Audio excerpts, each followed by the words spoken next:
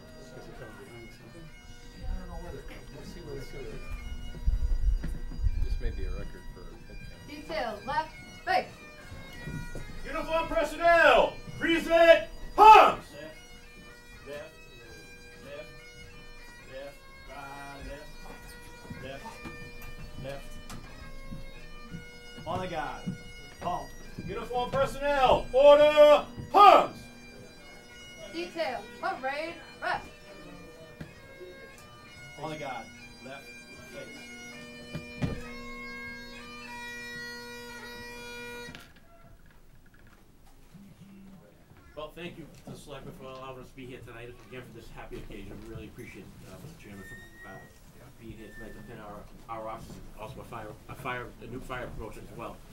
Um, We like it, but could we arrange something? I kind of like this line right in front of. Light a fire down. There's certain nights I'm sure you may need it. Yeah. We can schedule this. All right, good evening, everyone. Thanks for coming tonight for, uh, to see how these officers are promoted town of. Uh, first off, Lieutenant Christine Amendola. She was hired in April two thousand six. She served as a traffic and safety officer, uh, until May of two thousand thirteen. Promoted in July of two thousand fourteen to, uh, to sergeant, and in, uh, December of sixteen to lieutenant. She graduated Melrose High in nineteen ninety-nine. She obtained her undergraduate in criminal justice in two thousand fifteen currently attending UMass Lowell for a master's degree. She served as a RAD instructor, field training officer, and accreditation unit member. She served as a, military police officer in the United States Army Reserves from 1999 to 2012. She made the rank of staff sergeant and was deployed to Bosnia, Iraq, and Afghanistan. She is being pinned tonight by her by her aunt, Joan uh, Roadjacker. Joan, will you want to come forward? Oh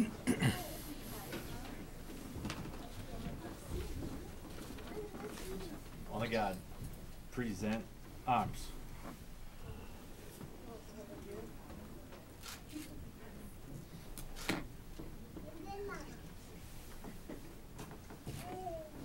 Order arms. Christine, you wish to say anything to anyone, thank anyone? Um, thank you, Chief, for this opportunity. Thank you, Councilman, Town Manager, Deputy Chief, thank you. All right, the next is Lieutenant John McKenna. He was hired in January of 1987. He served as a as detec- detective in 2000, promoted to sergeant in 2007, and promoted to lieutenant in January of this year. He graduated from Reading High in 1981. He's an undergraduate from Salem State and a master's degree from Anna Maria College. He's a, he was a member of the motorcycle unit, the tactical police force, in the honor guard unit. He pre- previously worked as a police officer with the MBTA police. He's been being pinned tonight by his wife Andrea. Present arms.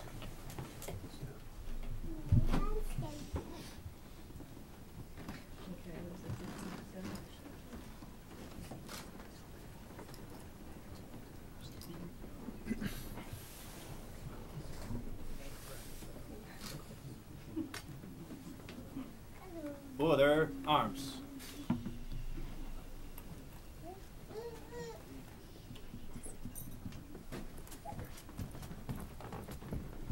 John, do you want to introduce your kids or your family around?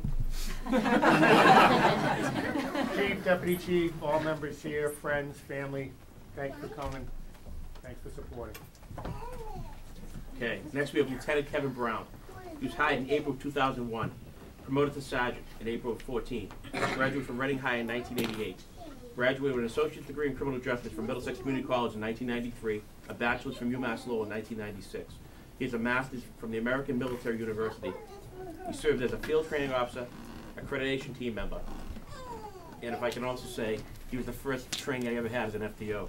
Uh, he's being pinned tonight by his father, Kevin Brown Sr. Present arms.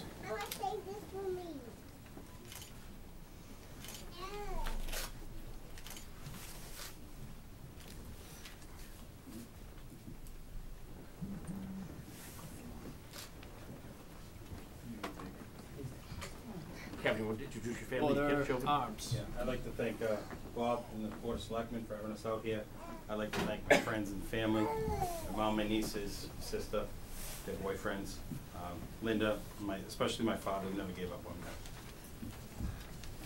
My, and my kids.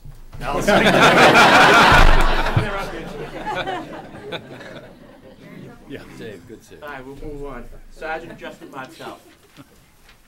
Justin was hired in September of 2008. He was promoted to sergeant this year in January of 17. He was the traffic and safety officer March 2010. He served as the fleet maintenance armorer in April of 2013. Graduated from Marian High School in Framingham, class of 2001. He's an undergraduate from Stonehill College in 2005 and a uh, graduate of Curry College, a master's degree in criminal justice in 2011. He currently serves on, serves on the NEMLEC SWAT team and RRT. Uh, he's been a member of the mountain bike unit and is the uh, department firearms instructor. He's being pinned tonight by his wife Deanna and daughter Madeline.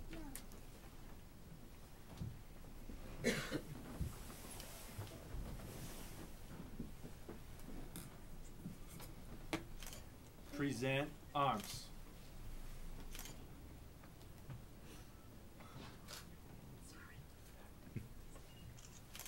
Tina.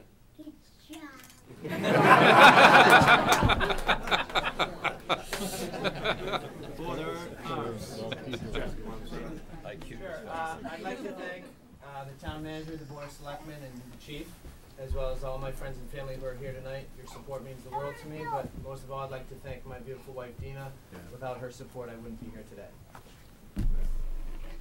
Okay, next we have Sergeant Matt Edson. Matt was hired in January of 1989 as a police cadet, July of 92 as a patrol officer. Graduated from Reading High in 1985. He is an undergraduate from Northeastern University and a master's from Anna Maria College. He served on the NEMLEC RRT mountain bike unit and, and the member of our honor guard. I previously worked for the Concord, New Hampshire Police Department, and tonight he's being pinned by his wife, Michelle.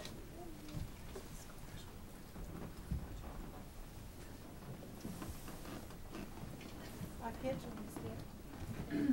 and there's. No. Present arms.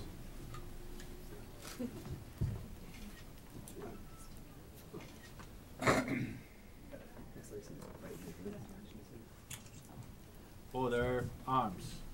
Now you want to introduce your children? I'd like to thank my uh, friends, family, and colleagues for coming out tonight. Thank you very much. Okay. Finally, we have Officer Scott Craven. Officer Craven was hired in August two thousand sixteen and attended the Randolph Police Academy. He's a two thousand seven graduate of Reading Memorial High School. He's an undergraduate from UMass Lowell and a master's degree from UMass Lowell. Previously worked for the Federal Reserve Police. Uh, And he's being pinned tonight by his mom, Susan Craven.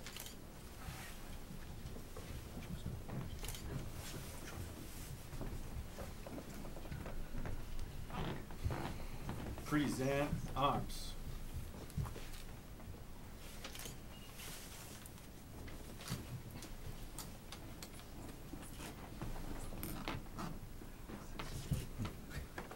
She doesn't have her glasses on.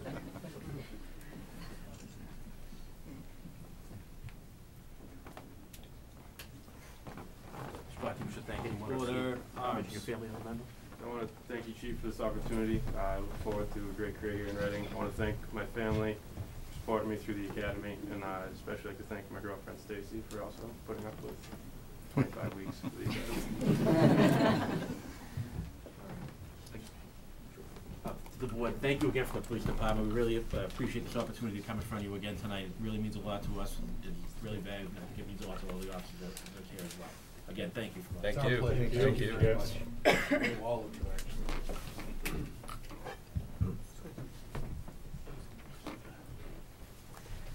Hi. Uh, we'll walk down that when we're ready. Just stay, stay right there. Uh, Thank you to the Board of Selectmen for having us tonight, and I'd like to thank the police chief for inviting us to come with them with, with this, uh, celebration tonight, and all the people that came out to support, um, both police officers and the firefighters. Uh, tonight I'd like to introduce to you uh, Lieutenant Eric Blackman. Eric's been with the Reading Fire Department since May of two thousand, uh, and he just was promoted in January sixth of twenty seventeen. Eric also has fire service experience in uh, two other departments. He worked for the Lynnfield Fire Department since nine, uh, began in nineteen ninety-two and worked his way up to lieutenant. He also worked for the Gloucester Fire Department in nineteen ninety-nine and two thousand. Eric is a uh, graduate of the Massachusetts Firefighting Academy. Uh, He's a paramedic and uh, graduated from the Northeastern University's Paramedic Technology Program. He received his associate's degree in fire safety and protection technology from North Shore Community College. He received his bachelor's degree in fire science administration from Columbia Southern University in 2014. He's currently working on his master's degree. Eric has a long list of professional uh, certifications.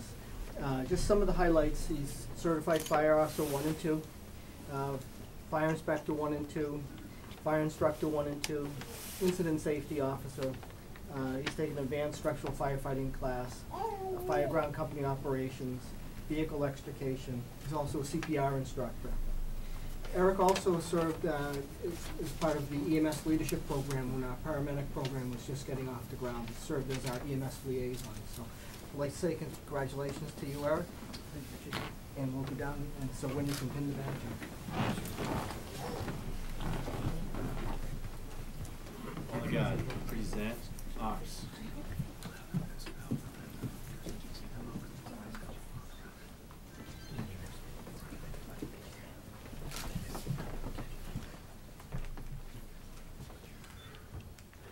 arms. Order arms. Eric, would you like to say anything? I'd like to thank uh, both chiefs of the department, everybody I work with at the, uh, at the fire department, and I'd like to thank- thank the board of selectmen and, uh, and the town manager. And I'd like to express my uh, deepest gratitude to my wife.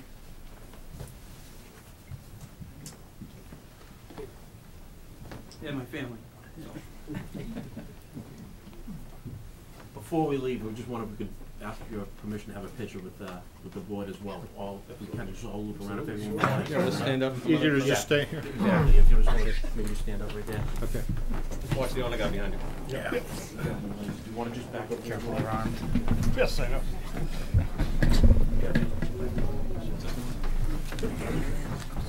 Chief,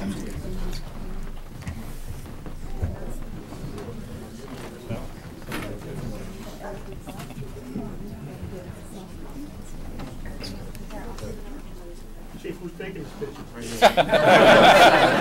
We're getting there. I need a wide angle lens for this.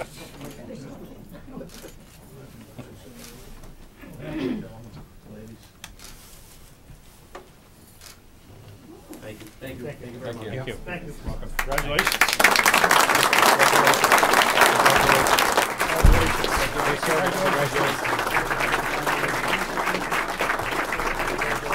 Congratulations. Good job. Congratulations. Congratulations. Congratulations. I didn't realize you Congratulations. Thank you for your service. Oh, Ninety-three. Congratulations. Oh, Hey, Lieutenant. Very good. Well done.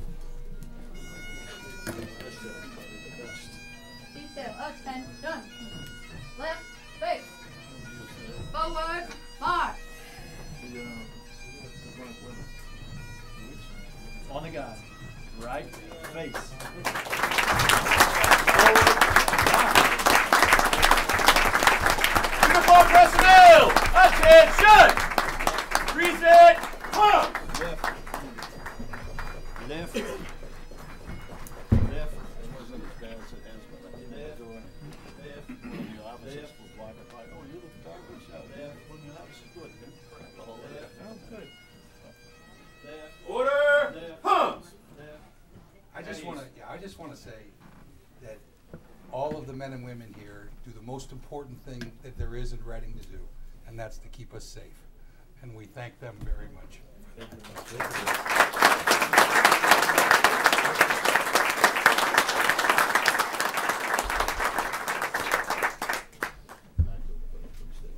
think we'll, uh, I think we'll take five.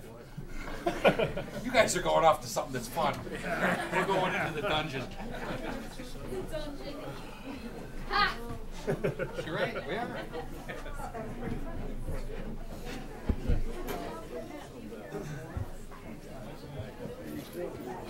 Is that a record, Bob? Yeah, that was, that was kinda cool. I'm not kidding, I felt very safe. Although somebody broke into your house right now. Well, you know, it's even, you see across the street, there's two fire engines and a, and an ambulance. Like on another planet. Yeah, I kinda had the. Maybe they could take you out and bring you back, is what you're saying. Yeah, that's right. The full gamut.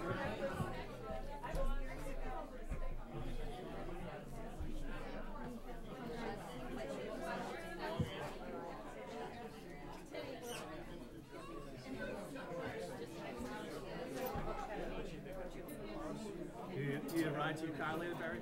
Can you ride to your car later? Yeah, maybe. Or an Uber, yeah. Uber's great. Always do Uber Super Bowl Sunday. Great service. I'm in Mexico now with it. I'm in Europe with it. It works everywhere. It's amazing. Does all the currency conversions. It's It's even better. What's that? Uber. Uber? I haven't driven to the airport in two years. I, I haven't driven to any hotel when I land in two years. It's great. It is great. Have you tried Uber Pool yet? I picked that by mistake once. Yeah, I have not. I, I assume that's. There's something funky about the way you get multiple riders. In I the did. I did it by mistake once also. And actually, it turned out it was nice. When we got this, um, I was at my office. and, Is there a plug over go across town. We met this young college student who was actually delightful, telling us a lot of stories. It took an extra five minutes. They They're doing food delivery now. Why not? In Boston and San Francisco, and I think there's one other city. That's interesting. You can actually dial into the restaurant, they'll dispatch the car, pick it up for you. You see the, uh, Google is building a car that flies out of traffic, that has a zero, it's like a Harrier jet, straight up, straight down, no landing. Um, that's their newest thing. Listen, I drive on the road with people all the time. We're not ready for that technology. I'm sure the jet will be fine. I'm worried about people hitting the jet. So here I am. I'm, you know, I'm 18 hours out in central Illinois, and I, you know, you, I was gone for like 10 days. Bye. Good night. Good night. Thank you. Thank you. Gone for 10 or 12 days, and I forgot how bad it was here. When I started, when I hit, hit Connecticut, every time you saw, every Oh, time yes. you saw someone I driving knew I'd like a forget Jeep, something. they had a Massachusetts plate or a New York plate. I mean, other than that, I'm out there in Illinois, Indiana. Great to Ohio, see you they're tonight. waving Glad you could make it. They're, you know, making room for you. What's the speed limit out there? Do you do 75? But, you know, you go 75. So, it's kind of nice. You just bat, you know, you're just batting along.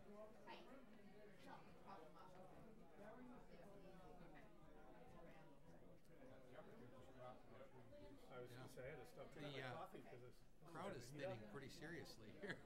not for long. I just got texted by somebody who I don't know who they are. What are they asking you for? This is not for me.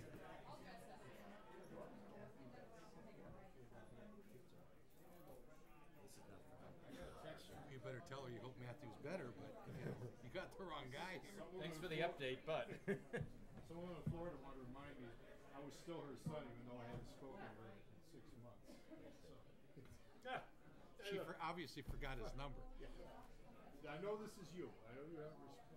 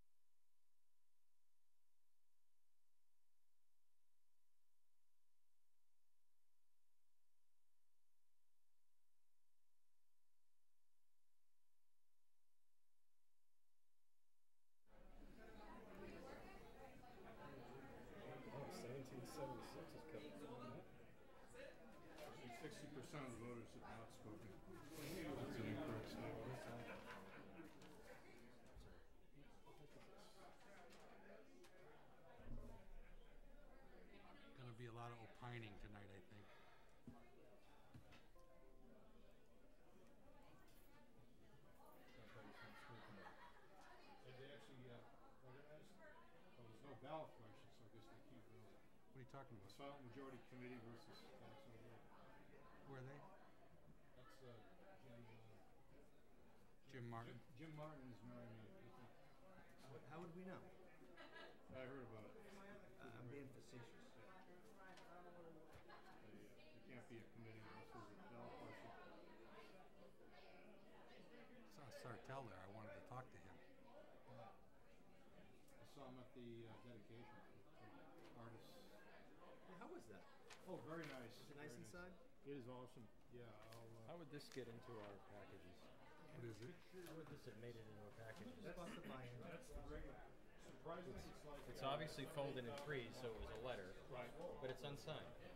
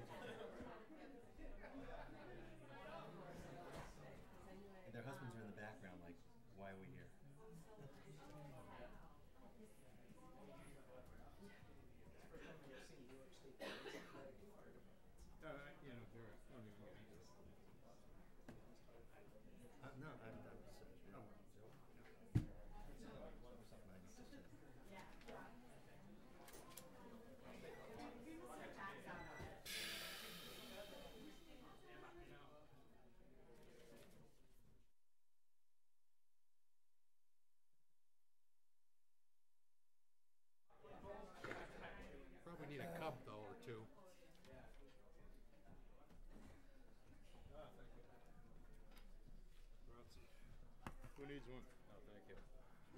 Unless it's Tanqueray.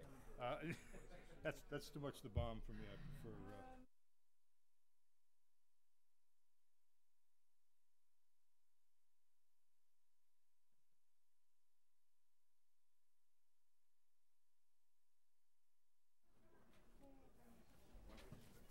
I'm not, I don't know if it's in here.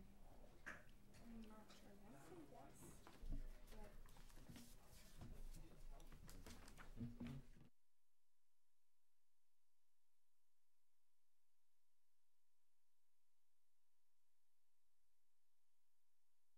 Ransom note. You guys can discuss like the anonymous Yeah. answer. Just- Right, okay. I That's, that That's what I was just saying, that we, you know, That was- that's something to speak about. right, I believe, There's no yeah. question they can't. It's not the first one we've gotten.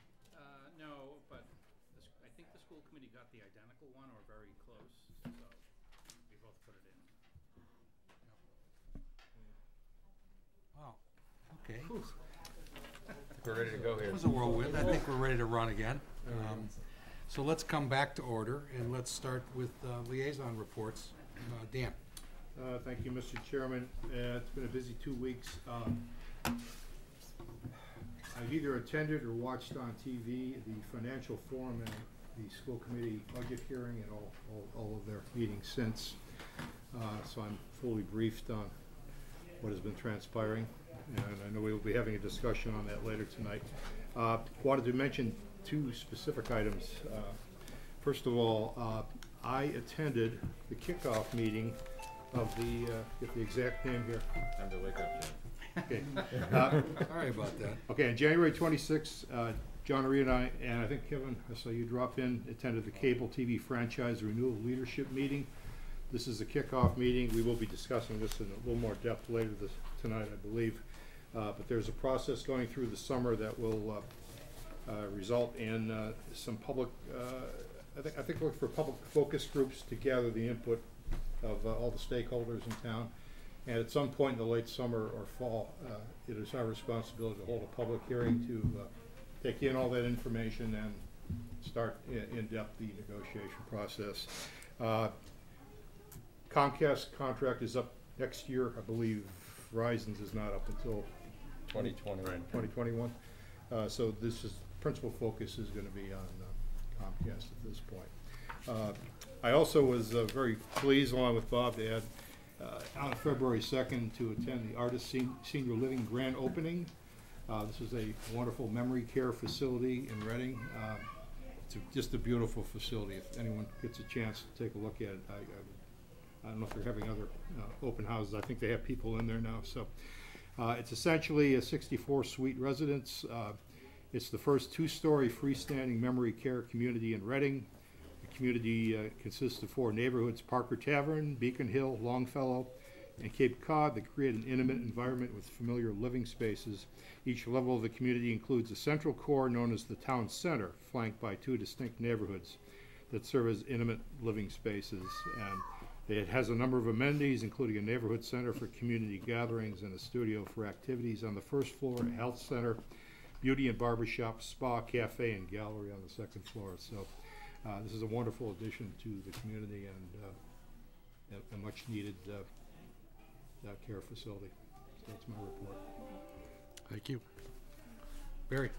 Um, like Dan, I've been living at the school committee for the last couple of weeks, um, attending their meetings. Um, I know we'll talk more about that. Also, Kevin and I attended the subcommittee of the Human Relations Advisory Committee. I think Kevin will probably speak more about that later, um, as they sort of figure out kind of their next steps. Um, but also, what I, I just wanted just to take two seconds and, and, and comment on this unsigned letter that it, that made its way into our packet today. Um, you know, we get a lot, a lot of um, feedback from neighbors. What we're doing right, what we're doing wrong, what they want us to do, asking us to do something else. All of us have probably gotten well over 200 emails um, from people uh, regarding kind of the cuts in services. All of them thoughtful, um, profound, you know, some some heart wrenching, but all of them signed.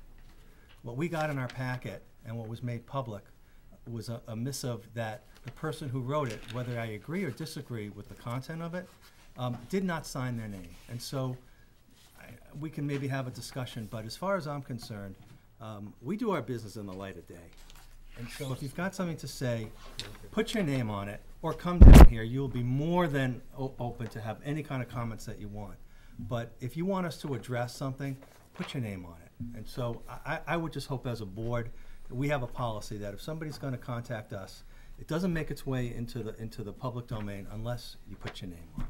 That's just my opinion. Thank you. That's it, That's it? Kevin? Um, I just have a brief um, report. As Barry told you, we did attend the subcommittee for the Human Rights Advisory um, Committee, and this is something that um, I know Barry and I are gonna um, be working with that group on a little bit over the next few months. And it's, it's kind of around the same lines of where they came to us last week, uh, excuse me, last time around, which is they're, they're kind of looking for um, ways to kind of redefine themselves, I think, a little bit, um, and, and see wh- what they really are or, and would be capable of doing as a group setting. So there's still a lot of discussion that needs to be had with this group. Um, really very early stages of meetings with them, so I don't wanna get into, to too much other than to say that, you know, we're, we're working with them and, and we're listening to, you know, what, what their, uh, kind of vision, so to speak, would be and, and trying to, you know, work with them to, as best we can to explain the position of town and, and, and the town side of, of the piece when it comes into play as far as, um, putting things out in the public and what have you, so, um, Kevin, to that end, uh, uh, you said a subcommittee? Is there a reason this is a subcommittee and not, say, the chairs of the committees engaging on this kind of existential topic? Um, they're, formed a subcommittee which, um, they use to do the MLK Day. So they use it very often, so you don't have to have formal meetings if you have to change things. Um, so, Oh, I so see. you just have a, I see. a, a non, it's a non-majority, um, I see. of the board meeting, so they, you know, it's not official work, but they can get the behind-the-scenes stuff done, and then they can bring it to the, to the full committee to vote on. But the chairs are briefed, they're engaged, it's just this is a. The chair is board one of meeting. the, is one of the Fine, committee members, Very yep. good, thank you. Yeah, and they were, you know, the last go-round in the charter, um, advisory committees and other committees, of- but certainly the committees advisory to us have been given the latitude to create Absolutely. subcommittees. Um, Um, cause there's quorum issues and, you know, detail issues that need to get done that, it sounds like they all find their way back to the light of public day, though, Correct, they do. so. Um, so there'll be more to that to come uh, in future meetings. Uh, the, the other thing I wanted to mention, I did attend the last ZBA, which was a non, um, um, public comment meeting, was open to the public, uh, obviously. Um, this is in regards to the forty B project that is proposed for Lincoln and Prescott Street across from the train tracks. Uh, it, pretty much at this point, um, what they're doing is just working on the final kind of detail work, so, so to speak, the i's and the t's of the draft proposal that the ZBA eventually will, will vote on. So it was really a meeting amongst themselves, working with town counsel to re, you know, uh, make sure that they have the language that they want, um, in the draft proposal correct. Um, they're pro- most likely gonna be voting in at one of their next two meetings. They have to vote on it, uh, by the twenty-first of, uh, February, but I think they may be voting on it before then. Kevin, did the uh, loading space issue get handled to the satisfaction of the board, would you say? So the, the whole package, there was no discussion about it at this past meeting. Now, I know one of the propo- the uh, proponents, uh, or opponents to it, um, on that board was not present as well, too. So, uh, you know, but I think they take these proposals, um, it, it- this is my understanding, Bob, correct me if I'm wrong. They work on the draft itself, the draft proposal has all the waivers that the, um, the builders are asking for, the developers are asking for in there, and then they vote them all up or down. I- Is there any on-street parking in the, on- on-street loading in the final The, draft, as far the, as you know? the final draft, to the best of my knowledge, is that it's an off-street parking. They did get approval. Loading. Lo- Loading. um, um, uh, Loading. um, which actually will be used as, I think, guest parking when it's not, when it's not in use.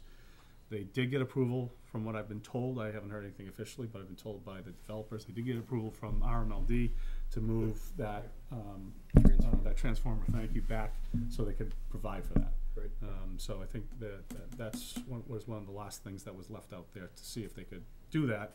That would get them the, the off-street loading area.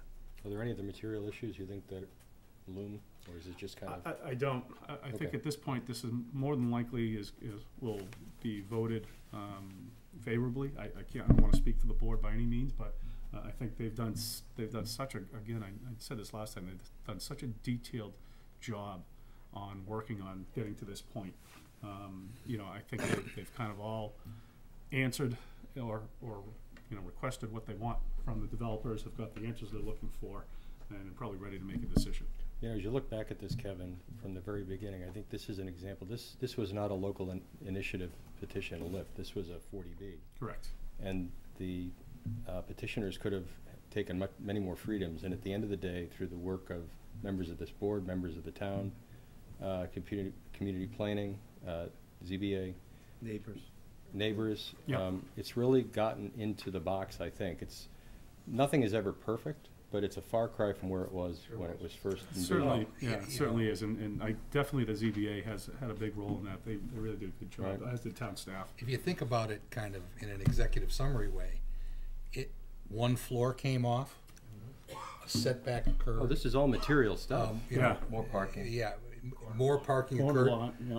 Um, the lot was ex- was extended. They came to terms with the, you know, with the local business owner to extend it. I mean, a lot of good work went on that, um, and I think there's probably still some, I mean, I think most of us would prefer to see more parking than they, than they have, but, you know, um, they seem to have worked hard to get closer. We'll have to monitor them when they start building. Well, Yeah, they'll have to do the staging, yeah. to the Uh, satisfaction. Well, and you know, that's one of the issues that I, you know, that I frankly didn't feel that satisfied with is how they're gonna stage even the building of it. You know, and how- what the impact of the neighborhood's gonna be. I mean, those are some things that, you know, to your point, John, there are certain liberties that they could try to force on us and will, um, to a certain extent. However, they've been, you know, there's been a lot of good negotiations that's gone on. And I think this is probably a model for, we, I don't think we've seen our last forty B. We'll try hard to solve that problem systemically, but this may Mhm. not, may not be our last. But this has really been a model in how to, I think, work collaboratively with any of these, um, developers to try to find a, a concept that fits into the community and push back when we need to push back hard. I know one of the concerns when we see a project, like this come into the community is the, the burden on the school system. But I've done a fair amount of research around town, uh, especially Reading Woods, and I can assure you, one to two bedroom apartments do not produce very many, if any, school children, school age. Pre-K perhaps. I was amazed, Dan. I was looking at school enrollments over the last seven years. What would you guess the enrollment's down since 2010? What would you guess? 2001? 10. What are we doing, Jeopardy here? We have the superintendent here. He I would probably say knows uh, the answer. roughly even. It's about 120 uh, heads per the last uh, documents. Smaller, is that what you're saying? Smaller, and we've, we've had those big developments. And there's been bubbles in there and larger classes and all that, but in aggregate, if you count all the noses. So I think your point's well taken, despite uh, Pulte Homes, despite uh, Thirty Haven, despite Johnson Woods, Pul- those additions, you're still. Pulte has nine. I checked with, uh, Linda Linda Engelson on that one. Oh, nine kids, nine Nine school kids children? Total, in Reading schools. Yeah. That's up over three hundred units nowadays. John? Um, Dan mentioned, we sat in on the RCTV consultant. Uh, In addition to the Comcast contract being up in 2018, Reading's contract with RCTV is likewise up. And the town is both a um, consumer of, of video services from Comcast and Verizon, but it's also a provider. These are all broadcast topics. And uh, we've got two negotiations to get through. I- I'm interested in the topic because I think frankly RCTV's got is almost an underutilized resource. There's so much more that could be mined out of that organization in terms of integration with the schools and um, integration with the sports programs. It's off to a great start, but there's even more in the tank, I believe. Yeah, I, you know, um, I think that RCTV, my, my take is that they're interested in what, Absolutely. what more they can do. Absolutely. I, I mean, you know, the, um, I'm so glad that the two of you are working together, um, on this, on these contract negotiations, but, um, um, the chair of their board, who's here this evening, and I have been actually getting together for almost a year now, is that right, Kathy? Um, trying to, you know, open a really solid line of communication, and I think that that's been very helpful, and I think that, um, we're gonna see, you know, more, I think it's gonna be a win around the table for, you know, both the town and RCTV, and, um, I think they'll be, you know, challenged creatively and professionally, and I think that's what they're looking for. I mean, I think they're looking to get bigger and better and stronger. I will say, however, um, the next thing I want is streaming because I've been out on the road in the middle of nowhere for the last 11 days. I feel like I'm, uh, I'm like a lost soul. Uh, I don't get to, I, I don't only, not only not get to go, I don't get to see. So. I, I wanna see HD so I can read Dr. Doherty's fine slides. The other uh, part of that dimension is uh, RCTV um, hired a consultant who spoke to all of the modern inclusions in recent contracts, and it was really amazing. Um, There's no sense to reinvent the wheel here. Others have gone before us. We can just borrow best practices. So there's a whole lot into modern negotiations with the franchise um, agreements in terms of what we, in theory, should um, think about asking for and making it part of the condition. Um, Like Barry, like Dan, I also attended um, the school committee meetings uh, last nights. I didn't get a chance to view, but was there on the, on the 26th. So I, I think I'm pretty caught up and ready for our conversation later on this afternoon or this evening. Um, So, um, I, it's interesting, I've only been in town, um, three days since our last meeting, but I've been busy going to stuff. Um, you know, of course, at the Financial Forum, at the library, um, I thought it was interesting and thought-provoking. Um, I thought that it was, I thought it was really good that we were asked direct questions as a board, collectively and individually, and, um, I'm proud of the fact that each of us took a turn to, you know, try to answer the questions that were asked very directly of us. Um, there's a lot going on, um, as everyone knows, um, and I think that those kind of meetings are not only instructional, I think that it helps everyone in the room who is either for or against something um, to actually start to understand the other person's point of view a little bit. And I think that in a town full of neighbors, that's the thing we can't lose sight of. We're, when, especially when we're in the middle of difficult times, um, is that we're all neighbors and everybody does have a point of view. And if everybody has a win in whatever it is, then that's probably the best outcome. Um, additionally, um, yesterday, uh, I attended a public hearing for the Board of Health, um, to which I'm a liaison. Um, as I think I've made all of you aware, Um, there is pending regulations that were the, were the topic of, uh, their, of their public hearing.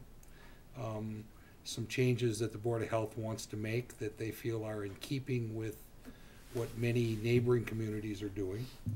Um, and it has to do with distances to schools, um, for any, you know, any new establishment that might sell tobacco. Um, it has to do with, uh, flavored tobacco, which, um, and the price of individual things like, you know, cigars inexpensively.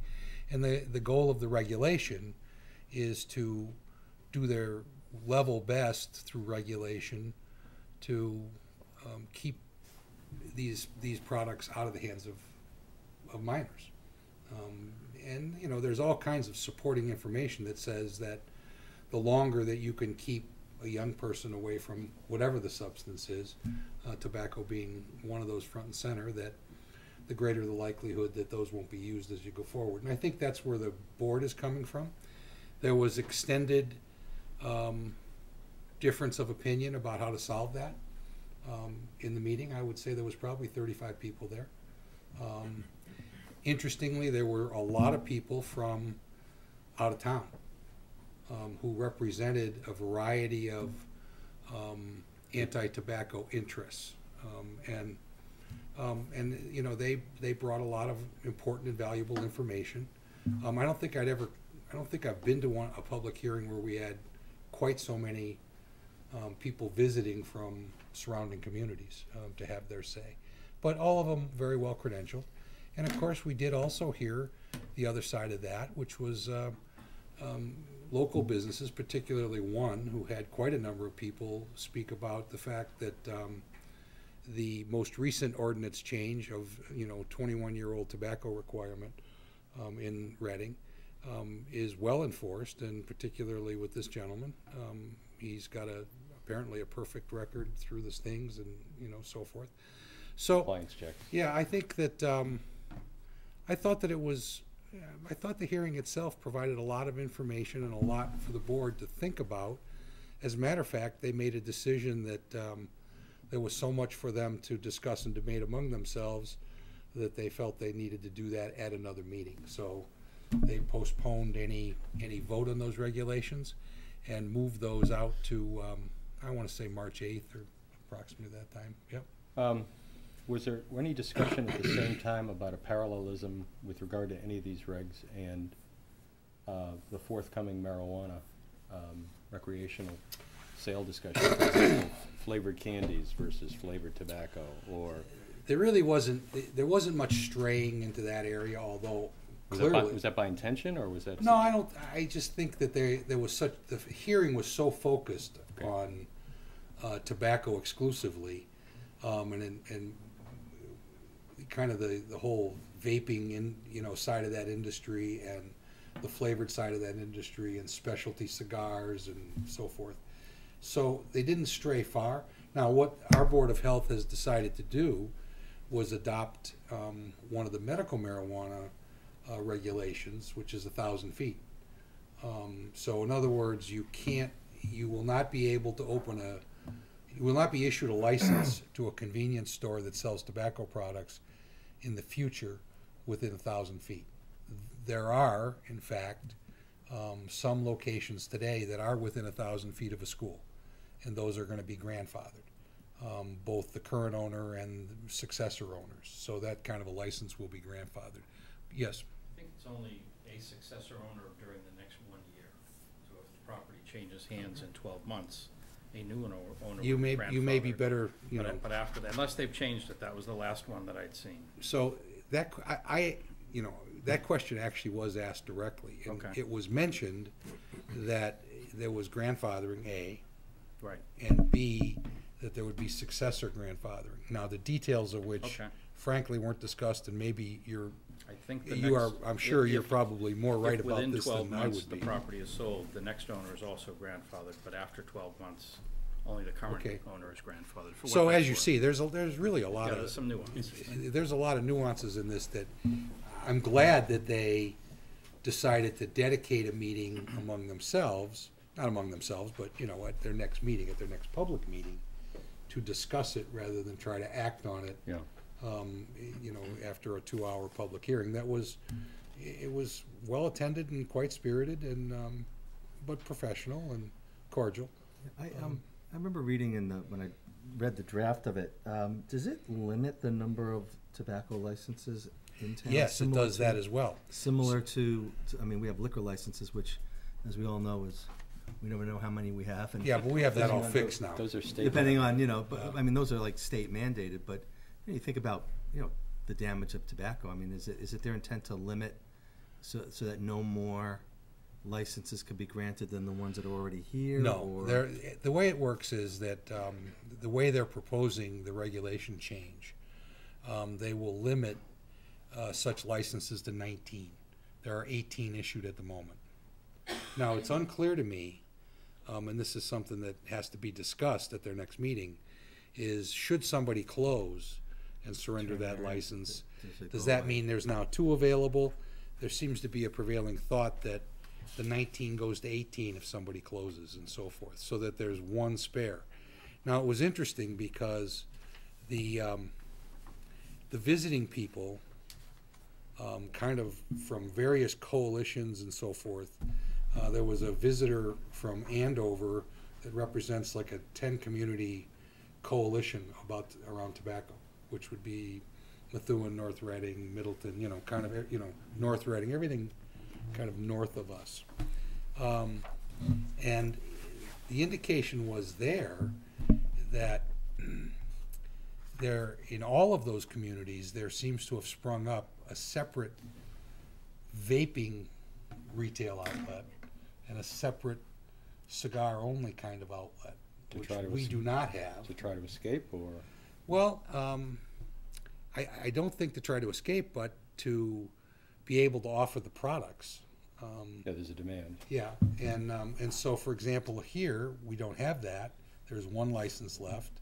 One of the business owners in town, um, when, when the regulation changed from eighteen to twenty-one, he's trying to manage his cash flow and his revenue streams, and he made a fairly large investment in the flavored vaping um, to supplant, you know, what he had lost in the eighteen to twenty-one year old marketplace, which apparently was not small, um, unfortunately. Um, and so he feels like he's significantly at risk, and he's not inclined to want to go open one of these places that's exclusively for that. So there's issues here.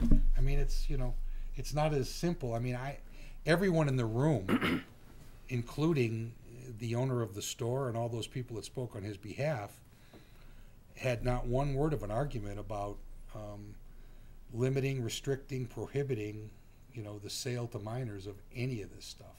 Um, everybody thought that was everyone in the room said, "Yeah, That's why I think this. great idea. You know, let's let's do that." But the, you know, as always, the detail is you know where the challenge is, um, particularly when you've got business owners involved and you know regulations around how many you have and how many you don't have. It's um, and you hate to see them pitting economic sustainability of a current business against the health and welfare, you know, of, of especially the of minors in, in town. Bob, does the health department oversee the licensing for tobacco? Yes. Yes.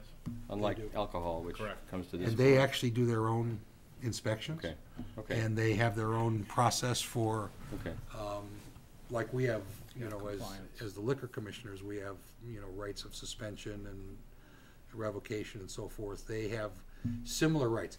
And so, you know, I, I'm really there, I mean, they certainly, although they're an advisory committee to us, on these certain topics, they're empowered by the, you Okay. know, by the State Board of Health. And they're, they're acting in a, in an appropriate way. I, I think that it, it's just a question of trying to sort the details Sure. out. I think that's what they're trying to do. In the subject of marijuana, Bob, do you know if they're similarly positioned on that? Or no, it's too early to tell? I'd say it's too early to tell, but through RCASA, I had heard a month or two ago that the Board of Health had expressed um, uh, support for the ballot question. So. Support for question four? Yeah, one can be in favor of question four, which also provides, as you guys all know, the rights for towns to self-regulate whether you and support retail. The rights for towns to prohibit. Right, but as it well. seems, it seems like a tremendous opportunity lost if you take two agricultural products that have similar physical characteristics, similar Mm-hmm. delivery characteristics, similar attractiveness to the so-called target population of youth, similar vehicles about getting flavored or vaped or otherwise used uh, surreptitiously. It seems like a lost opportunity to go after the tobacco while at least not framing the arguments, even if you don't put them in place, just framing the parallel arguments are on marijuana. Because why do it twice when you can do it once and all the same arguments Well, apply? You know, so, Bob, you're indicating that there was, from the Board of Health, favorable, Yeah, that's not really speaking to the regulatory aspect. That was really speaking to the retail aspect as a ballot question. So I, I do want to separate the two. Yeah. Um, when you, when we discuss closing the warrant, which you'll do at your next meeting, there's two articles that describe marijuana. Um, you know, some members of the board and I have met with, uh, medical marijuana vendors. Um, I think the fairest comment is it's an extremely fast-changing industry. I'm sure. And the rules are unbelievably unclear. that I think is Or the, is the non-existent. banner. That's the understatement. Um, I, I- you know, I mean, this town did its best to prohibit the sale of medical marijuana, and they were told in no uncertain terms that that was against the law, and that, um, Reading had to create its own zone if they chose to do that, but that was as far as the regulation could go. And I think distance was one of those things as well, from where, places where youth normally congregate, which would include schools. Um, it's, it's gonna be interesting because, um, we have a understanding at the moment that a medical marijuana, um, organization, by the nature of their charter with the state, and because of question four passing, will be granted an equal number of recreational licenses to the number of Surprise, of, of medical licenses that they have. Now, that on its own creates its own set of issues, because for us to be able to have a discussion with a honestly perfectly legal business to come into this town, which is a medical marijuana dispensary, um, you immediately begin to discover that you may be in that discussion opening a door that, you know, that, that is a gateway to the recreational facility as well. And we believe, um, I think that's part of what we'll be talking about at some point, that question four gives us the opportunity to, um, prohibit the sale of recreational marijuana in our town. And if you look at the way our town voted, one would consider, um, taking a hard look at that, because the vote was among the top five in the state against question four. Um, so it, I mean, our, our voters have said pretty clearly what they're interested in. Um, so, there's a lot to talk about there. So, um, that's kind of the Board of Health. I'll keep you posted. Um, the, the March eighth meeting, I think, is gonna be an interesting one. Um, and I'll, and I'll bring that information back. I also visited the, um, the bylaw committee. Although they're not advisory to us, as chair, myself and the moderator, um, are part of the appointing authority, and their chairman asked us to visit, um, for some clarification on process, which I think was done. Uh, Bob, who normally attends those, I think you normally attend those, don't you, Bob? Yeah, if I can. Yeah, um, it was there as well as, uh, town counsel to clarify, um, process. There really is, frankly, as a result of recent activities with the charter, a lot for the bylaw committee to do. And traditionally, they had kind of met on an ad hoc basis, you know, in advance of town meetings as needed. It appears, would you agree, Bob, that they're, seem to be embracing the idea of What do you think, Steve? Yes. Yeah, regular meetings in some Oh, yeah, Steve's back there. I mean, I mean, I left, I was, had to leave before it was over. Yeah, that's right. Are you guys embracing a regular meeting schedule? Um 'cause cause it seems like there's a lot, a lot on your plate. Yeah. Anyway, so that's what's going on there. Um, they'll, that'll continue to evolve over time. And, uh, of course, the bylaw committee is very active with lots of things that are going on right now. Um, everything from the, uh, from the building committee to, you know, working more in an advisory capacity with them and, um, and also um, embracing some of their responsibilities around certain bylaw changes that have to happen as a result of the charter cha, you know, some changes in the charter. So, a lot going on there too, so. So that's all I have. Bob? Do you wanna do public? Sure. Public comment. Yes, Bill? Yeah, Bill Brown, twenty Martin Road. Um, to Mr. Berman's point on not allowing anything to the packet, as you are well aware, I will always sign the letter that I put out. Yes. Good, bad, or indifferent. Appreciate that, thank you. I do not think you should bar it from the, uh, packet, uh, because in my opinion, you're violating a person's First Amendment rights. And like I tell everybody, you violate my First Amendment rights, I will exercise my second. And on your desk tonight, I put a little thing about the pyramid override Right. for your Yep. information. Oh, okay. Yeah, we I do. know you had a great deal of, uh, questions, what you can put on, what you can't. It may be the answer to what you're looking for. Okay. And uh, even though I may not support it, I think this, that may be something you wanna look into. Most people do not understand what a pyramid Right. override We- is, but We did kick that around briefly at one of our uh, pre-override discussions. a- as to opposed to a manual override. Menu is not good. And Menu overrides when you. Menu, yeah, yeah. when you. As uh, opposed to a pyramid scheme. I Do suppose, like right? one specific thing, because Right. next year, if you're doing it in Democrat. Well, you know, Bill, I think to the point of um, the anonymous letters, I, I personally wouldn't leave it out of the packet, but I would just go on record as saying, when it's anonymous, it doesn't have much impact Yeah. for No, me yeah, personally. right. No, I That's understand. all I'm The saying. the board may And If you want me to pay different ways. attention to it, I- I will sign it, you- I will guess tell is you, all I'm I saying. a when I I got take a no paper exception sheet, when you said No that. signature on it, I don't even bother. We- we can just- If- If they're coward enough not to put the name on it, hell with them. Excuse Well, my and you know, maybe it's, Yeah. I don't know. I, I consider them a coward if they don't wanna put the name on it. Well, I, I wouldn't have gone that far, but, you know, we have a lot of business to do, and, you know, there are people who are very thoughtful, and they come before us, and they, we may not all agree, uh, in fact, there's, there's not, but you know what? If you want, if you want a, fa- a, a fair shake, you come in like everybody else. Yeah, like I said, Yeah. I, I consider them a coward. Everybody Put the gets, name on it, you know.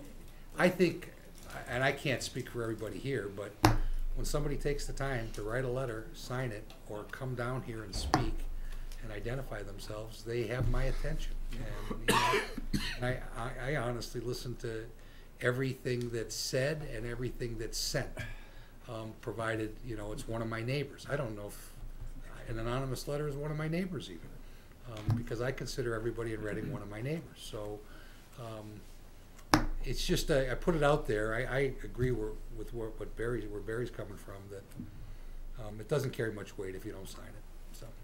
Any other public comment? Okay, just one thing, I wanted to uh, update the board and thank uh, Representative Jones and Dwyer especially. Um, Jean Delios, the Assistant Town Manager, Julie Mercier, Community Development Director, Andrew Corona, Economic Development Director, and myself, we sound like a sales team. Went down. You to are. Be- We Yes. are, we absolutely were. We came back with a good haul, too. Um, we went down to Beacon Hill last week, met with the two representatives and the Secretary of Housing and Economic Development, Jay Ash, who we've known for many years. Um, actually, right now in the queue, formally or informally, we have five active 40B, 40B projects, just so you know. Um, probably two of them will turn into, tus- into subdivisions, but who knows? Um, we also have, as of now, one official active 40R project. The post office redevelopment has been filed. Um, you will uh, have a meeting with the developer sometime in late March. He wants to come in and see you. He's got uh, things to do with CPDC first. Um, so we're in using both, uh, both hats that Jay wears. Uh, first talking about all the 40B projects and housing in general. And it is entirely possible that in the next three to five years, Reading will uh, be at and exceed the 10% goal, even adjusted for the census, which would be phenomenal. There's Yes, not- Even would. adjusted? Yes, Yes. there's not a lot of communities that got there. That's huge. So that's, that would be a big feather in our cap. There's a lot of distance to go between now and then. You saw how much work, you know, sixty odd units were Right. down by the depot, so not to minimize the amount of work, but it's, it's a pretty busy How many of place. these five are we gonna like? Um, three. Three. Well, do you like the depot? I counted that as one of the three. N- n- Now better. Yeah, I think now it's a good project. I should It say didn't- start out better. It didn't walk into town as a good project. Um, and then with this other hat, economic development, you know, Andrew could talk meat off, what is it, meat off the meat wagon or whatever it is, yeah, exactly, dog off a meat wagon. Dog off. Um, Okay, You we know, won't Jay go was there, lucky but to yeah. leave with any clothes on at all. Um, but it was very clear that we're talking sig- significant financial aid from the state from some of the projects that we're kicking around. Um, we need some major, uh, capital investment on intersections, on road rebuilding. And, uh, they're not, just not the kinds of dollar figures the town has lying around to be able to do that. But it's the kind of investment in a community the state is very interested in. Normally, the state won't express any interest unless you're asking for at least three to five million. So, you know, we're, we may or may not be quite in that ballpark, uh, but we definitely got their attention with the, uh, possibility of getting to ten percent and doing economic development, and they sort of were linked. Yeah. So, Good. you know, I'll give you an update on that when we have it, but we definitely had a really good meeting in town and Well, you good know, thi- reception. this kind of stuff, Bob, is, is the real key to ultimate movement towards financial sustainability. Yep. Rather than just financial Band-Aids over and over again. I mean, you know, the kinds of things that, you know, we're all working on and, you know, and you and your team are leading the charge on. Um, They're not gonna create revenue overnight, but, you know, as those happen, you know, the whole concept of a, a better plan for the finances of the town, which relate to, you know, everybody, town, schools, I mean, the whole works. We need to be taking these steps without question. Well, certainly the current administration is very interested in towns helping themselves. Yep. Because they know the state is not in a position to really help communities much. I think our state aid is something like 0.9 percent, uh, as proposed by the governor. Um, you know, that's not gonna get us far. It's So- not gonna get bigger either. No. So we need to learn how to take care of ourselves, basically, and I, I think the current administration, at least, and maybe the last one, was very helpful. Did you get a sense, Bob, that there's a first mover advantage in these discussions with the secretary? Are they looking for a role model or? Uh, in, Lead- in, lead in Buffalo? some of what we're doing, absolutely. Uh, strong interest from the governor's office in some of the things we're talking about. That's exactly that. Strong interest, um, you know, in, in all the right places on that one. Um, You know, Reading is known, um, again, Jay knows us for a long time. Uh, he actually went to school with Jean in college, so, uh, he knows Reading is, is top of the heap in planning. But planning and executing are not always identical. Um, you can have wonderful plans if you don't, community's not supportive and doesn't do things. What good are the plans? Right. Um, at your next meeting, uh, Jesse and Andrew will be in, mostly Jesse will give you another update, and then two meetings from that, um, Jesse's probably gonna do her final report, and Andrew will be a longer report along with the post office. So this is a topic you'll be back Good. in Okay, front of you great. shortly. Is, um, is Jesse's work running to the end? Um, it'll run through at least the end of March. I'm not sure we can talk much past then, but we'll see. She's really got a lot accomplished. Yeah. Um, Yeah. And, and John has been Really very set the helpful. stage too for, uh, Yes, and I tell you, the, the community meetings that I've been able to go to, we had two snowed out today. Um, those are worth so much more than the two hours you spend with people. Um, because all of a sudden, you're talking to economic development boards, town managers, and it's about a topic that they don't normally talk about, so they're happy to do it. Um, You know, and a lot of lessons learned. Um, You know, I don't wanna steal any of the thunder, but there's no one magic answer, sir. No. Right, a lot of little ones. We've learned that, much like much of our government, we, we're doing a lot of things right. Um, We don't necessarily have the best hand in a poker game, but we're doing what we can. So, that's all, thanks. That's it? You're gonna save the rest of it for later? Yeah. Okay. All right, um, let's get to some of the, some of the business of the town, uh, the procurement policy. Yeah, I'd like to uh, introduce fellow selectmen.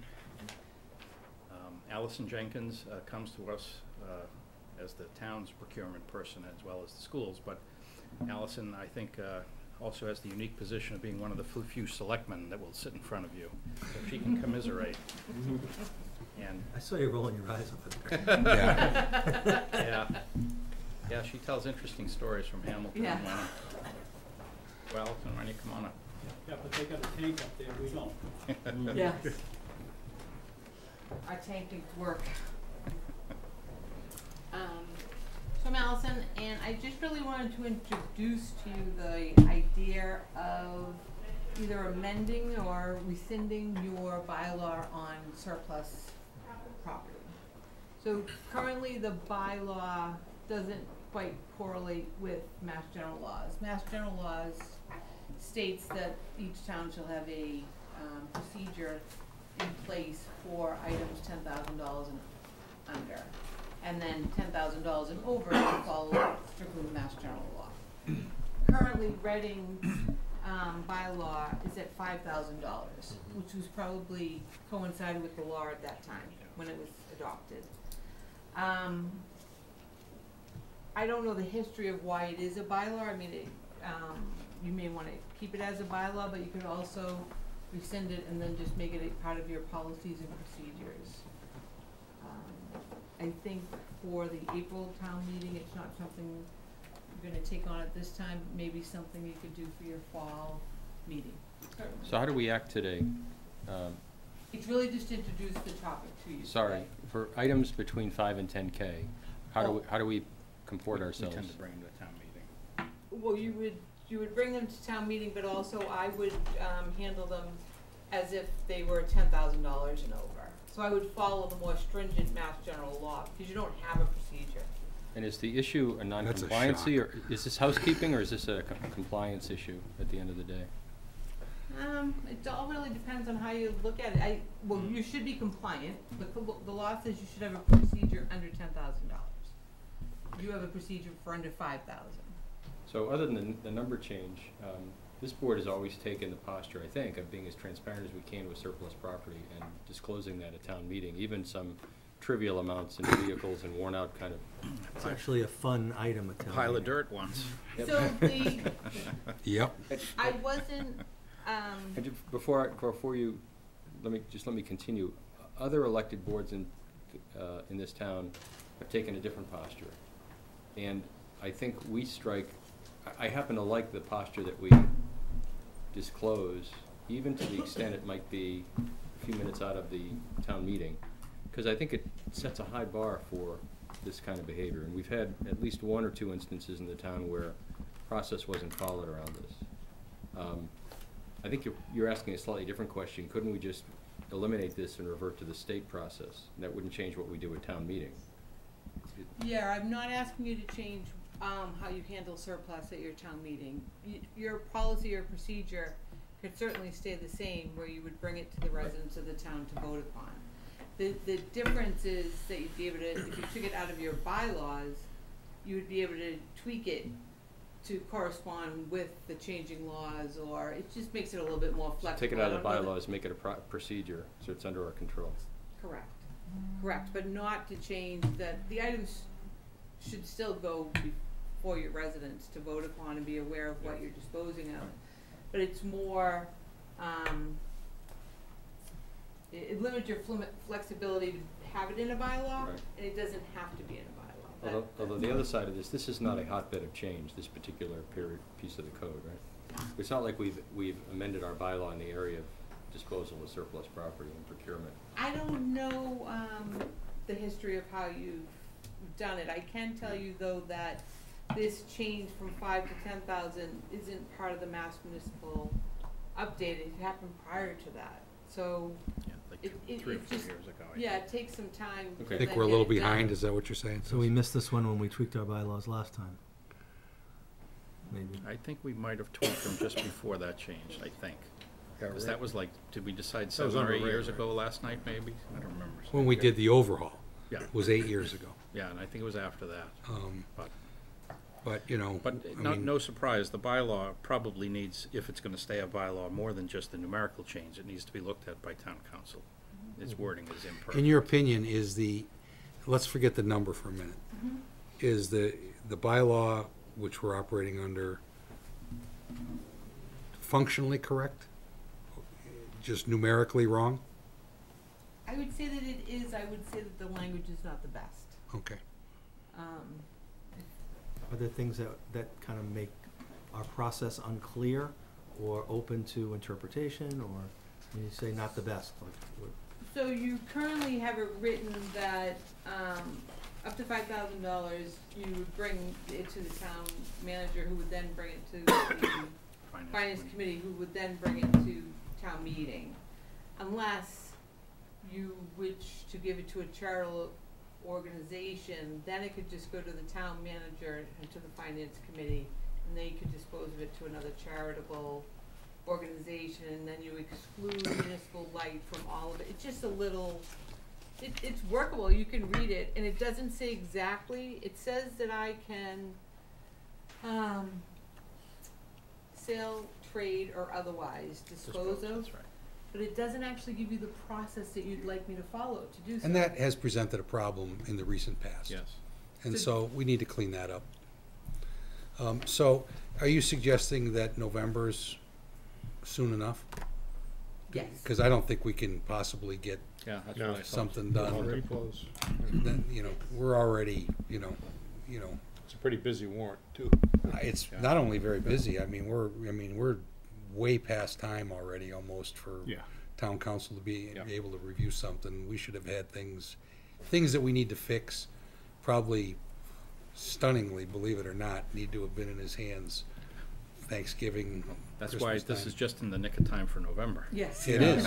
Um, In some sad way. I'm in the same boat in my town, um, but that's why it's just to introduce the idea, see how you, um, Bill, you can, you can. So should you take a crack at it and then, you know, work with Bob and then we? get- Yeah, we should probably talk to I town think that counsel seems and like see the- whether he, his opinion is bylaw or not, and then ask the bylaw committee what their opinion is bylaw or Yep. not, advantages, disadvantages, and then off we go. I'm interested in operational efficiency, and you're the person that would be best able to do that. Mm-hmm. So I think it would be, my opinion is that you take the first crack at it, you know, I think that makes the most sense.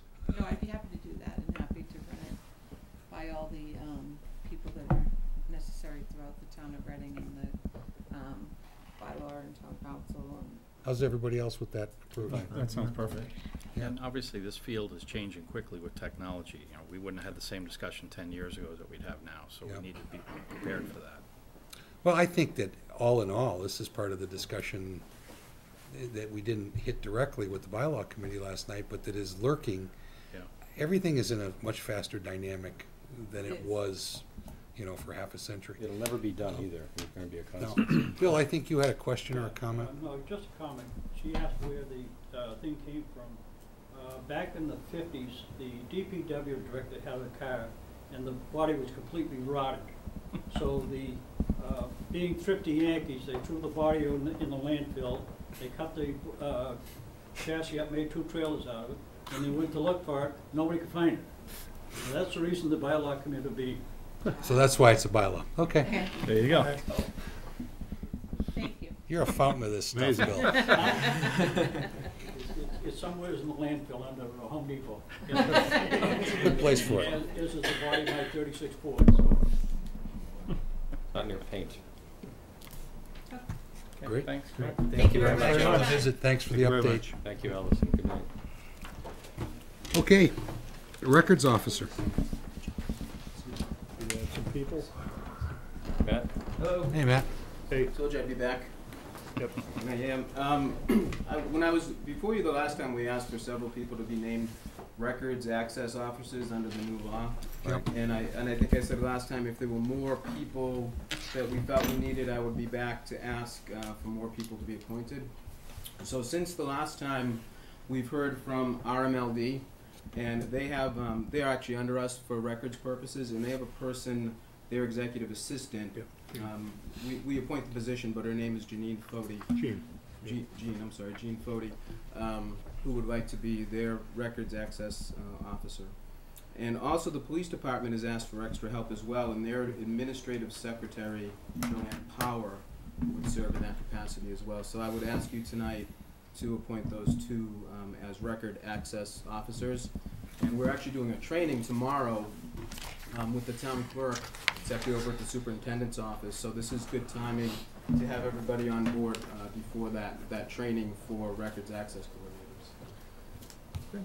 Now, um, when I make the motion, do I just mention the position or the person's name? Yeah, the position is fine. Um, I remember we- last time there was I just put the names, that. because you guys may know these people, but Yeah, you- we do. we're doing it by position just in case there's a change. Exactly, you okay. know, so. Uh, Yeah, so you leave the name out and just do the position. Uh, Right. move that the Board of Selectmen appoint the following employees as records access officers for the RMLD, uh, RMLD Executive Assistant and Reading Police Department Administrative Secretary. Second. Discussion? All those in favor? Okay. Thank you. Thank You got it. Thanks, Matt. That may be an indoor speed record. It could be. Regarding the Con- Comcast license that's on the agenda tonight, so I've written a memo, and I don't know if it's back there, but I'll, and I think you have it in your package, and that's just an update Yeah, I of where we, so. where Yeah, we sure. are. So let everybody get that. Um, I know most of you, or a lot of you were at the January twenty-sixth meeting that we had over at the library. Um, and from the updates I heard tonight, everybody's sort of right on with the processes. So, I mean, the, the next thing is the community needs assessment, that'll be taking place in the spring, in the summer. And that's gonna be focus groups, there'll be an online survey, um, there's been a consultant that's been hired by RCTV to lead that process. So that's gonna be most of the action. After that, in the fall, we'll start negotiating in earnest with Comcast and, and get to the license. That's after the public hearing? Yes, after the public hearing, after we get the assessment, the needs assessment back, because we're gonna need that information as we go forward with uh, Comcast to negotiate. So Matt, in your opinion, are we on time? Yes, uh, we are, and I actually asked the consultant that too at the meeting, and she said, we're, you know, we're right on time. So we need to actually get this assessment done, um, they're gonna handle that process, but we'll all be involved, um, there'll be, there'll be workshops and focus groups that we'll all be involved in. And then after that, we're, we're asking for a working group to be constituted, which will be two selectmen, myself, the technology director, uh, representative from the school department, and probably a, a citizen. Um, also, you know, our, RCTV's contract is up as well, so we have to be careful about, um, not sort of commingling those, those Right, two, uh, so there's no conflicts. So we're gonna work out that. And We'll also wanna hire either a consultant or a lawyer of our own, of our own to, to guide us through the process. And are we, is it timely for us to do that now? I, I think so, yeah, be, I wanna get somebody on board even a little bit ahead of time, you know, so they can book their, the schedule and whatnot. So I'd like to sort of move in that direction with your permission. We've gotten some names of attorneys, um, that I can contact, um. People who actually have experience in negotiating directly with. Yes, yes. That's And there's good. also the consultant that RCTV has hired as well, um, whatever your pleasure, pleasure is, I'll proceed in that vetted by, it'd be nice to have those vet, those names vetted by Ray. He did. Oh, we did, okay. He did, yeah, I was just sort of waiting for your, you know. So do we need to, I mean, how do we authorize Matt to go forward? Because I think we should move. Um, I. I think just a sense of the board is fine. Um, I had planned to go to April town meeting and ask for funding for a lawyer. Right. Um, how much, I don't know, but I'm gonna have to tell you a minimum of twenty-five thousand. Right, I would think that. It would be a retainer. Yep. Yeah, Yeah. that's about right. And it's, won't, that won't be the end of it. And, and it will carry over for multi-years, so we've talked to Sharon about procurement and all that, and, you know, she's, she understands, she's fine with that. Right.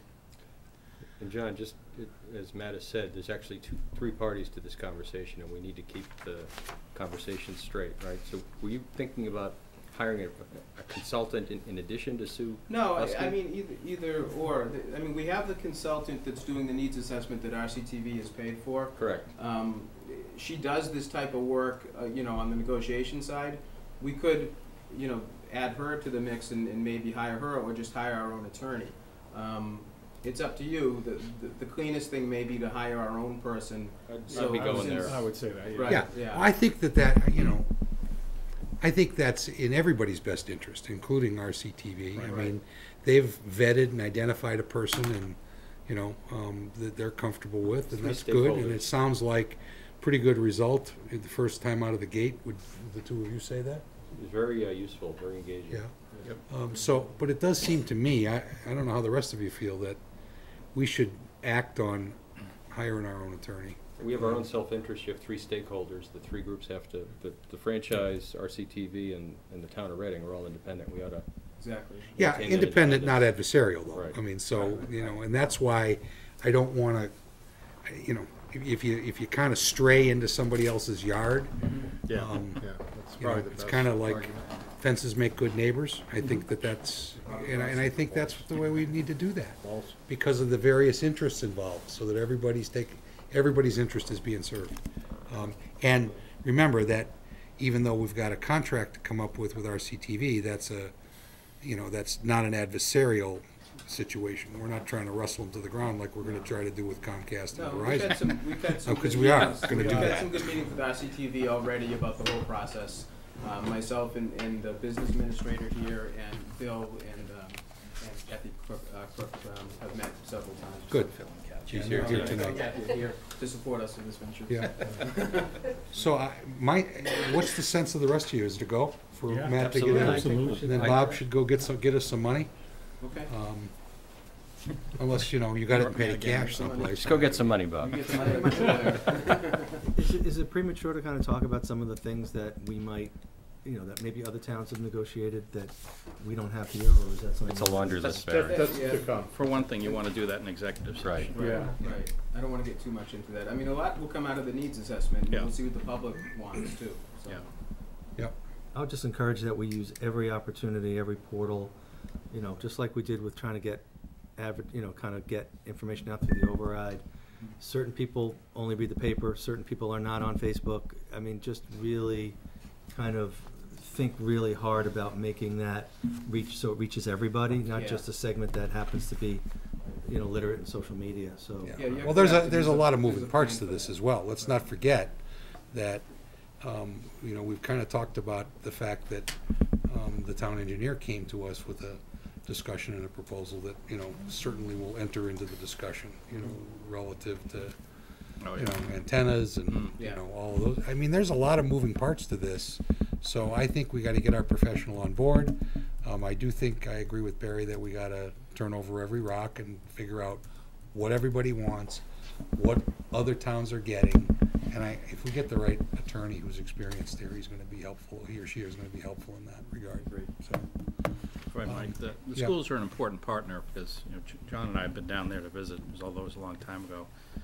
Um, it was really nice when there was a studio in the high school, um, from an educational Yeah. standpoint. And I don't know if that's possible, but I think the schools are a really important partner. I think that that, well, I- you know, um, that message, I think, has gone back Okay. to RCTV, and I, interfere with I didn't sense any Yeah. kind of resistance to that. It's more like, let's figure out how to do it, and where to do it, is really the sense I have in my discussions with, uh, with their chair Kathy. Oh, Okay. Um, The so- schools are both a source of material and also, I think, customers of the material, consumers of the material. You think about school athletic programs and school drama and school band and Well, let's trying to find a way to pro, to turn that all into program material and, and getting the production component of that.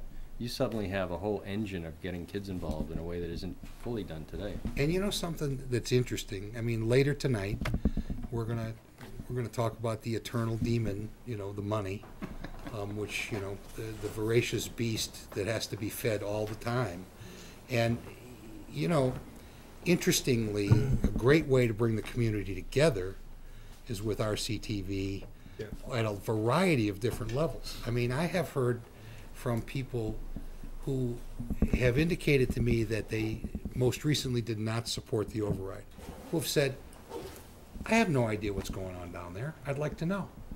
You know, and they, and I don't think they meant that like, I want to put a green eye shade on and go look at the books. It's like, what's going on there? I have some You know, what's uh, going on in athletics, what, I, you know, it's kind of, the sense of community Right. tends to make for a better discussion when you get to a, the sticky part, which is the money. Um, so I think that, um, you know, a, a location in the school, you know, good activity, dissemination. It's stunning how many people. I, I, do you guys have any idea how many people are watching? Because I have a sense there's a lot of them. At least two hundred and forty by my count. so. Me saying that will add five texts in the next 15 minutes to this phone. Hey, You too. get any data from Comcast about cable, cable, cable box stats? No? Hmm. I'm not sure they know.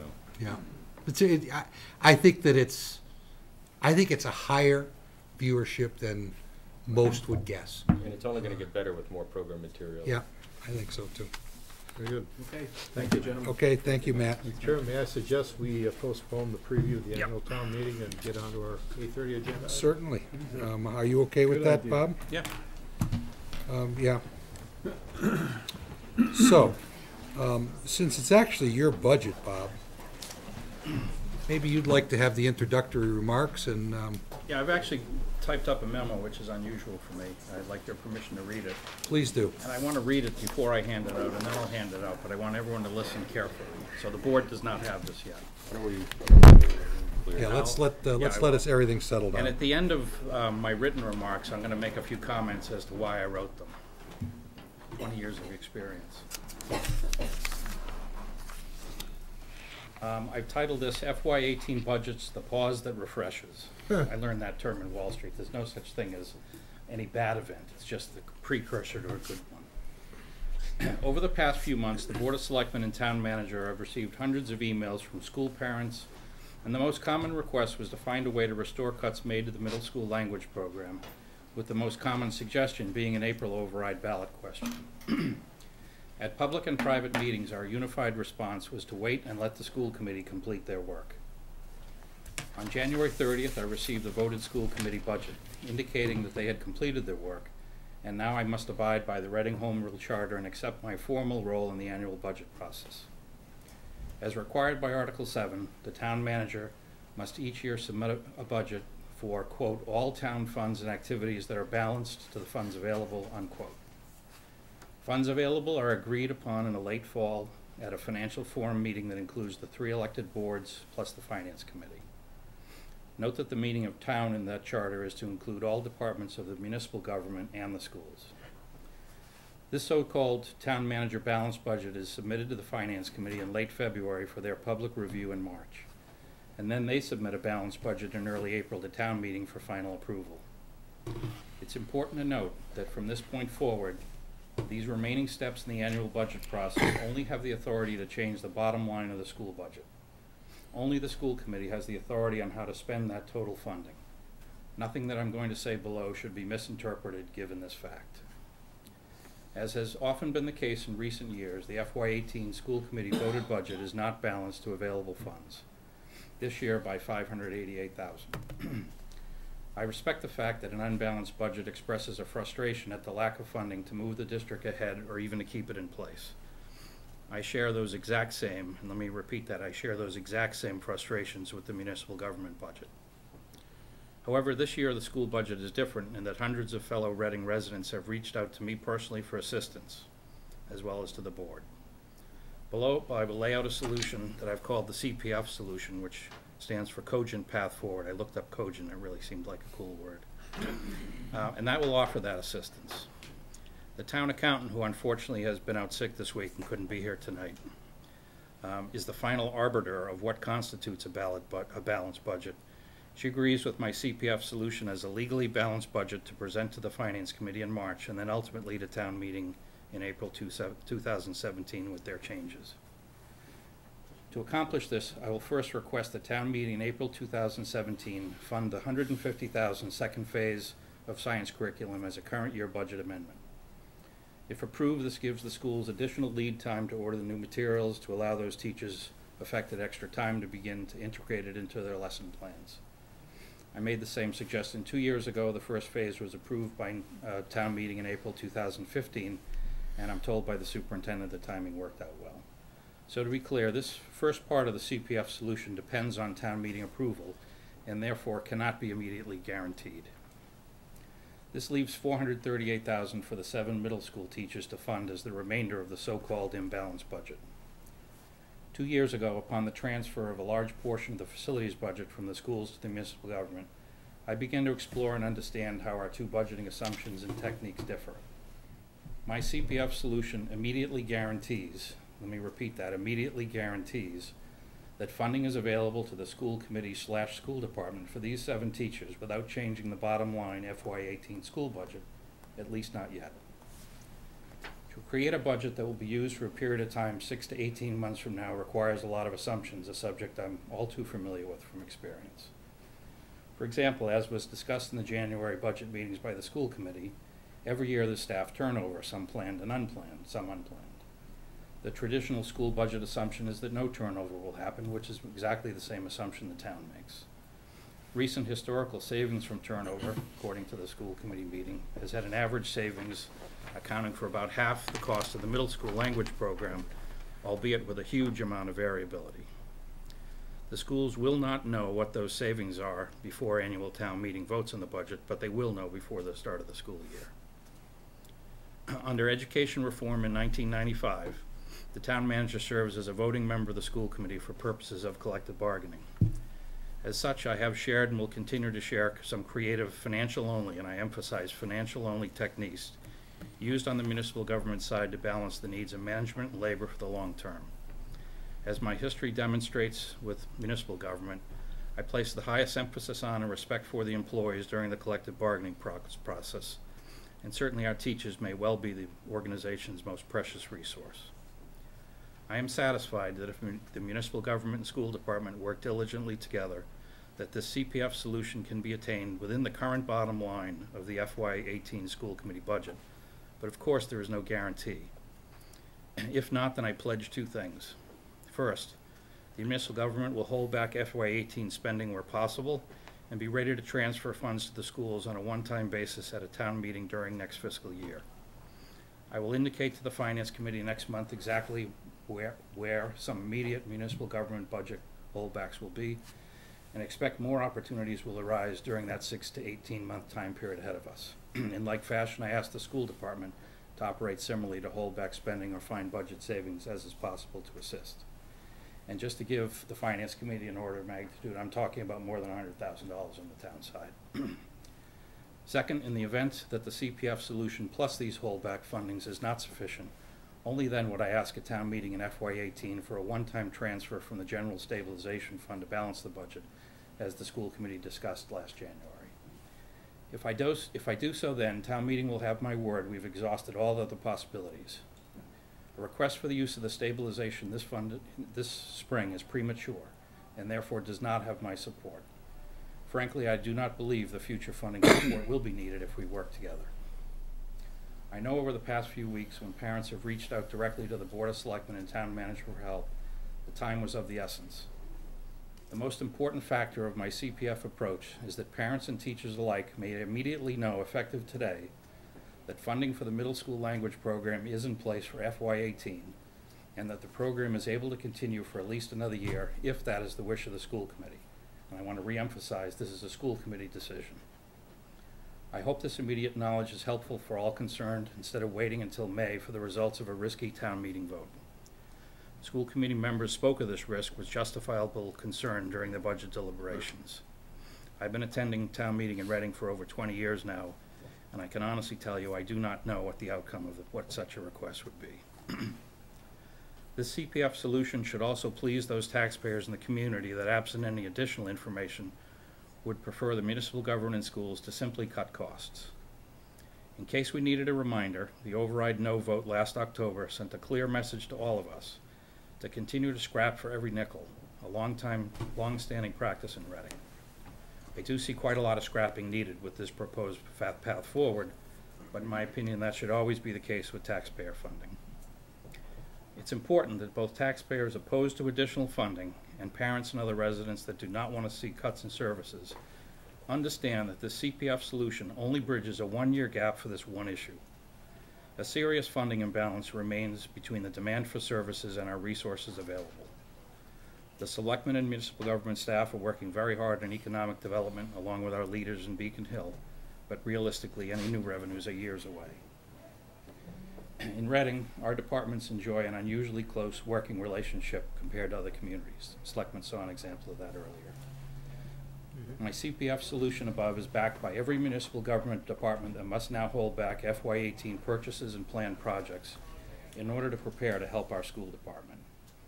I'm very proud at the unselfish way, when presented with an organizational challenge, that our municipal government departments always search for what's best for the entire community with less regard of what's important to them. We should all be very proud of that teamwork. I hope this solution will satisfy the hundreds of residents and neighbors that requested help from the town manager and the Board of Selectmen, as well as those taxpayers that want us to work diligently with the funding we have. All of us should agree that strong public education is second only to the need for a basic, strong foundation of public safety in our community. But please remember that only a reduction in services or an increase in resources will prevent the same discussion from happening again very soon. So I'll hand that out now for all to enjoy. And then I'll explain the reason for this. So what do you think, Bob? How much time you got logged in this thing? I don't know, I've lost it. Huh? I was um, very troubled over the last month or so, two, two months, about the process. Um, When I I on the fin, and I said some of these remarks at, at some meetings, but I'll just repeat them. One of the reasons I wrote this is because I I realized there's a lot of people involved in the budget process that don't have much experience or much depth of knowledge. So I was perhaps a little more detailed. Um, as I mentioned at one of the financial forum meetings, um, twenty years ago, when some of us were on the finance committee, the budget process was highly adversarial every year. It was not only adversarial between, for instance, the town and the schools, but between police and fire, even between within the schools, different departments. The most one I remember, remember the most was special ed and regular day. Mm-hmm. I see frames of that coming back over the last couple months. And it's not surprising because it's such a difficult financial situation. But to me, a financial situation that's very challenging is exactly the time you want to stop what you're complaining about and work as a team. And I want to work as a team. And I don't want to start putting the finance committee and town meeting and other bodies in a very difficult position. I would personally much rather take all the difficulty myself away from all these boards and committees. And if people don't like my plan, they should complain to me personally. Um, but I don't like the idea of starting to pit boards and committees and groups of people against each other. Um, I believe that everyone in the room would agree. Is Bill still here or did he leave? Oh, good, he's gone. So everyone in the room will now agree. He's on his way back down. Uh, whoops, He's Linda's watching. here. Um, in the long run, neither the town nor the schools can operate the current service levels without more revenue. There's just no way. Um, it's surprising that we've both done as well as we have, quite honestly, and that's a tribute in most cases to the great employees we both have. Um, you know, I've heard lots of discussion in the community around a lot of controversial areas. And I think it's time for us to work together in this room and solve all the problems at once. And not pit different groups against each other and try to fragment and go off in different directions. The budget process is not perfect and can always be refined, and it's always open for discussion. Uh, but it has worked generally pretty well for the last twelve years since it was changed. Um, Again, we've had discussions every, s- not every summer, but a couple of summers about some changes to that. Um, Change is natural for a budget process or anything else. We have much more engagement with boards and committees in this town than most communities do.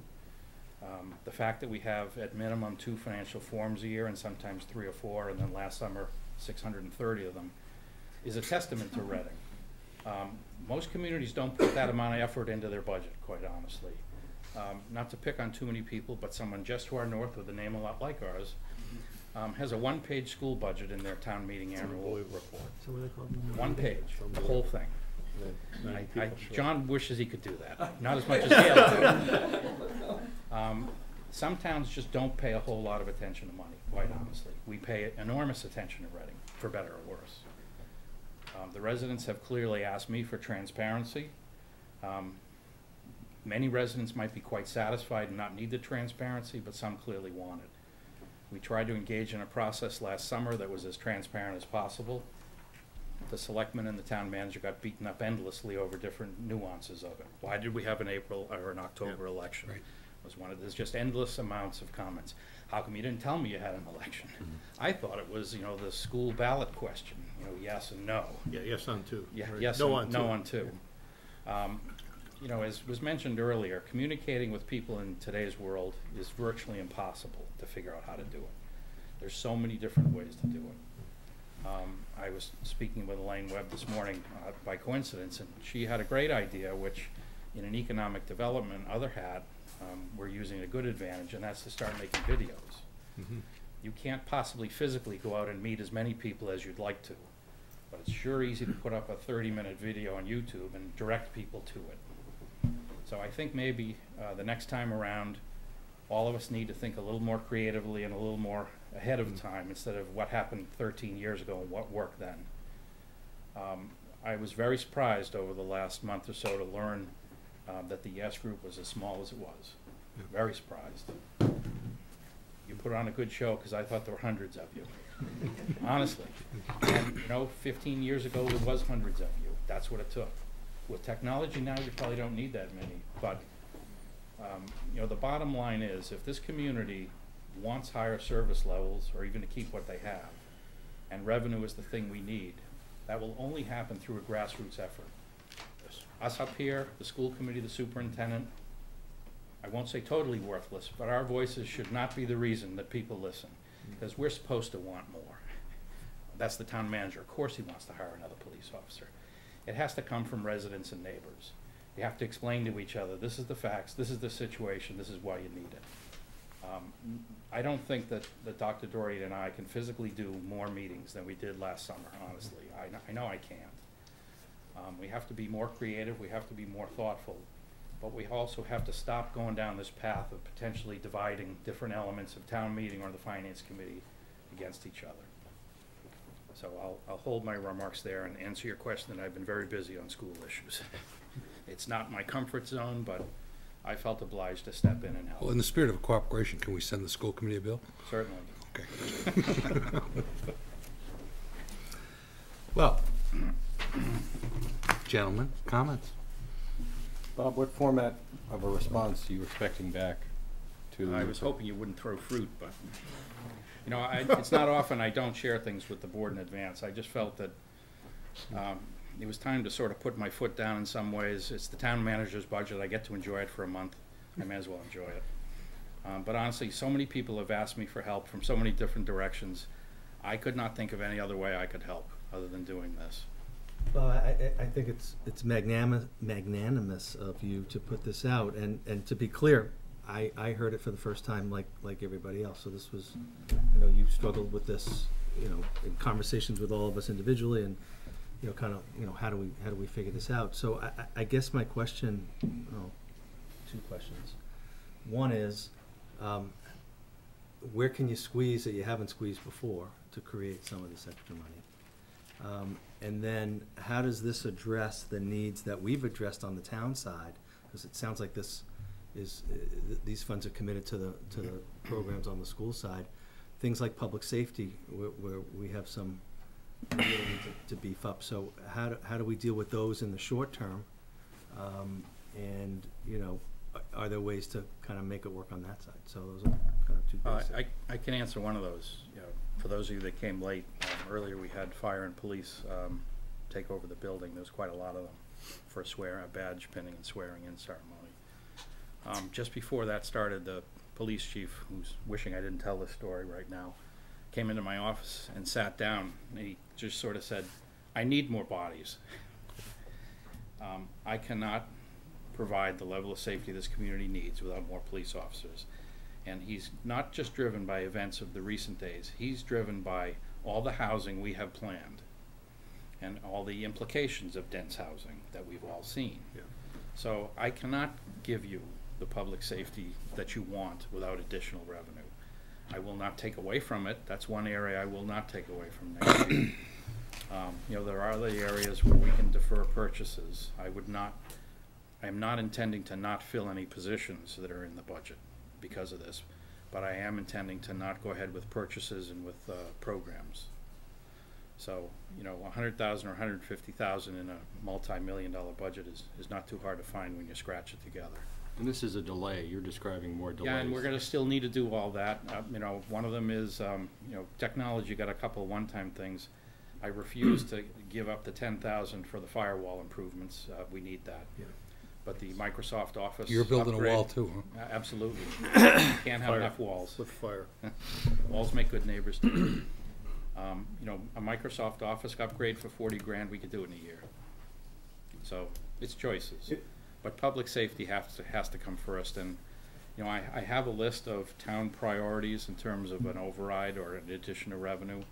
Um, it's dominated by public safety, no surprise at the top. Yeah. And- And I cannot give you any more than you saw in the budget process, but I won't take it away. Bob, in regards to some of these holdbacks that you're, that you're kind of referring to scrapping together, is there a, is there a process that you went through, or maybe one that you're gonna entertain that looks at saying, you know, if I'm gonna hold this back, I may as well get a little bit better information on to, will it be changing when, when I go to buy it? In other words, you know, Yeah. is there, is there a mechanism to make, it when I do wanna put this back into play, that we're making sure we maximize and kinda, kinda get our, our time back, so to speak, as best we can for ha- not having to put it in play now? You know, I, I guess one of my assumptions is, as, as time progresses, I'll have a better sense of magnitude of what we need to do. Okay. Um, you know, I'll, I'll work with John for that. But to start with, um, if you remember the budget process, one of my working tenets and working assumptions was I wanted to assure the town staff that remained after these layoffs or reductions that they would have a job absent any real bad problems for another couple of years. So I did not in the FY nineteen budget, not to put the cart too far ahead of the horse, uh, want to know that I had to do layoffs. I wanted to do them now. So we did more than we had to for FY eighteen. That meant we had money to use that could have been for another police officer for one more year, and then we would have had to cut it, that we've deployed in other ways. So I, I, I outlined to the board, I think it was hundred and sixty thousand, I don't remember exactly, of one-time expenses. That's the bulk of what I'm suggesting can be deferred. So Bob, let me be sure I, I understand. So I really, actually, the cogent word is a really good word. Um, because what you, you've organized is an orderly process of solving the near-term problem. Because you're right, we've all heard from hundreds of people who have genuine concerns about their children and their education. And even though it's our job to work on the town, it's our job to look out for everybody in the town. And, and so we want to respond to that, and I think you've done a really nice job of doing that. Um, I don't think we should be focused on, first, the first line of defense is not the potential foregoing that you would do of expenditures. It's, as I understand your memo and understand discussions I've had with you, um, the first line of defense to restore the, the two overriding issues that I heard the school committee say that were, were in the wheelhouse that had to be fixed, which, uh, you know, correct me if I'm wrong, but I believe that's the, that's the curriculum at hundred and the four hundred and thirty-eight thousand, um, that's really tied to the middle school, you know, language and English program and the teachers therein. Um, what I heard you say is that we all fight desperately together um, to, through every means possible, um, that, some of which we've used in the past and some may get creative, um, to try to bridge that five hundred and eighty-eight thousand dollar gap without, you know, kind of, I mean, this is where the cogent comes in. I mean, I, I mean, the loan idea that was proposed a couple of weeks ago, I mean, I understand that maybe the, maybe the word was not exactly the right word. It was, where can we get the money that we need? And it's really, you know, is there free cash that can be spent? This strikes me as being a much more, not sustainable, but Yeah, financially practical This is- approach to solving the problem. This is a I mean, bridge. This is a one-year It is a bridge. bridge, and you It's a know, and bridge you've got a backstop, which is the other thing. It's not about putting two, two groups who shouldn't have to make decision on policy, and starting with um, the FinCom, for example, and that's really, you know, they, they, you know, given, walking into tonight, that was the position they were forced to be in. Right. And I think you're wise not to force them into that position, because at a certain point, I agree with you that things start to splinter and the, the object of collaboration starts to fall apart. The center cannot hold. Exactly. Hmm. So, I mean, this, you know, this idea that we do a little better, more cogent way of financially planning the Band-Aid. Because honestly, whether it was, you know, free cash, you know, begging free cash from FinCom, who's then's gonna beg it from, for town meeting, which, uh, you know, failing everything else, that's the thing you could do. But this strikes me as being a more orderly, straightforward way of financial planning around a one-year Band-Aid. It strikes me also that it creates the opportunity for us to properly message in a transparent way all of the things that we've done that the voters ask us to do. Yep. They ask us to scrape and save and live within your means, and so that plan that you've put together is tied to that thing that I think the voters ask us to do. Um, and so that, I think if we follow with that, it gets us time, energy, and credibility to go back to the voters in a timely way, having exhausted all possible other avenues of, of savings and, um, you know, and revenue generating where possible. Um, so I, Yeah. I, you know, the idea of it just, it fits my operational nature, I guess is what I'm saying. Yeah, one of the things I really became concerned about was free cash as a negative. Yeah. Yeah. I- Um, yeah. You know, I, I will tell you, based on other towns, our free cash position, our reserves position is not high. It is historically in Reading, but you would be shocked at some of the communities I could mention that have a bigger percent that you do not consider well-run or well-off communities. For instance, we have no capital stabilization fund. If all of a sudden we need to spend a million dollars on roads, well, I guess we have free cash. That's one of the areas we've discussed for ten years, that we figured, you know, town meeting is pretty good about this thing, they'll understand the argument, and we can use the bank account. But the advantage of different stabilization funds, and most communities have far more, far more than us, is it takes the money out of the public eye, if you will. Oh yeah, that's for a purpose, that's for. a It Doesn't hide it. It doesn't hide it. It repositions it to Right. where it ought to be. We just have a big bank account that we know, there's different segments of it for different potential disasters and emergencies. you're not- yeah. But the general public sees this big number, and I was really concerned I see it as that, a slush fund. that even if town meetings were to approve this suggestion, and they may, I have no idea, there's gonna be voters out there that said, see, they didn't need it all, after all, they have a big fat wallet. And that's just not the case. No. We don't. Well, it's, it's much easier, in my opinion, to clarify that based on this approach you're using. Um, if instead we, we go to the well of the savings account to pay operational bills, um, that is a fair response. I, I think. I mean, because if you do go to the, go to the, go to the rainy day account, the free cash account, call whatever you want to call it. It's, it's banked money. And you use that operationally, that's very different than setting aside a capital stabilization fund and so forth. And maybe we should be looking at that in the longer term of financial sustainability, is that, you know, maybe we've got too much that sits in free cash just by the way it's titled. Now, we're very protective of it, and FinCom has done a good job. They've raised the, you know, the, the reserve, the reserve number, and that is a healthy thing to do. And I think they've reserved it with, you know, this idea in mind, that you've got to have money there. And frankly, if you start spending operational, ex- you you start funding operational expense out of the bank account, those people who would would complain that it was always there, why did you come to me before C? I mean, they have a valid point. Yeah.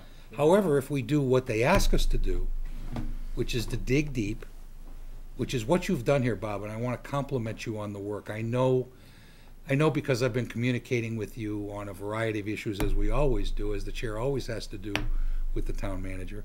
Um, a lot of work, a lot of research, a lot of energy, a lot of talking to your, all your department heads to see who could be on board for what. This is not small, and I think it, I think it absolutely marries the, um, the motion that um, I read about in the paper last night and watched um, on TV last night about collaborative work. Um, I, I think this is the step forward. Um, I, I mean, I'm glad that the school committee wants to, wants to collaborate on solutions. Uh, the fact that this thing, I know you've spent most of the last two weeks trying to put this together. I just know that you have. Um, so, yes, John? Bob, this is a proposal. Is your thought that this is a unilateral proposal, or do you need a response? Um, I, I welcome responses, but as far as I'm concerned, it's a unilateral act. It's Bob's budget. I will pass It the Bob's budget on to budget. FinCom. And, you know, if Sharon were here, she could give you a little more detail, but I do want to caution the board and anyone else. Um, you know, some of this is collective bargaining, and I especially don't need to stray into collective bargaining in another department, but I will tell you from past practice on the municipal side, we've sat down with some very tough negotiators, and we each had a big problem, and we could solve it together. Here's what I want in the long run, here's what you want in the long run. Neither one of us are gonna be real happy in the short run, let's get there. Um, things got accomplished because we just dropped the pretense and said, let's go, and figured it out. And health insurance the same way. Um, we have a really strong relationship with the light department, the schools, and the town unions. because we just sit there and we talk. We're partners, seventy-one twenty-nine in that.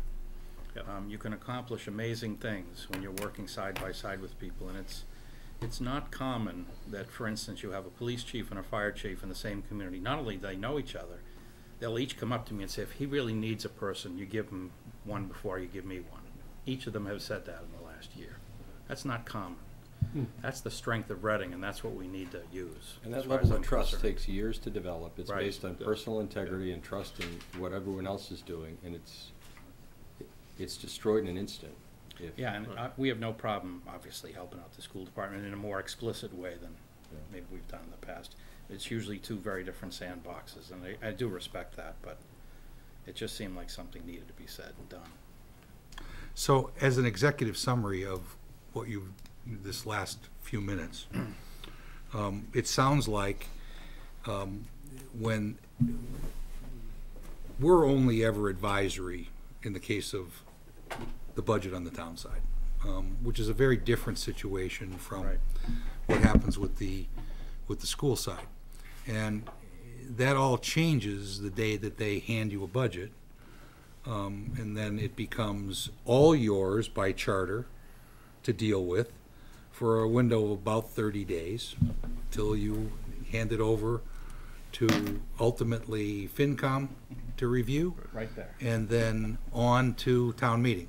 Right. So, so by way of understanding, what I think I've heard you say is that you don't intend to present to FinCom an imbalanced budget. You intend to send them a balanced budget based on a set of criteria that you've reviewed with the town accountant.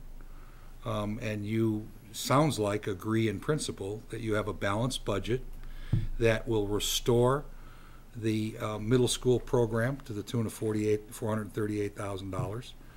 That will restore the hundred and fifty thousand dollars, which, both of which the school committee had identified as being key items, so important that they were prepared to hand a imbalanced budget to you. And so, you know, you're, you're responding in respect to both their request and to the request of the families. Yeah, all that's right with just one caveat, and this comes from the charter uh, discussion that we had. I don't know if Steve's still back there. I think No, he's left. Good for him. Um, We discussed whether, when the school committee would vote an imbalanced budget, whether the town manager would balance it, and I spoke very strongly against that. Um, So the charter actually reads that the town manager shall deliver the school committee budget to the finance committee. But there'll be some acknowledgement that the budget they've given, if it's more than what can we, we can afford or have agreed to, the town manager and historically the superintendent have both made comments. This budget is X number of dollars over. But I thought it was highly inappropriate for a town manager, or any town manager, to have a look at a school committee budget and decide, how do I balance it? That's completely inappropriate. Even if the school committee has laid out, here's the last three things we added, so it sort of would be easy to do. No. So FinCom will see the school committee budget as presented, along with my argument, with the town accountant's argument of how it can be funded. Okay. Financially. So on the town side, are you, you're gonna be under budgeted then, or? We're gonna leave the budget as it was, and I've just indicated with highlights, uh, to the finance committee, the areas I, that I know right now I'd be willing to. If you set have to aside. go there, you can go Yeah. there. So we won't do anything. Maybe we solve this by November town meeting, we, we cinch it all up. Um, and after November, if we didn't need any of the town funds or specific ones, we'll go ahead and do purchases. Maybe it'll take till April, I don't know, but I, you know, we're willing to, to, to wait. So the budget would proceed, it hasn't changed much since you saw it, a couple of small things here or there. Uh, but some of the items will be called out specifically for the finance committee and say that one's a set aside or hold back. That's where the safety valves, you're, you're pointing out safety valves to guarantee the request that the school committee has made to fund Well, two We things. can't fund the whole thing, but we'll do our part. Yeah. Is the fairest thing I Yeah, can say. well, I think it's a combination of things, and, you know, I know one of the things, um, as I was getting ready to leave town after our last meeting, I, I stayed back.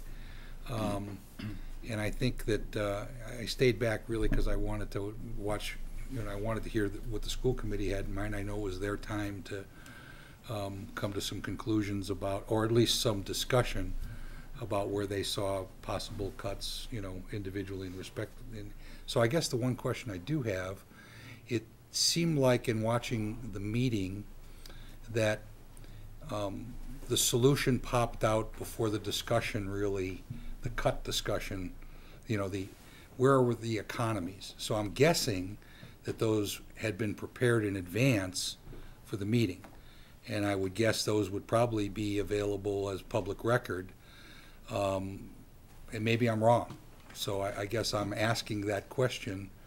I, I know that, the- you know, the original plan as it was explained to me was that each of the six members of the school committee would think, you know, separately uh, about what they thought they could do and then run it through Gene and, and you, John, um, and assemble talking points of what each one of them thought. I mean, was I right about that? Is that, was that? And that discussion actually happened in open session at that meeting.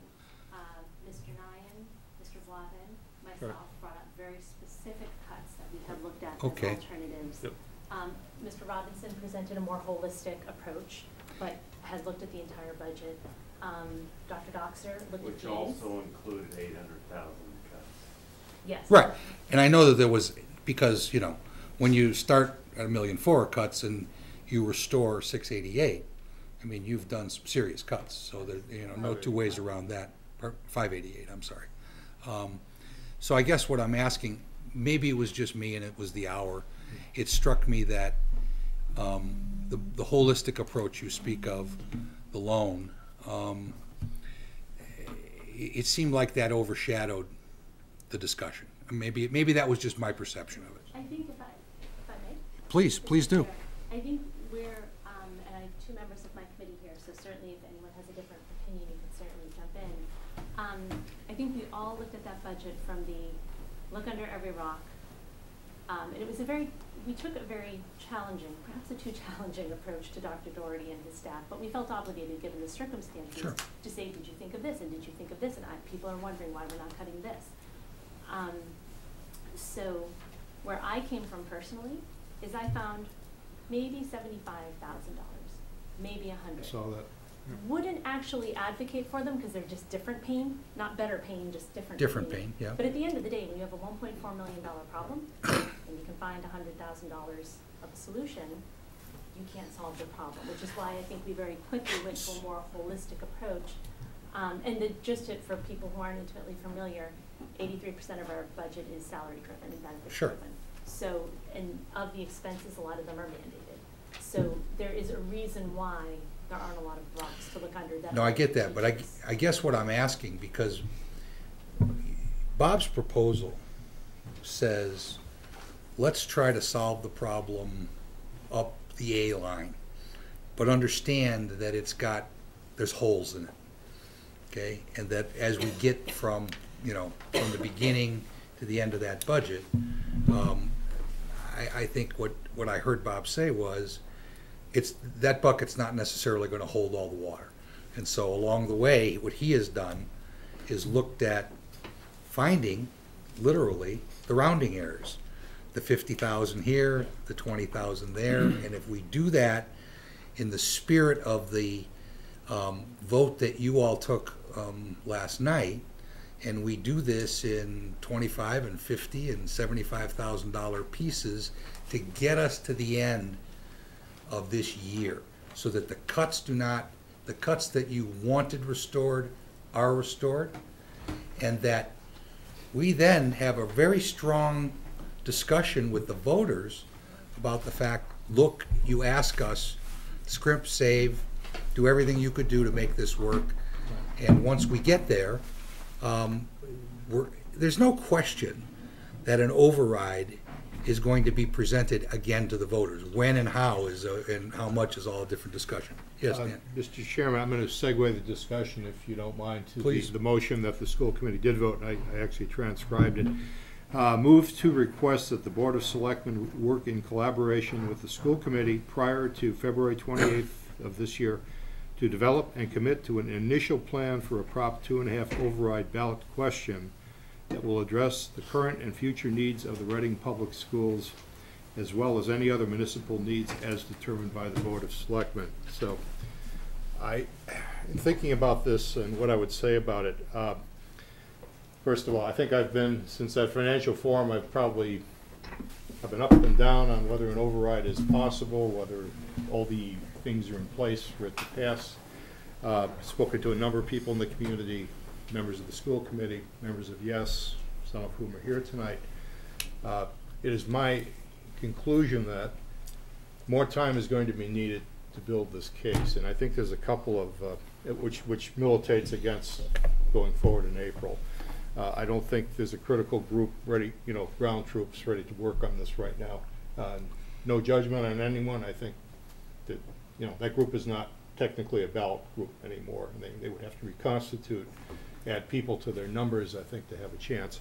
There, there are some hopeful signs in, in the election data that I looked at, in that there are a number of people who did not vote in that election who are likely yes voters, who could be prospected, but I think there's some more basic things we need to look at. Uh, and this really goes to the spirit, Bob, of what you were saying about uniting people and working together. Uh, we do have a disparity of views in, in the community. I mean, as I said to someone on the phone, I forgot who it even was now. There are some in the community that will say no to an over, any amount in any override for any reason at any time. There are some who will say, I want an override tomorrow for anything the schools want, for any amount. And in between, there's a great group that is willing to listen. I think we need to talk about some way, we, last year we did what I think was a lot of good factual presentation. Uh, And I think it reached maybe too small a segment of the community, so I, I want to think about other channels to open this up to. I think Elaine Webb had a great suggestion of the videos. I want to put something else out, and uh, don't, please don't, don't have Jerry Springer come to mind when I say this, but I would like to see us think about doing some sort of a focus group, bringing some hand-picked people that we, we think will not throw chairs into one room together who have disparate points of view, with, with a good moderator. Do you do this kind of thing, Matt, or do you know anyone that does? I haven't, but I can, uh, I can maybe. Okay, you'll be, the direction. yeah, we have a room full of maybe do a couple of these. I want RCTV there, uh, if that, if they're willing. I don't know about Uh, maybe on a tape delay basis, Yeah, if we have to edit it, you know, at but. least seven seconds. I, yeah, I, it's important that the two sides talk in one room together. I'm not sure it's two sides. Yeah, there may be multiple sides, but yeah, I'm just gonna throw that out there as, as one channel, and, and- and then we build on that. We build a strategy on what we hear from people. Yes, To go forward. I just want to be clear that if the overwhelming sense of the communications I got were not, I had no idea what was going on in this town, I would not have done anything. If we're in the same situation next year, I do nothing. Um, I'm sorry for whatever the cuts are, but I do not step in at all. Um, honestly, my genuine opinion is there were a lot of people, especially in the com- school committee, that did not know this could happen.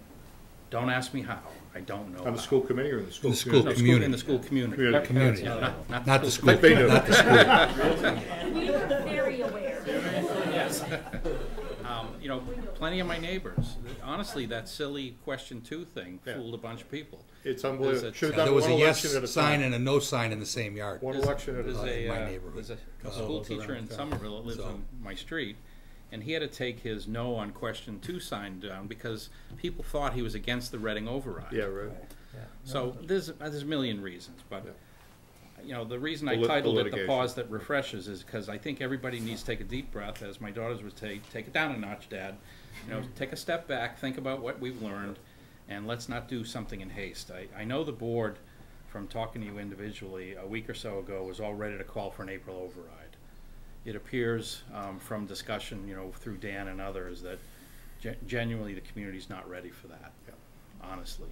You might sneak something by that's small, but Well, the knee-jerk reaction to the ask for operating money, you know, from the savings account, um, Yeah. kind of prompts you to go, God, that's bad business. You can't, you shouldn't do that. You need a long-term solution. You do. You need, you- and so, you know, so that, so it almost felt like, um, two weeks ago that that's where you had to go. Um, the cogent path forward creates just that. You know, a cogent path forward that allows the time that you're talking about, Dan, to Yeah. actually visit with the community, the time to demonstrate to the community that we are scraping every nickel you know, off the, off the floor. We should, we should be very clear, though, that we're balancing the FY eighteen budget by, you know, proverbially, proverbially going into the couch cushions and shaking out the quarters. That's what, I mean, and that. You're right, but that don't you think that's got- what the voters ask us to do? You're, Um, you're deferring some fixed spending, you'll do it for a year, you can tough it out, you'll Yeah. be fine Yeah, for a there's year. also some things that aren't gonna be funded, so I think that, that, that it's a, that it's a Yeah, it's painful, not so- ideal. it's a painful short-term solution Correct, that right. begs a long-term response, so Yeah. if this buys us the extra time to, to make the case in ways that we haven't thought about before, but, um, you know, this is still, th- this isn't like, oh, we solved the problem. Yeah. This problem still is there, and it's there in a big way. But We can use those focus groups to educate as well as get interchange. I think it's, a- there's a variety of ways, and that's certainly one of them. Um, I think we, y- you know, look, Proposition two and a half is built so that you have to have an override. Now, I'm telling you that, I mean, all you, if you, it, that is just arithmetic. And that's the point we need to convey. Yeah, I mean, so it's not as though this is, you know, somebody's done something bad. It, it, you know, the nature of the beast, the nature of the funding mechanism is it's designed to crack. The key thing, John, is to meet the people that may be in opposition where they are and walk them to where we are. I totally agree with that, and I don't think you can get that done in four You- weeks. You can't do that. You preach at them. Um, No, and and the fact remains that Reading is, you know, I know a lot about peer communities now. Reading was dealt a very difficult hand financially. I won't go through all the details, but we don't have a lot of open space. We can just suddenly say, hey, you know, biotech XYZ, come on in here and pay us twenty million dollars a year in property taxes. We by design have to scrap for money, and we by design are a much more often override needing community. Yeah. Um, you can look at cities, they don't need that. Well- There's all kinds of reasons why they don't need Wouldn't you agree, Bob, that that's the reason, you know, when you sat with us a year ago and in good conscience wanted to balance the town budget and we're gonna pass on the thing that we had been pounded on the table about, which is an economic development director. Right. And you were doing that for all the right reasons. But Right. what we said to you was, come on, let's dig, let's find out Find where, another way. let's find another way, because if you don't you could put your head in the sand and not think about the future and let that you just kick that can down the road and that's somebody else's problem because pretty soon my kids are going to be out of school and I'm going to cash in the ATM called my house and I'm going to go somewhere. Now there are people that think that way, Yeah. but I think the people in this room don't think that way, and so it's got to be longer term. It's got to be clear to the to the voters, and, and time is the timing will allow that to happen, or give us an opportunity. I don't know if it's going to allow it to happen, but Right. Because that's always in their hands. Well, today I was talking to Jesse, who's doing that economic development project, and I said it's really important that the selectmen come away, probably in your next meeting with them, with a clear understanding of factors that drive economic development that are happenstance, that we had no control over, versus those that we mm-hmm. can actually work hard or influence. Yep. Because how can we, you know, determine, you know, we have so many exits, we have so many train stations, you know, we don't do anything about that, you know. No. Here we are. But, you know, if these other things, like having a master plan, having an economic development director, whatever the nine, you know, other things are, well, that's something we work at. And I will tell you from visiting the communities I visited, nobody is doing more than, um, Reading is. Um, Really? Andover's doing as much. Yep. Um, it seems as if the communities that have to work the hardest are. And it seems that the communities that have to just answer their phone and say, sure, we have a vacant parcel of land, yeah, come on out, we'll show it to Yeah. you, that's all they need to do. We have three empty buildings. Yeah, exactly. So Reading was dealt a hand that we have to work hard, there's just no question Yeah. about that. John? Yes, John. So just to return to a conversation of a few minutes ago, it sounds like the cogent plan, cogent path forward. Path forward. Um, you've got about hundred and sixty K that you can basically identify as you sit here today against the four thirty-eight. So you basically have plus or minus a three hundred, two, two seventy, three hundred K. With certain uh, un- opportunities Right. potentially um, But that to the- Bob outlined. Right, to the discussion that, that Gene was talking about moments ago, there may, suddenly that twenty-five K, thirty K, fifty K has relevance. Now suddenly you have a way perhaps to start putting a dent in that. The best any of us could do was seventy-five to hundred K. That's, So that's that'd be about- spectacular. you're about That would be halfway there. spectacular. And, and some of them may not be known to you as you sit here today. They'll only appear in September, October, January. How, how do we pay the teachers in the meantime? Um, budgets can underrun. A- All I'm saying is bu- budgets can underrun. You have an employee that leaves, you have somebody that comes in with a wage difference. You have somebody that, um, that departs and you bring a sub in. Budgets do underrun. I'm not suggesting that there is, in any regard, a budget that you've planned that doesn't have a spend against it. But oftentimes, look, look, look what's returned at the end of the year, for example. That's the same phenomenon. It's unspent budgets. I think this describes as budgets that their trending is known before the end of the year, and therefore you can allocate against the, the gap here. And when all's said and done, you may need to go, I mean, look, I, Bob, I think you'd agree. When you exhaust all possibilities, you may have to go to town meeting and throw yourself on the mercy of the court and say, this is where we are. Yep. We, we did our best to make it through this year, um, which is kinda where tonight started. I mean, that was the plan. You were gonna go to tomorrow night Right. and throw yourself on the mercy of the court for all of it and kind of ask them to step into a policy role. And what this is doing is working, working the, inter- an internal system for itself, not against itself. Well, you talked earlier about working together collaboratively. This is a form of collaboration. This is finding how we can work together. There's still risk, there's still financial risk, we may have to go back to town meeting, but it's a form of collaboration. The risk is, the risk is inherent in this problem. But you can manage it. I mean, the financial instability of where we are has an inherent risk in it that cannot be escaped without additional revenues. And by buying a year where, you know, the middle school isn't eviscerated and, you know, the curriculum, you know, that time and energy went into gets dumped, you buy that time so that you can look at, for example, I mean, now we have time to think about not only the way that we might um, discuss how and when and how much an override might work.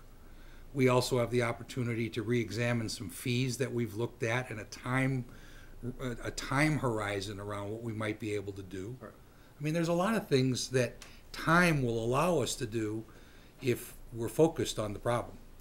Yeah, I mean, depot fees, that, that's Yeah, an I mean- excellent area to be looking at. And I know some of you in the audience have some questions, but we're gonna, we're gonna process our discussion and then, and I will let you all speak on anything, on anything related to this as you want to, okay? I mean, I'm, nobody's gonna be denied the opportunity to say their piece here.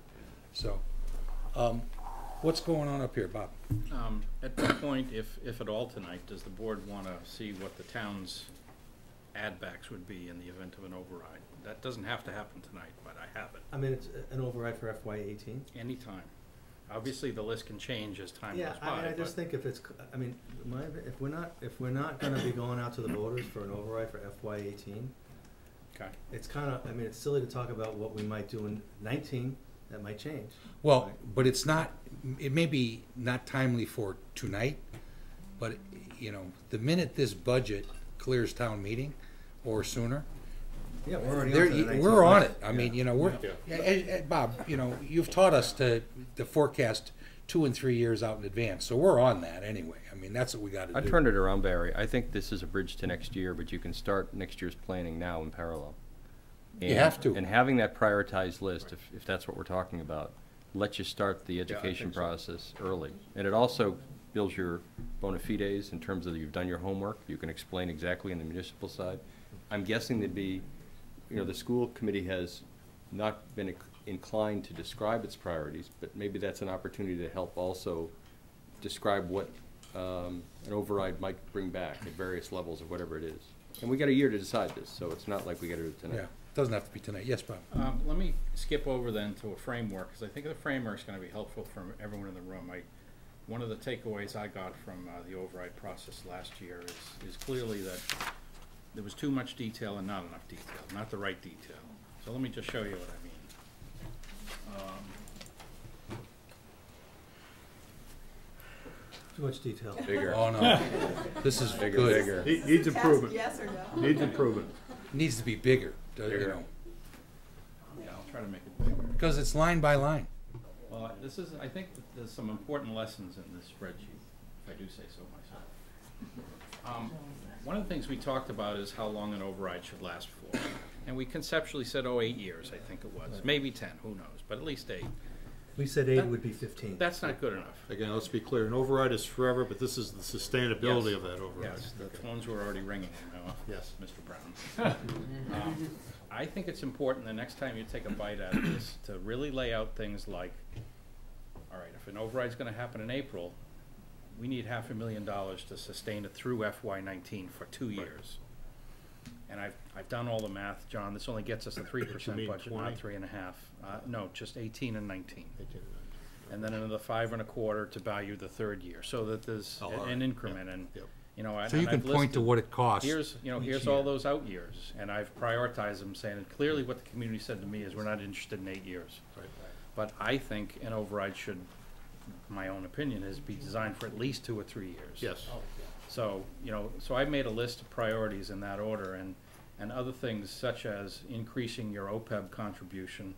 You know, it's only ninth on my list, but what that buys you is uh, a hedge against health insurance premiums. It gives you another two hundred fifty grand set aside. You know, an April town meeting can say, oh boy, yeah, that health insurance number was bad. You budgeted seven and a half, it was twelve. By the way, we don't have it yet, so it isn't. Um, and, and there's a pot of money that's not needing to be free cash or reserve. So, you know, there's a whole list. And then I, the one thing that was implicit in some of the sustainability that maybe I should have called out was every time the town or schools hire someone, there is some benefits cost. Yep. It's, it's impossible and illegal to know exactly how much, actually. Can you bring your headers in so we can see what those columns are titled? Yeah, so. Just split the screen. I have, I have a town amount, and since, since it is a town list, I could actually list things and then do a running total. Just do a And split then I Freeze- just, Freeze the, how do I do that? Um, uh, up to row four. under view split, just put your cursor where you wanna Yep, split. Then, You see it somewhere? Up on the top, the headers, it says view, right next to, uh, View. Very top of view under, the, me- under menu. All right, where are we? All the. That menu where it says. to the right, to the right, to the Is there a right. 15-year-old Right, anywhere in the Right, right, right, right, right, right, right, keep going, keep going, keep going, right, Oh, stop. view, there it And is. Yeah. then freeze, freeze, And there's a split, freeze panes. keep going to the right, right, right, right, right, right, right, right, right, up, Yep. up, That's good. split, there you go. Well, you could do it that way too. Close enough. Okay. Perfect. So can you go through the So, few, just, you know, there's a bunch of things up here that were the highest priorities for the town, and then what the school committee voted as an overage, but let me just come down here. Um, you know, first, you know, one of the things we could ask, for instance, is uh, a firefighter, seventy-five thousand dollars. There's a running total for the town. There's the, the sixty-four thirty-six equivalent for the schools, I'm not. So that's the corresponding amount That- in an that's how override much that a the schools would would have. should Right. yield to the school Right. budget.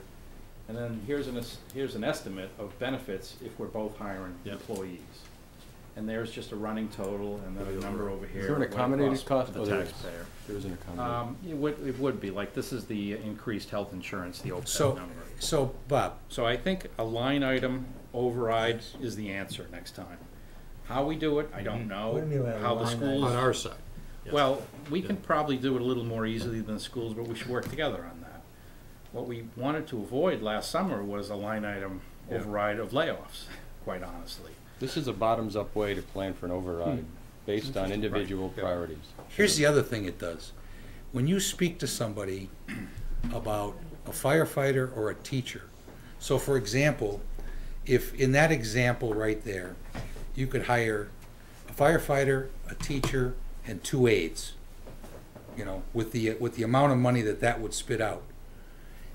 And you understand that what that costs you is, Yeah. you know, Right. is forty-six dollars in taxes. Can you scroll over one cell, you're on B. Because you, you, you've got the running total there, but, This way the other way?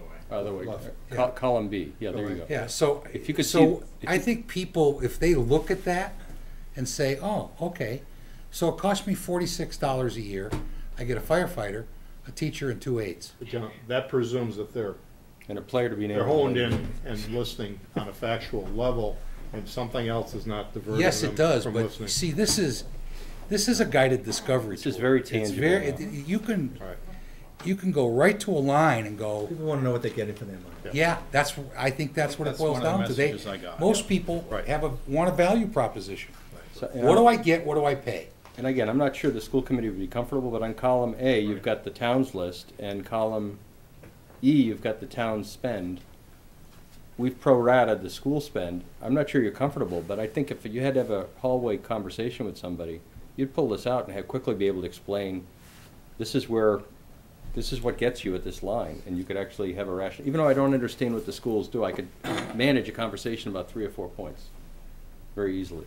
This is what you're gonna get And I back. think a person who leans no could have a conversation like this, and you go, yeah, okay, I get that, that's not so bad. Providing there are not other mitigating factors, right? Uh, look. I agree. Look, there- the there's world's a- full of there's- mitigating factors. This is why the Board of Selectmen, or the school committee, or the town manager, or the superintendent cannot drive this.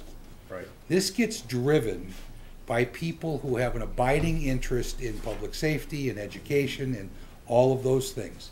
And they are citizens who know fifty people in their circle of friends. You know, whether those be people they belong to a club with, that they see at church, that they are neighbors with, that they, you know, pick up the kids and stand out in the parking lot with. I- That's how this gets done. It does not get done by the, by the, by the town leadership driving it home. Right. Uh, Tried that, it didn't work. We tried it. Yeah.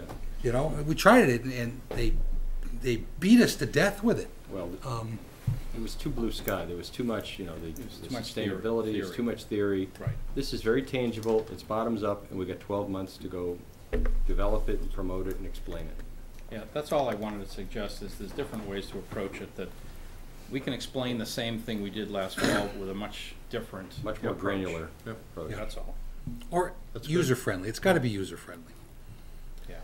It's gotta be something people get a sense of the value, that what they're spending their dollars on. So there's three principles, I think, to come out of this segment. One is, whatever we do has gotta be, I think, a minimum of three years. The second is, it's gotta be tangible, and I think granular so people can feel it. And three, I think we gotta get out in front of it. We can't, Yes. we've gotta use more of a grassroots distribution system as opposed to the public meetings and the, the Pleasant Street Center kind of a thing. And if this is something that's gonna appear in the fall or in the normal, um, spring ballot, it's gotta start right away. Oh, and number four, it has to be on our regular election day. Not- Yeah, because on a- both sides were mad at us, because we had a Whatever that special would be. election. If you can manage it, if you can get the schedules to line up, absolutely. That's, that, Well, and the only one of those coming up Next April. is next April. yeah, It's the first one. That's the next election, So there you go. other than April fourth. So we got fourteen months, folks, and counting. So, um, more comments from the board, questions? That's it. I'd be interested in hearing the public. Yeah. Yes, I, Michelle, you had your hand up first, please. Do you want me to identify myself? Please. Sure. yeah, that, It's part of the rules. You know the deal. Um, Michelle Sanford, seventy-five Glenmere Circle. Um, it's really kind of a little bit more geared towards the people that are watching and not necessarily the people that are in this room. But, um, Yes for Reading dissolved after the October eighteenth failed override. We accepted the defeat and we went through the procedure with the assistance of the town clerk and have never rebanded. Um, you see a lot of familiar faces from Yes for Reading at a lot of these meetings. I guess we're somewhat familiar. Um, but that's because we're concerned and interested citizens of the town of Reading.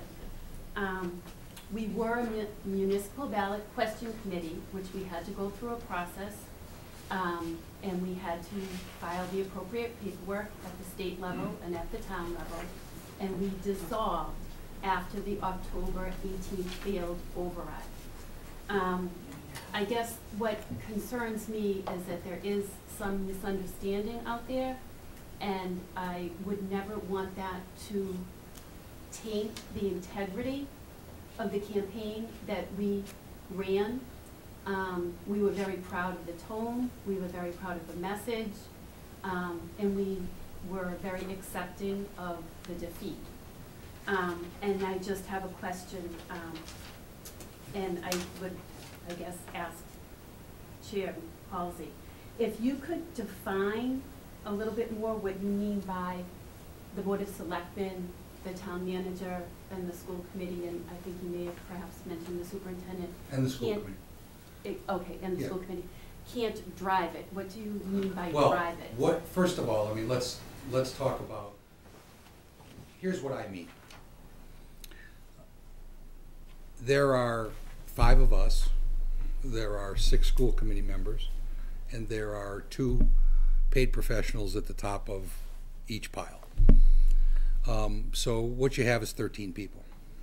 Okay, now, um, not all of them even live in Reading, by the way. So, so here's what you have. And they are elected to represent the interests. School committee's elected to represent a little different interests, but the same cross-section of citizens. And the Board of Selectmen are elected to represent everyone in town on all town matters. So, um, the school committee has voted to encourage the selectmen to think about um, financial answers, probably around an override, and have offered to collaborate. Great.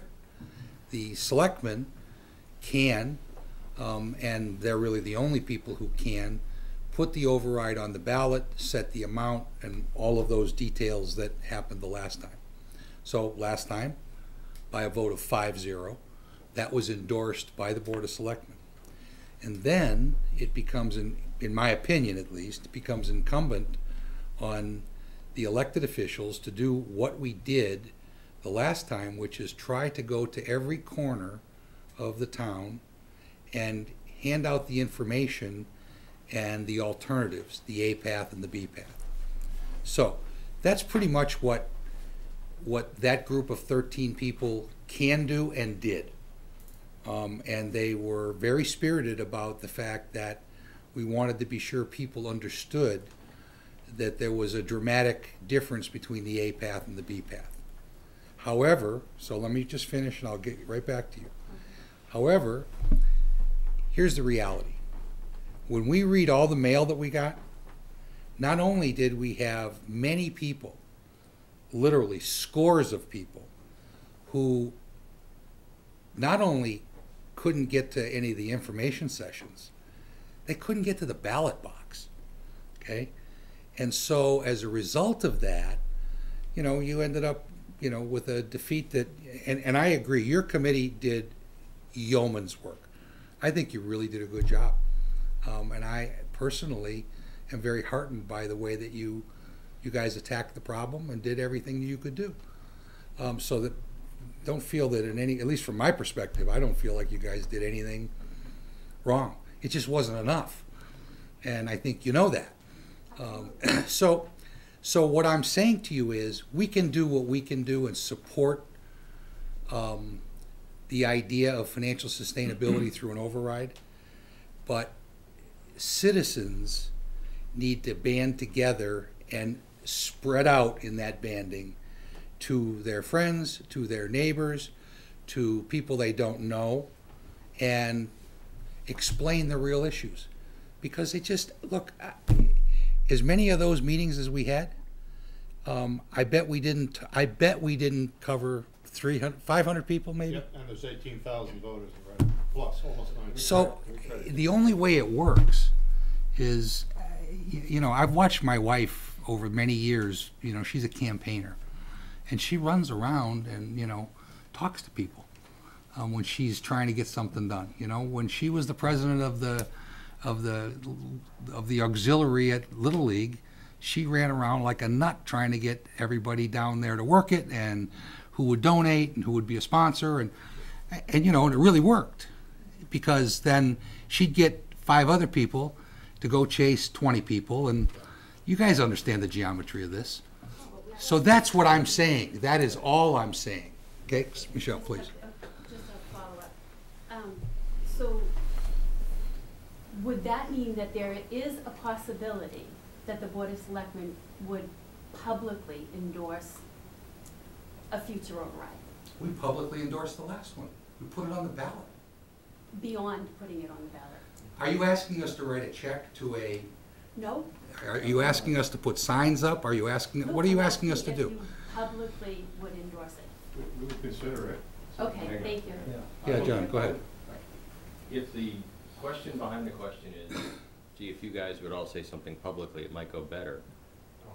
I don't think it does. No, I don't mean that, I'm just asking a question, I don't have a thought process really behind the L- question. Let me try to synthesize what John said. In, in order for the last override to pass, you had to attend one of these public session meetings, sit there for thirty minutes over a well-practiced but ultimately um, abstract view of how we constructed the last override. If you didn't get that, your best chance was to talk to somebody who did. And my bet is most of that data, most of that information didn't make it past one conversation. Because you had to remember, gee, how many pieces was it in? What were the names of the three pieces? What were they for? That won't work. What John's saying is I think it's got to be something that fits on one sheet of paper that's essentially a shopping list, a prioritized list, and it's got words everyone can understand. Firefighter, school program X, school program Y, um, policeman, um, advanced life support, whatever it happens to be. And then anyone with an email account and Adobe Reader can say, I got it. You spend five minutes, you talk through it, and now it makes sense. Now it's transportable. Now I don't need to have a 30-minute group session. You can also have a conversation at the same time with how much. You got this shopping list. You can talk to person A, B, and C. Are you, where your, would your head be about where the threshold would be? And you start getting feedback in terms of sensitivity. So it serves both purposes. Having meetings to try to pitch something doesn't work. We can't scale fast enough. But if you can get the, the message down to something that's one or two pages, like what Bob just described, that's transportable and anyone can promote it. You may not agree with it, but you can promote it and, and explain it. I, I think it was, I mean, I think it was really important to have a lot of those information sessions because in, in my travels and, and, and going to PTOs and other meetings, um, there was at least a third of the people who, um, were, were, were experiencing an override for the first time because Reading hadn't done one in so long. You're looking at an entire generation of homeowners and families that have gone to Reading that don't, you know, that haven't, that haven't done this. So I think that was really, really good groundwork because now an organization kind of formed and they did, and, and they did all those things. They talked to the neighbors. There just weren't enough of them to do it in, in, in a period of time. I so I think you. that, that And laying the that material that we groundwork gave 'em wasn't adequate was either. was was huge because it was just it, it was the, the learning curve was so steep. too abstract because material. a third of the voters, you know, they hadn't done gone through this before. Now, if we go back a second time and maybe that's next year, people understand. Okay, I get what it is now, and also too at the time, it was just sort of there's going to be these cuts. Now people say, "Oh my God, those were the cuts," and so it becomes a little bit more visceral, a little bit more personal.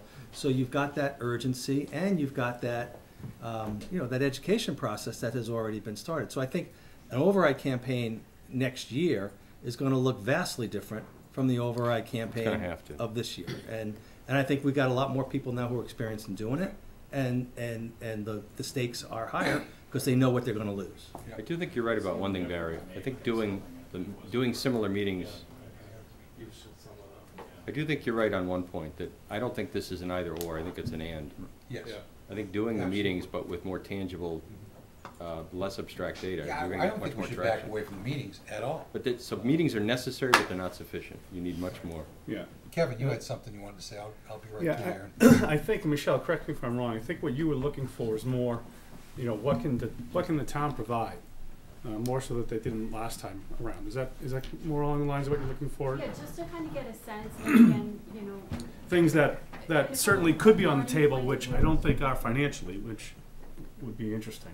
Um, You know, I know one of the things that a town is allowed to do when they have specific overrides, and it's gotta be worded a specific way, is to do a mailing to the registered uh, voters in the town. However, that comes at a, obviously at a cost.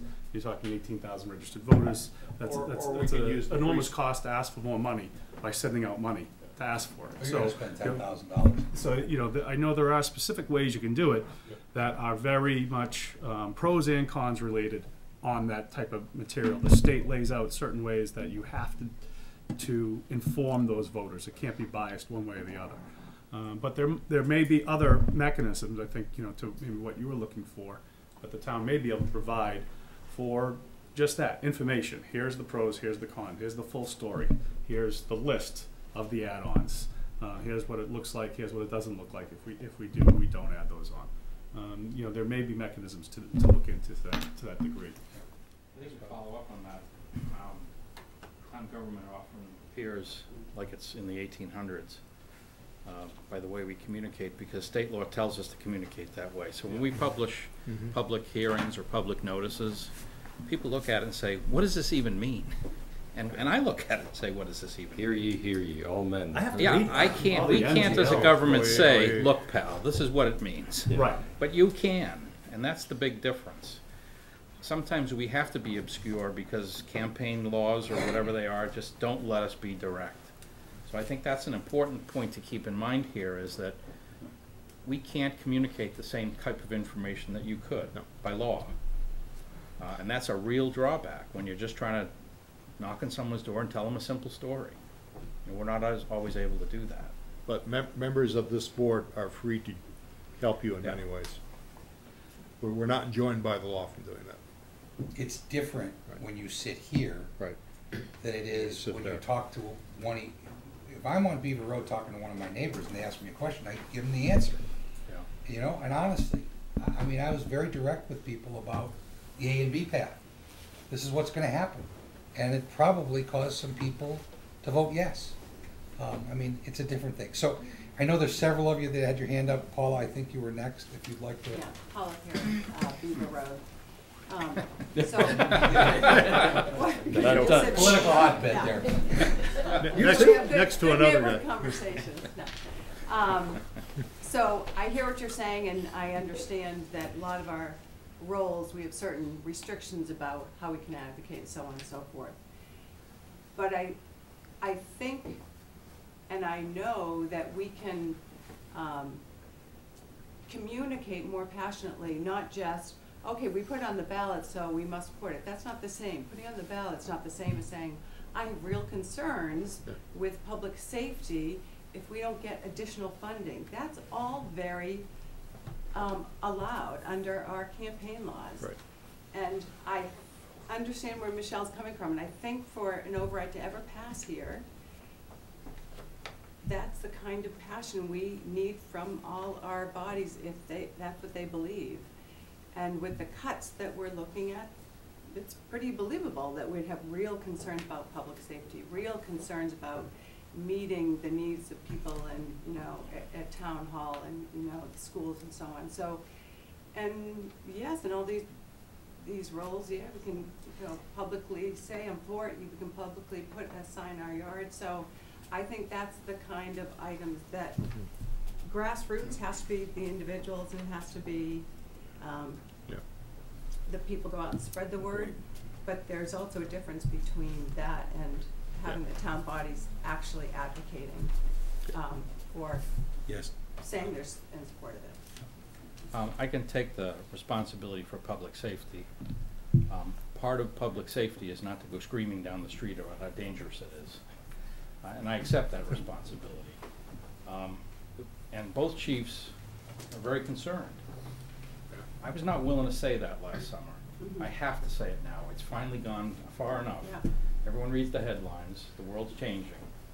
Um, I didn't feel that was a responsible thing to do last summer. I feel differently now. Um, I don't know if I've changed or the world's changed or whatever. And we're but- sure we've got I- data to show But. I take the responsibility that we were not willing to knock on that door last summer. And that's a very important door in this community. Um, but you also don't wanna be overly dramatic. Say, Mhm. oh my God, if you don't vote for this, guy will you'll be fall." robbed tomorrow. Let's hope you're not. Right, But I We just, keep our I eye do on think Beaver Road. people Yeah. always know they'll never, people always know they won't ever know the details as well as the people who are involved. So they look to all of us Yeah. to, to have that attitude and sort of give them that guidance, because they know they're never gonna know it to that level. So they're relying on us to express our feelings. Um, y- y- you, you're last. Not last, but you're down the line. Uh, Linda, I think you're line, you were next, and then Aaron, and then Jean, and then Mark. Keeping you. track of how people raise their hands. Please go ahead, Linda. Thank you, Linda Snow Dockser, Beaver Road. We could have had this meeting in your living room. We have. We were in our living room before we got here. We call it Power Alley, Watching yeah. Um, Yeah, the power. I wanted to say I really appreciate, Mr. LeLacheur, your um, wisdom and your also experience. I too lived through the um, historic pitting of groups against each other, and it wasn't pretty and it wasn't productive. And I think that um, to tie it in with the conversation that was just happening, it's maybe about signs in our yards. It's definitely about information that we put out. It's also about the subtle messages that we send in respect about the different committees. The school committee cut, as well as asking, um, voting for our budget to be above the, um, the proposed amount, we cut $813,405 we mm-hmm. raised hundred and seventy-five in user fees. We looked under rocks, we spent weeks trying to find the best ways. Our administration went through iteration after iteration. We have fifty-eight pages of questions and answers. So when we get to this point and we bit the bullet and we submitted a budget that we all know we didn't want to do over budget, but that we felt strongly enough that we had to play our role as advocates for our students, for our parents, for our communities, for our teachers, that now we're in a place where um, we have turned over every rock. And part of what needs to happen is that we join together in understanding that when we turn over every rock, now we're going to the next place. And there's still stuff that's going to go on that we're not allowed to talk about. Um, and that, um, the weight of the cuts shouldn't rely on because there are, there's already the weight of our cuts, um, relying on those, I don't what, the people involved. Um, our teachers are our most precious resource in our schools, and they're handling a lot already. Um, so I think when we're talking about the leadership of the town getting together, it means not just signs in our yard or um, information. It's being together on the information. It's respecting the fact that the town is in dire situation too. We need these safety officials. I see the amazing work being done by our police officers. On the Human Relations Advisory Committee Board, we have a police officer, David Clark, a um, deputy deputy chief, who comes to every meeting and spends a lot of time helping us and participating. We have community officers, we have our school resource officers. We are a collaborative group and we need to remember that. And we need to speak to it. We need to trust each other and work together. And I really appreciate, Mr. LeLacheur, you're saying that and you're coming up with this cogent plan. Um, and I think that it needs to be in action and speech as well as plan. Thank you. Sharon? Um, just to piggyback on what some other people have been saying, um, Erin Gaffen, fifteen Hemlock Road. I do not live on Beaver Road. Um, There's a house for sale. Yeah, not yet. Whole other side of town. Um, You can say her, David. correct me if I'm wrong, but the, the community listening sessions that you held were all before you officially, uh, declared that you were going to ask for an override and set an amount, Well, correct? the facts are that we set the amount and actually placed it on the warrant, on the, on the ballot later in the year. Yes. However, the talk from this, you know, dais has, had been from essentially March, um, earlier, maybe February, um, that it's, it appeared inevitable that a, that an override would come, but that we wouldn't vote it until such time as we heard from the community, number one, about, you know, what their questions and concerns were after they got information. And then number two, we had to hear from parties involved. We had a good idea on the town side what we felt like um, we needed to look for. And we needed to wait to hear from the school committee as to what their interests were in, in the override as far as, not, not that they vote the override, but we actually asked them in a collaborative way for guidance as to what they felt like was the right number. Um, and so the only reason for the delay, and it really wasn't a delay, it was a process point to take us closer to time so we knew exactly how much we were dealing with, for how long. And then, of course, once we got there, we had another whole round of meetings for another five weeks uh, leading up to the election. So, and then by that time it had been voted. Yes, Bob? Yeah, I was gonna say, just to follow, just to be clear, um, publicly in February, the selectmen did indicate an October override election. Yeah. They did not call for it legally, but it was published, it was put in a calendar, and then all the events were backed out from them. We need to do this by this date, this by that date, and this by that date.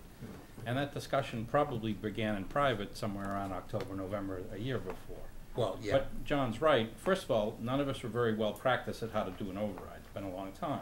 We learned a lot. Um, the discovery process of knowing we needed an override to figuring out how much and for what does it do and what do we do about it was a long and difficult journey. Um, none of us had been doing it recently or, you know, or ever. So just because the selectmen and I knew an override was necessary in February a year ago, honestly, I had no idea what the amount should be.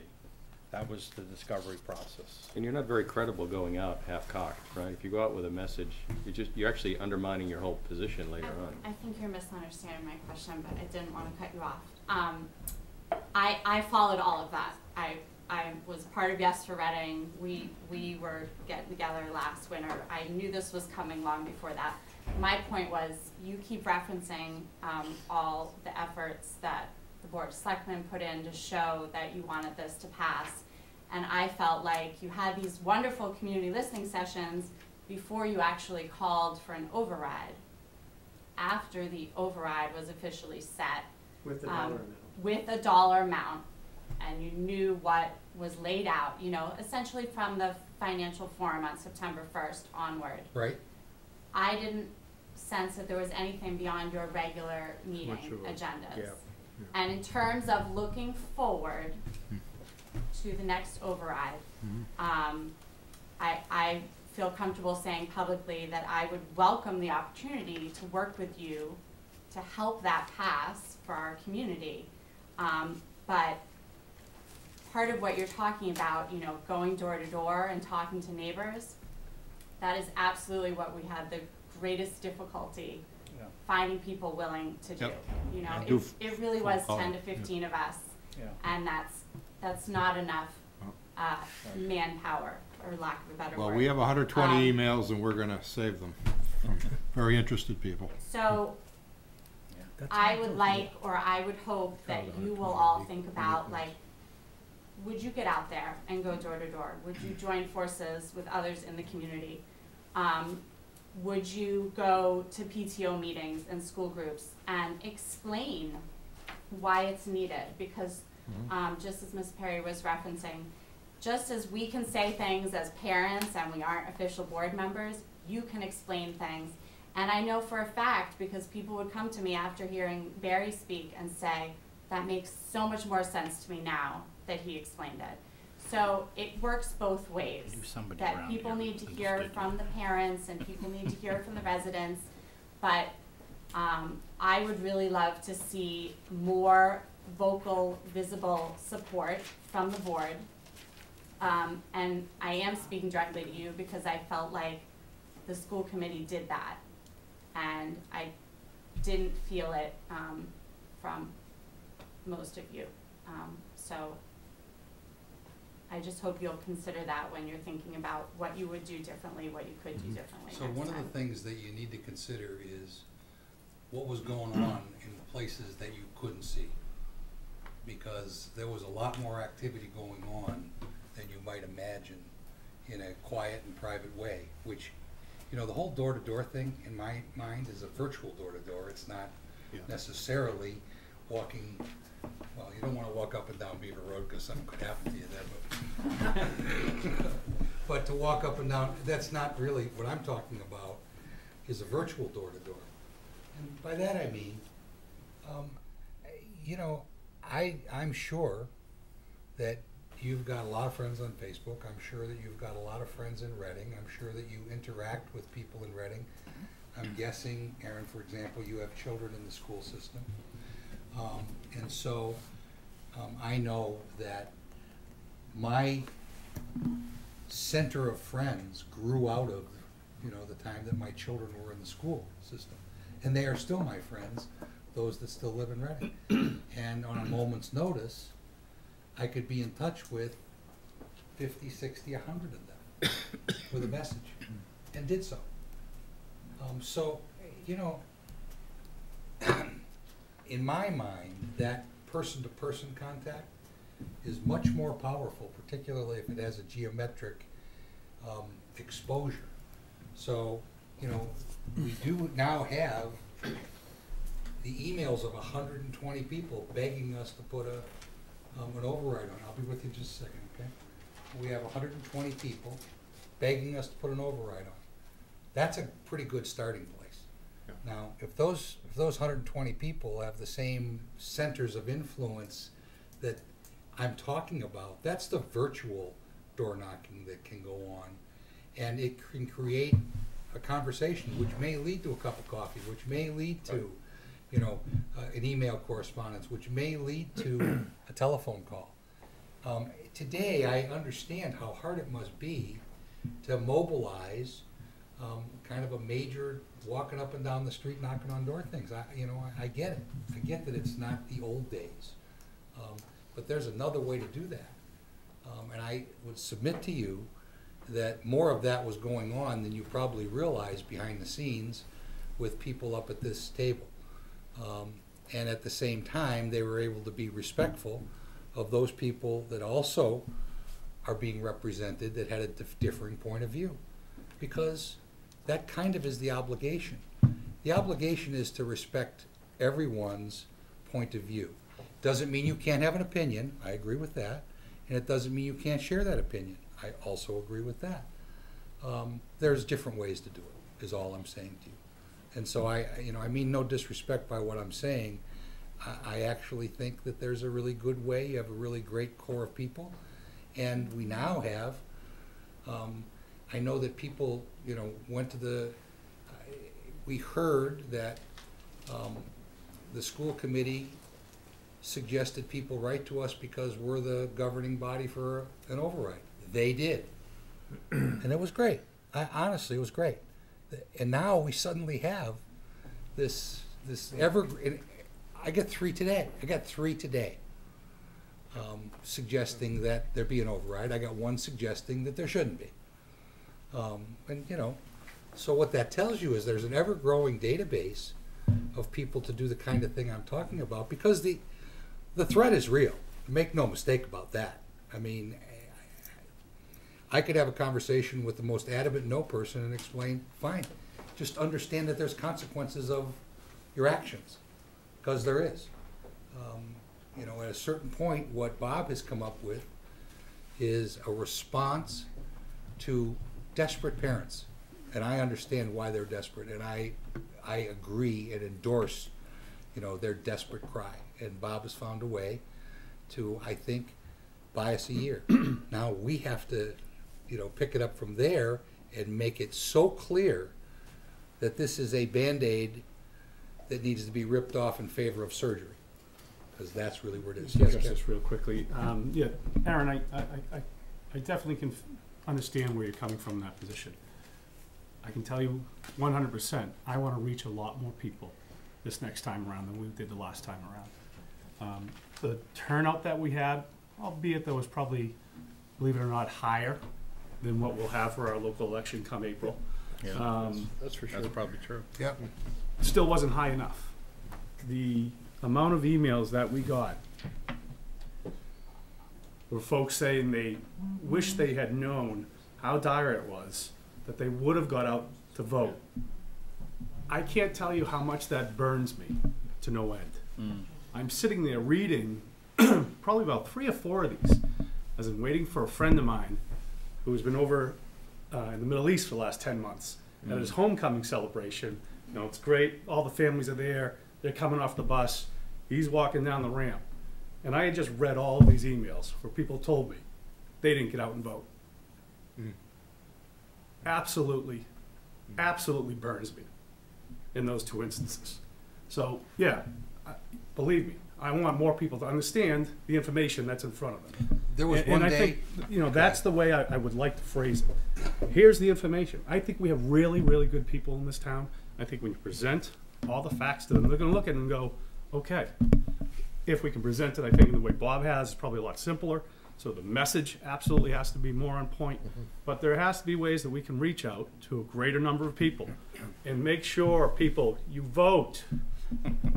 I can't express that enough. One day we got thirty-four, we got thirty-four letters, eighteen people said they didn't vote. All of them, every one of those thirty-four said you must put an override on.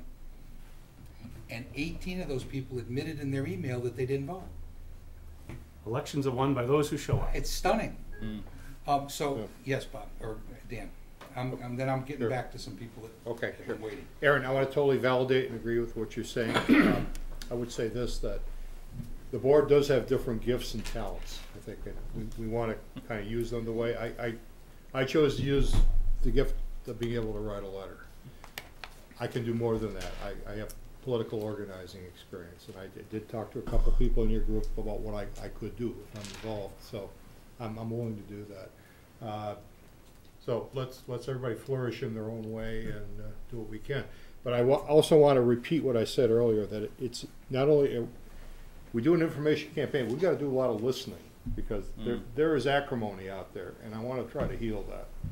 Just as there can be bickering between the Sure. boards, there's acrimony in the community. Yep. We, we get this anonymous thing handed to us tonight, some of you may see it, some of you won't. Uh, Now, they'll never vote for an override, this, whoever wrote this probably. But there are varying degrees of people, um, I've talked to some people I respect enormously in this community that had misgivings about voting yes. And they're not quite there yet. They're all saying it's too soon. Some of them are town meeting members. One's a former selectman who- whose counsel I rely on. And he's talked to a lot of people that said this isn't the right time. We've got to bridge the gap with those folks. And I'm looking for ways to do it. I threw out one suggestion. I would invite others to add to that. Um, But we need to include that in whatever plan forward, as well as our own talents. Jean, you're next, Thank you, Mr. Halsey. then Mark, then Amy. I- But you can call me John, because we're Thanks, friends. John. I have Okay. a couple of things. One is, um, I had raised my hand two hours ago. Um, but I wanted to respond to something. Well, we take them in order. That's fair enough. Um, but John had said something, John Arena, um, that I do think merits a, a response. I think maybe you misspoke. You suggested that the school committee has been reluctant to express priorities. No, in the meeting prior to voting the override last year, we went through the town priorities. On the, on the screen in this room were presented a list of additional investments that would be made if, at- at variety of levels of override. And, and the proposal that the school committee was looking for in that evening was a total of nine million dollars, was where your sentiment was. And that meeting, Combined municipal and Correct. the sustainability. Correct. Just to be clear, it wasn't nine million for Correct. Sorry, I misspoke. Um, The town's orderly list was prioritized, as, as you saw here tonight. I asked the question, innocently enough, oh, is the list on the screen your prioritized list? And the answer came back, no. It's not in order of priority. What's on the screen is our, what we want, but they're not ordered. Number one is not the first, number two is not the second. And I then asked, would you mind prioritizing them so we have a feel for it? And the recollection was, would rather not do that. Do you recall the reason why? I believe, I don't actually recall the reason why, but I recall the comment that we're, we're reluctant to do it. The reason why, it was a conscious decision. Um, and the reason why was because the school committee is responsible for determining what the priorities of the schools are, we didn't want you as a board of selectmen to have to vote a number and potentially be perceived as making a value judgment on, well, we, we're willing to support an override at this percent, but we just, those oh, priorities down there, we just don't think hmm. are worth it. So what we had done is said, if you approve this total amount, here's hmm. everything we'll do, and if you approve an amount under Okay. that, we will look at this and prioritize it after it. So it was a very conscious decision. It wasn't an unwillingness to prioritize. It was a, kind of a respecting of sand And, and in fact, when the seven and a half million value was voted, you went ahead and you, you selected what you're going with. Right, I would Right. just hate for the, for the statement to stand that the school Yeah. committee is unwilling to prioritize when we have for five I, years. I, I understand what you're saying, Jane. Thank you, Mr. Dan. Doctor and. I, um, I have a No more doctors. If I- Starting to sound like the Three Stooges. Kind of like Dr. Howard, Dr. I, Fine. I have another question, um, obviously, just seeing Strike that from the record. right Yes. now. Actually, Gene, having said that, though, one more comeback. If we go through this and have that, that list, that shopping list, there'll have to be some sense, certainly on the town side, of the priorities. There'll be a line above which uh, there'll be support and a line below which there won't be support. So there'll be some need, if you go back to Bob's sheet, he- he's proposed a format there, and I'm, I'm guessing that somewhere we'll snap a line. There's a column there for schools. If, in order for this to be credible, there'll have to be a parallel discussion on the school side. What's this worth? What does this get you? Absolutely.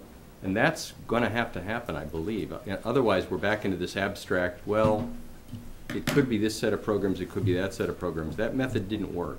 As much as I thought it had merit, it didn't work. Yeah. No, and that's absolutely a conversation for the future that I think we'd all be open to. I just didn't want anyone to stand thinking that that was an unwillingness, it was a thoughtful decision. Um, this, I think my next question is directed at Bob. Um, having just seen this for the first time and kind of beginning to process it, I feel like I heard, it's a nifty name, so I'll say that, very cool name. Um, it- it's, I heard two different components though. One is the rounding errors. You can find ten thousand here, fifteen thousand here. Okay? Then the other involves collective bargaining. And I'm, I'm wondering, have you sussed out or thought through which, how, how much of each of it are you envisioning? Uh, well, to be clear, the first piece is asking for the curriculum in April for hundred fifty thousand, that's a pretty big piece. Um, I don't have any sense of the little bits and pieces in your budget, you do that, I, I have no idea. I don't intend to want to ever think about that, quite honestly. And anything else I'll discuss with, uh, with John and with Ken. I have, I have ideas, I don't have answers because I don't know how to run a school department. I just know from my experience how police chiefs run police departments and so on and so forth. So I know all the math. I have all the models, but I have no idea how to run a school department. I'll just, uh, you know, have that those conversation with those two. May I ask just one more question? Um, in the event that that is not as productive as you hope it will be, um, you have, and I, I have to say, uh, like, like Dr. Doctor said, I appreciate the creativity and I appreciate the desire to work together and to not pick group against group. I very deeply appreciate that. Um, are you concerned that should you now have to go to the municipal government and say, yep, now we, we were able to find this much, but we couldn't find this much, so now you're gonna be going to the side of the government that isn't the schools and asking them to make sacrifices to protect the schools, which as a school committee member, I deeply appreciate, as a parent, I deeply appreciate.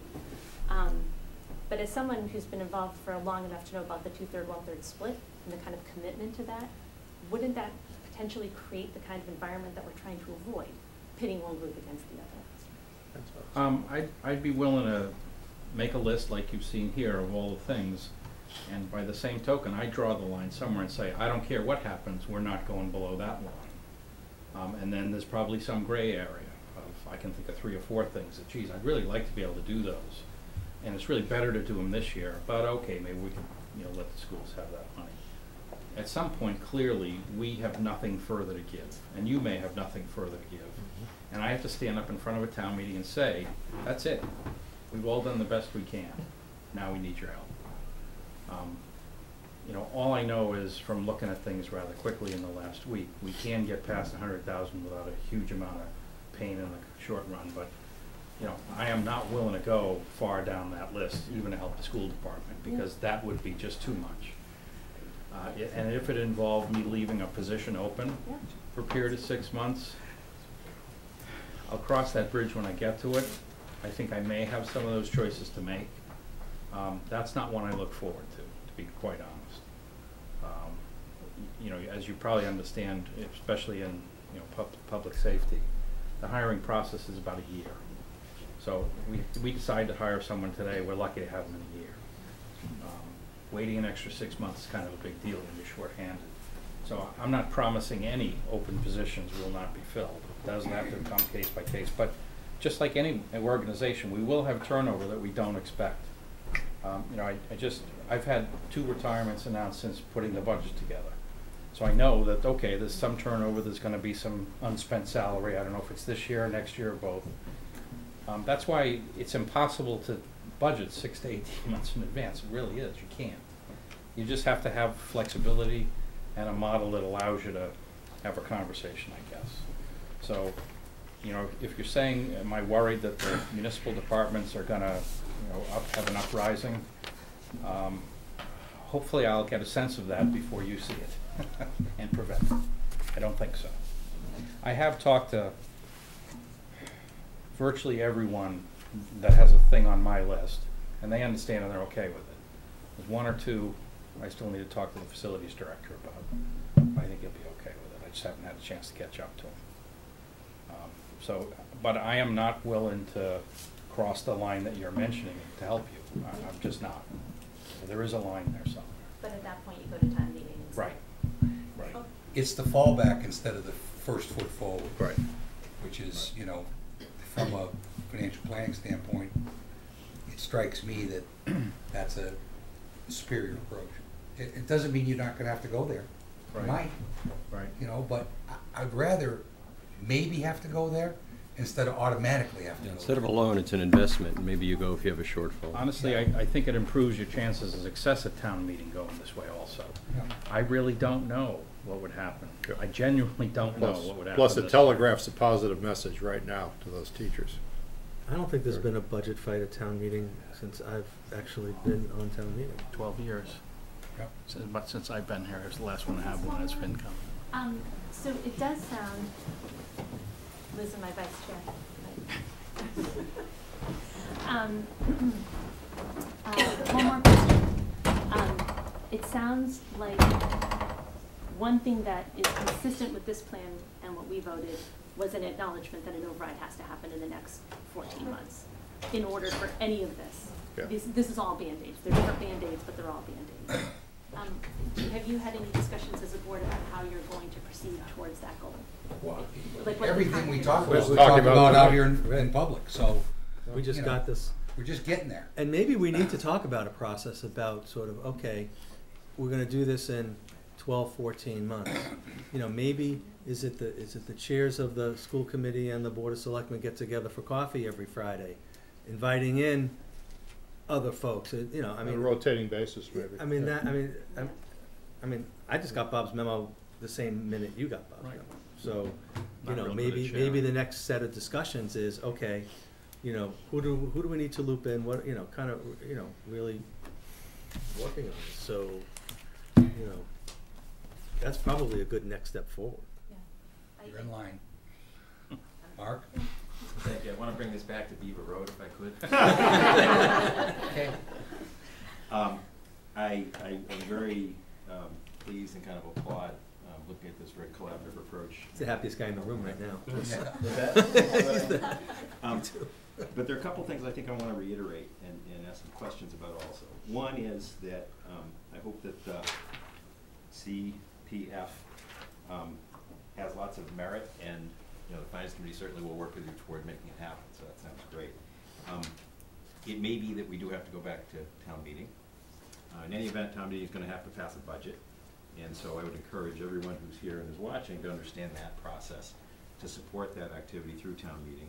And if it turns out that we make uh, great leaps and great strides, but we don't quite get there, we may have to go back. Um, There is not a panacea here, uh, no matter what. I think everybody agrees on that. That's kind of one. Two, on the Band-Aid um, to surgery approach, I think we also agree on that. And I think what I want to reiterate is that there's a lot of work to do, um, and I'm, I was very much gung ho until actually Barry, your comment on, hey, we got fourteen months, or it came out as fourteen months. I'm not sure that that's necessarily the right time frame. I think that we are in a deep rut as a town, uh, in terms of finding ways to support the level of services that people want. And it requires more revenue.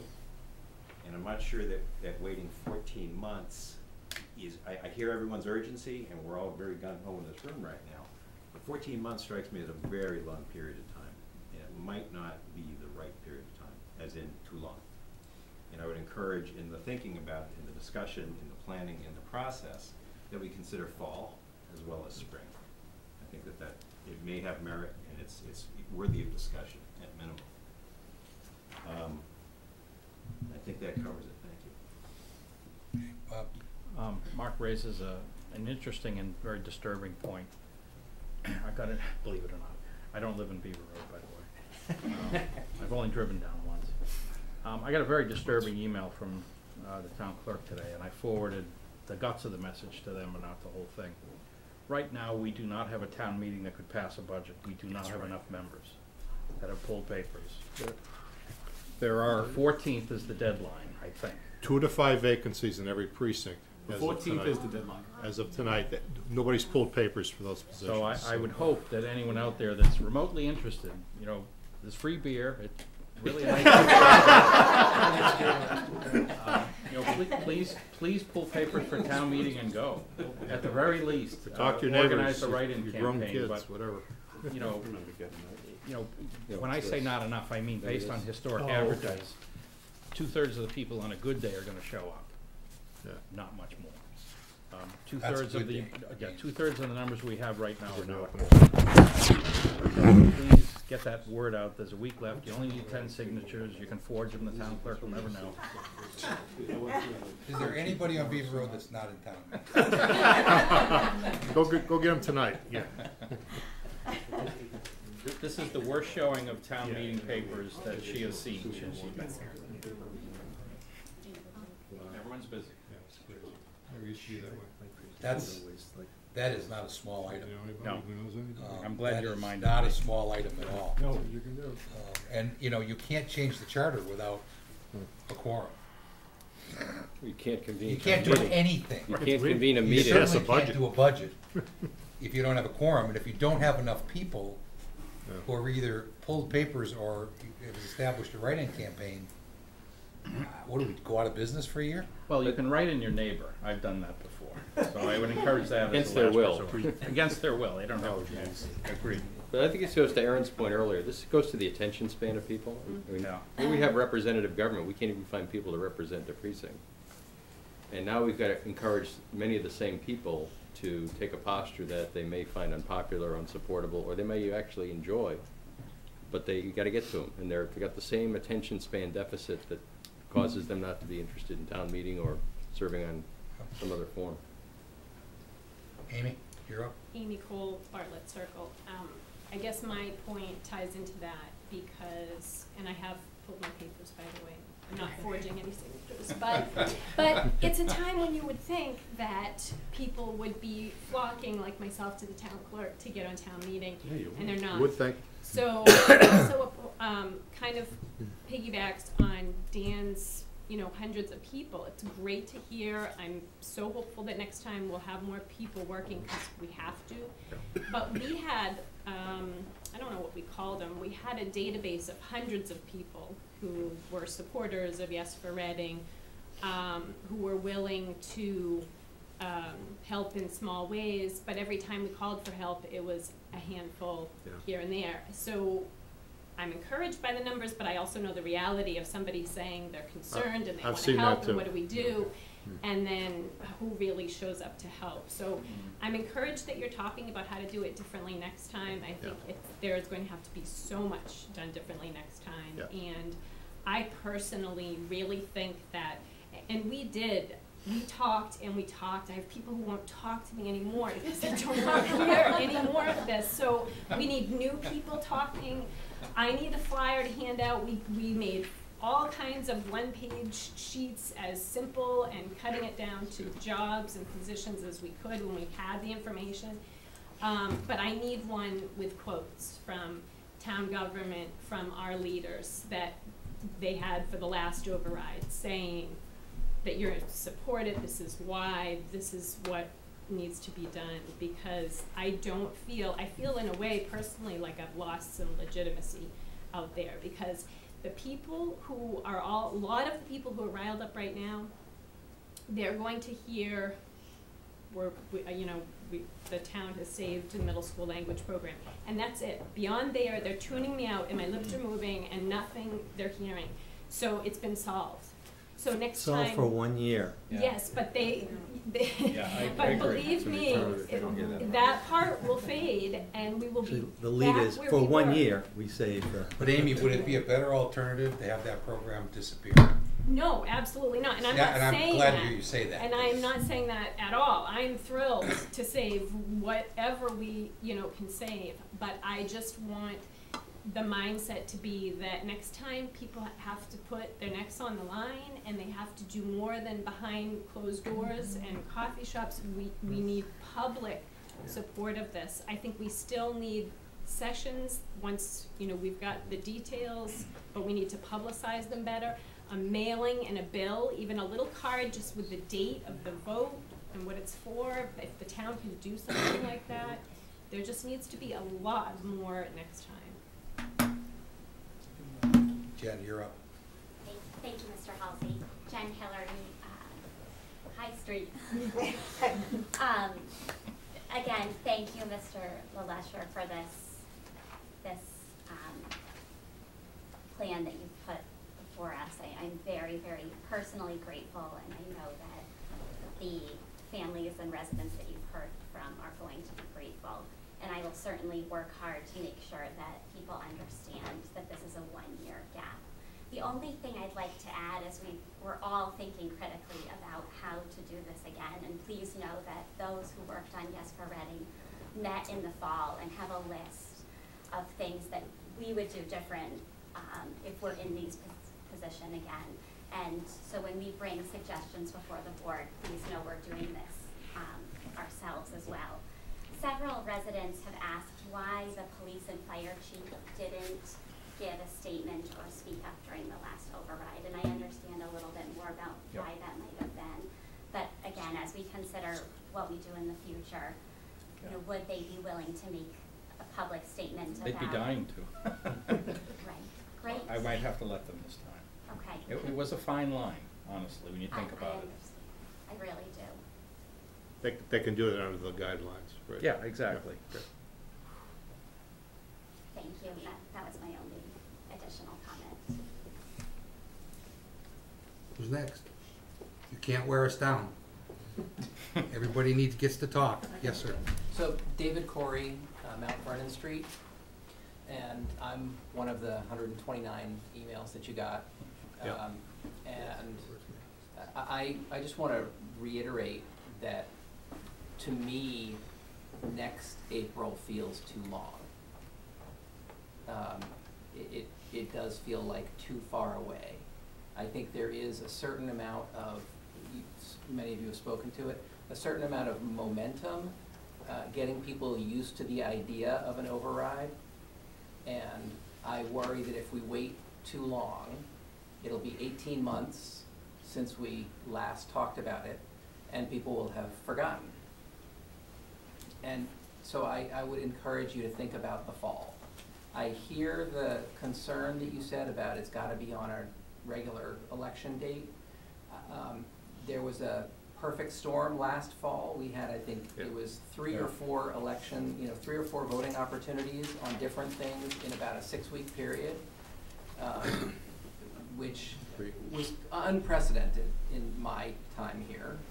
Um, and I think if there's nothing else happening in the fall, and I don't know what else might be happening in the fall, but if there's nothing else happening in the fall, maybe that's a great time where it's the only thing. There's no state ballot initiatives, there, you know, so I I would just encourage you to think about sooner rather than later. Okay. Yes, Linda. I'm still Linda, Snow Dockser on Beaver Road, no plans to move. Um, I just wanted to reiterate, uh, last night I was pretty outspoken about, um, wanting the override period and then wanting it sooner than later because I've been involved in overrides since we lived and left a neighboring town because of multiple failed overrides. Um, and often the mantra for why people voted no was because, well, you found the money before It's, we just don't trust that the money's not there. And so my concern, I love this, the idea of this plan, um, but if we're going to wait on the override, then we need, we need to really be clear where this money came from, how it came, and, and that it's not there anymore. And people don't understand, um, the free cash. And so if they see stuff come out, and I know you're not suggesting it comes from free cash, but the perception is half the battle, whether you win it or you lose it. And so if we find the money, and again, I am not arguing against finding about um, investing this money in our middle school model so that we don't have to spend more to reconstruct it. Because actually, my opinion is we should be starting foreign language in elementary school, and we should have more languages. But that's another story. But I think that um, my real concern, I hear both sides, that there's wisdom in waiting, so we have more time to educate the public and to mobilize people, but we have to be really conscious of the danger of that, in that we'll lose this momentum, people won't believe us anymore. And that this is incredibly real, and it is, as you said, Mr. Halsey, what the legislators intended with Prop two and a half. That we should be going back for They overrides. want you to go back to the voters. It's That the is the way whole it's point. built. It- It's just that simple. So I really thank you for this creative plan, and I look forward to working together, whichever way we decide to go forward. But thank you, I just wanted to reiterate that. Yes, Bob? I think the single surprising thing that I learned from the last override was how many people had never experienced one before. Um, as the selectmen got emails, a huge percent of their emails from, were from people that had moved to town within seven years or ten years at the most. I had no sense of that. I mean, I could have asked the town clerk, she probably could have told me, I just never thought of it. Most of us in the room that were making these decisions and having these conversations were around for the last override and for the last failed override before that.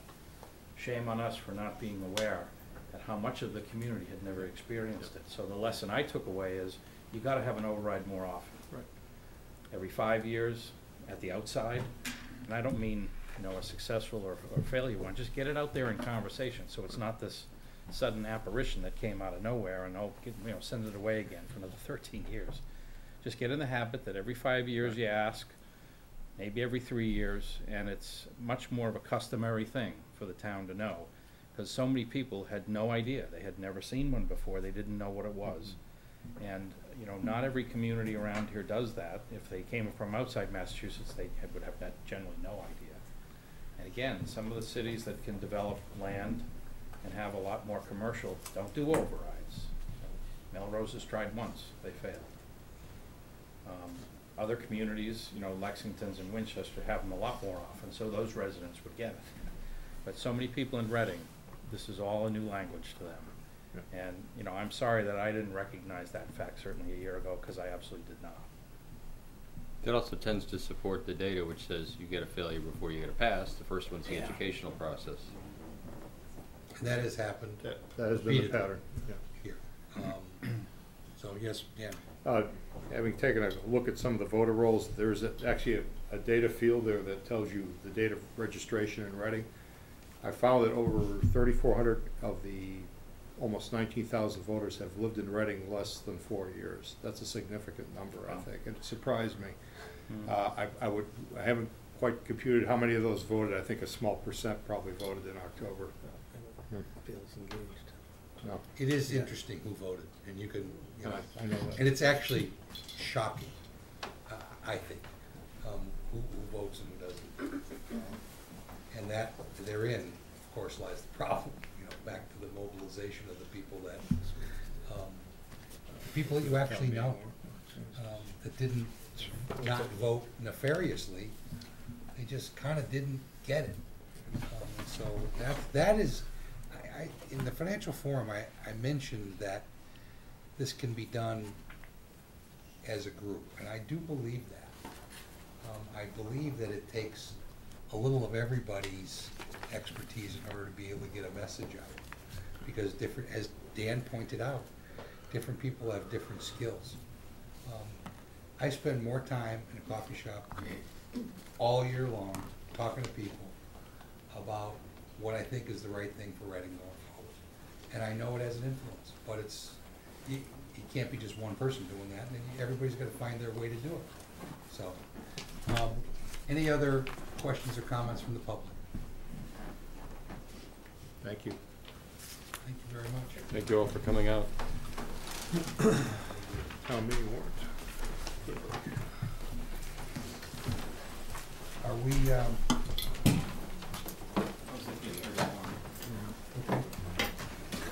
Want to take two minutes? So do we? Uh, one through five, we know. Yeah, do you want to take a break, John? Take a few minutes.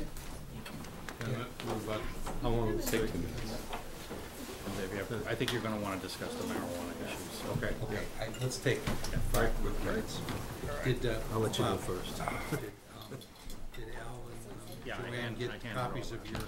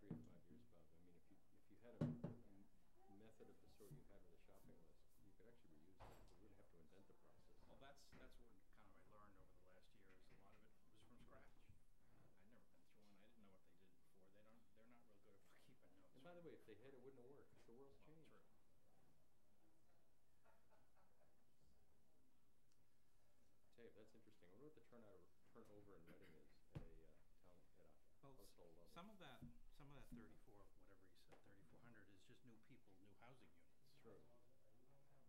What do you think the average, is it, do people stay here for the whole duration of their child's education? and I don't, I don't really know, I'm not sure. Uh, I'd say the large majority absolutely does. Yeah. There, but, you know, there are always circumstances that, that, that gets broken down into categories such as, you know, jobs moving. Yeah. Um, you know, sometimes, believe it or not, we're, Somebody wants to which is, I believe, we're kind of at what I call a midline level. So you got people that, you know, they started out here, call it like their starter town. Mr. They make a whole bunch more money and they, and they go to bigger towns. Question. Um, I didn't want to interrupt the conversation to ask, but um, on that hundred and what was it, forty-five that you said that you're gonna put before town meeting to vote on? I'm not To gonna- restore the English, the. Oh, 150. Okay, is that a decision, I mean, they don't want you to tell them what to do at town meeting? Is that what, if they had hundred and fifty thousand, is that what they determined is the most important priority? Well, if, if, you know what what happened last year was I suggested it to the superintendent, he said, great, and we did it, and that's what they did. Okay. Um, if you, if you're Cause I looked at the presentation they did last week, the blue slides that they had used before. It wasn't clear what the priorities were, would be to add if they got more money. I'm only, I only did that based on the fact they passed a budget that had that in it.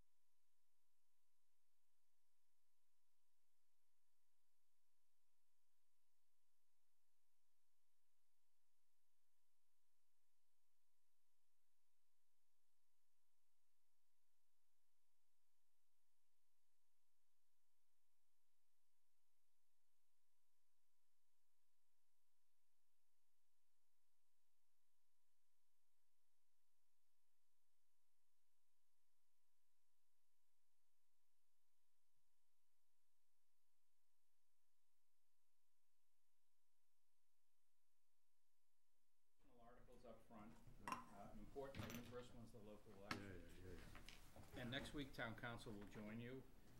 And, You know, your past discussion has been, you In wanna two have. weeks, you mean? Yes, uh, two weeks. Your past discussion was, you know, I presented you three medical marijuana, or recreational marijuana choices, you made two of them. CPDC is in the middle of a public hearing process with those two. And I believe that the path forward is, see if I get this right. If you put on the ballot to ban recreational marijuana and it passes, that's it, you're done, Mhm. as far as we know. Right. That the AG has said So so far. far. So far, the AG has said that. This- and this I'll- AG has said that. This, this AG Okay. on Tuesdays. Yeah. Um, That's if- surprising. Shocking, actually. So it probably makes sense to put on a town meeting warrant before an election, a moratorium. Um, But just, just. Say to be- that again, Bob. Just to be clear, n- number one, local election, if there's a ballot question, you gotta decide that in two weeks. Yes. And you gotta word it. So presumably the wording is to ban recreational marijuana, raise, gotta it's do one. simple, Oh, it's simple right, right, language. right, right, right. But Yeah. that's, your that's part of your warrant closing Yes, duties that's in true. two weeks, just to be clear. And, you know, the town clerk needs it in certain And that needs to times. be done for the ballot, not for the town meeting. Would, But it needs to be done the same night, would both, uh, next two weeks. Go ahead, Dan. would there be two questions, one on the moratorium, one on the ban? It's up to you, you, you Yeah. can do two. Yeah. Um, Wouldn't that be confusing, though? Yeah. I think it would That's be what we very discussed, I confusing. think. We've all seen how being too clever. Yeah. So if we put something on uh, for, for a mo- for a moratorium, oh no, I'm sorry, so we put something for a ban and then somehow the court will over, you know, basically, someone will take that to court, presumably it goes to the SJC, and they say, towns can't do that. Yep, Yep, that's always a risk in anything that you do, so yes, that is a risk. So would a more prudent thing be, let's put on a, a, a, a moratorium till all this stuff settles out, and then? There's no reason to think that a moratorium is gonna be the right time frame when it settles out, honestly. This has got a long time Right, before oh, this- cause we I have to, we, actually- we have to put a, a time certain. Look, here's the thing, if a ban passes, Yeah. and the. You've got the upper hand. Yes, I We mean, get the that will of puts the you in voters. charge. Right.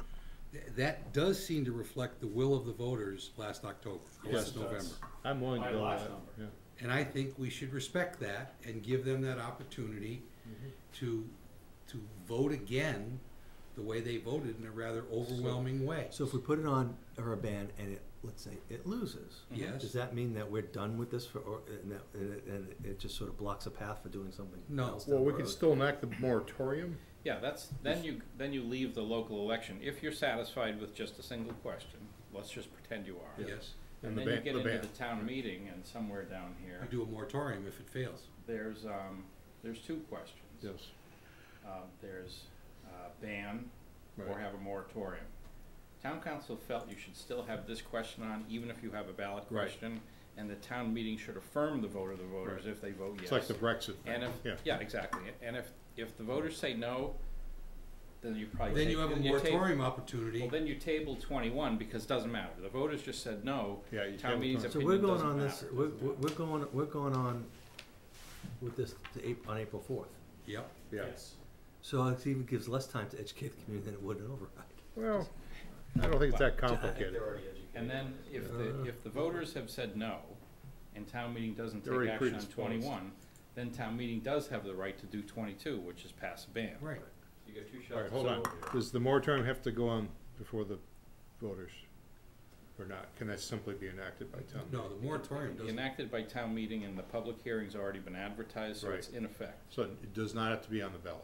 No, it Okay, does not that's have to good. be on the ballot. this That's ban has That's to our be. fallback. That the That's ban has to fallback. be, town meeting has no authority to pass the ban by itself. They do Ban have, passes, we and again, postpone. according to the AG, according to case law so far, the AG has said that she will uphold Mhm. a, uh, a uh, moratorium passed by town meeting. A ban or a No, a moratorium. moratorium, only town meeting. Right, But a, but a ban has to be the voters. right. Oh, okay. Walk me through again why the ban has to be also voted on by town meeting if you already have the will of the voters. It doesn't have to be, it's not absolute requirement. Ch- Ray said it's good form. You could table it. Just an affirmation, you don't, you don't. Well, have to- do you want Murphy's Law to reign on this one? Ah, good point. Well, Yeah. let's leave I it. mean, Wait, why don't, there's why a- don't we ask them There's a in rule in two my weeks? business, when you have the order, shut up. You get the answer you're looking No, for, stop I- talking. you, you make a good point. Yeah, I'll remind Ray to have that discussion with Yeah, you. we, I would err on the side of what you're saying. Yeah. You make a good point. So I just wanted to remind you that question, that Article One is still open Got it. business. All right, so we just covered the other two also. Um, Good. boilerplate stuff, uh, budget amendment, prior year bills. Can I, can I just go back, I'm sorry, can I just go back to, to one, so, so let's say, we- you know, we vote a ban, a moratorium, whatever.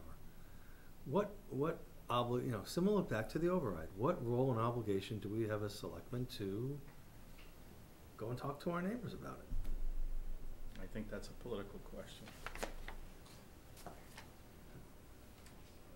You know, you Is guys, you guys have six weeks or whatever it is then to do that, or five weeks. Can we count on RCASA to be a little more visible on this one, do you think? We can ask, I mean, you know, I'm on their board, Bob's on their board. They were a little Yeah, uh, and We can sheepish encourage in the them. fall. They were not shy at the tobacco hearing. But if, No. but if you've called for ballot question, then those rules do apply, just to be clear. My suspicion is that they would be very active. Okay. Yeah. Um, however, I will tell you something that I have heard at the board meetings. Joanne, you're also on the board as well. Um, Ban the bong. what I've heard is that they feel constrained as, as public their grant. officials because it's a public entity. It's not a nonprofit that stands on its own. They're also very constrained by having a federal grant. There are rules of Correct. federal grant that are even tougher than we would do. Right. And that, So they've got, and so I don't think it's a lack of will. yeah, okay. And be, just to be fair with them. I think that's right. Um, I think Yeah. it's a, you know, I withdraw that comment. so I don't think it's, I, I know it's not a question of whether they think banning it is a good idea. I know they do. Um, I, I mean, I- Your, you your know, best, your best proxy for this is the question for vote, Yeah. and that's gonna be the best indicator here. A well-written ballot question, and you reside, you rely on, on the results from last October. See, Which is a superset of the people voting in this And, election. and Ray's written a draft, you can actually easily understand Actually, question. a ton more people voted in, um, on that than will Yeah, vote on you'll, this. you'll be lucky to see a quarter of the number. Think so? Yeah, and, the eighty percent of the people voted in Yeah. it. You can, s- lucky to see twenty. I'm saying twenty tops for Really? April.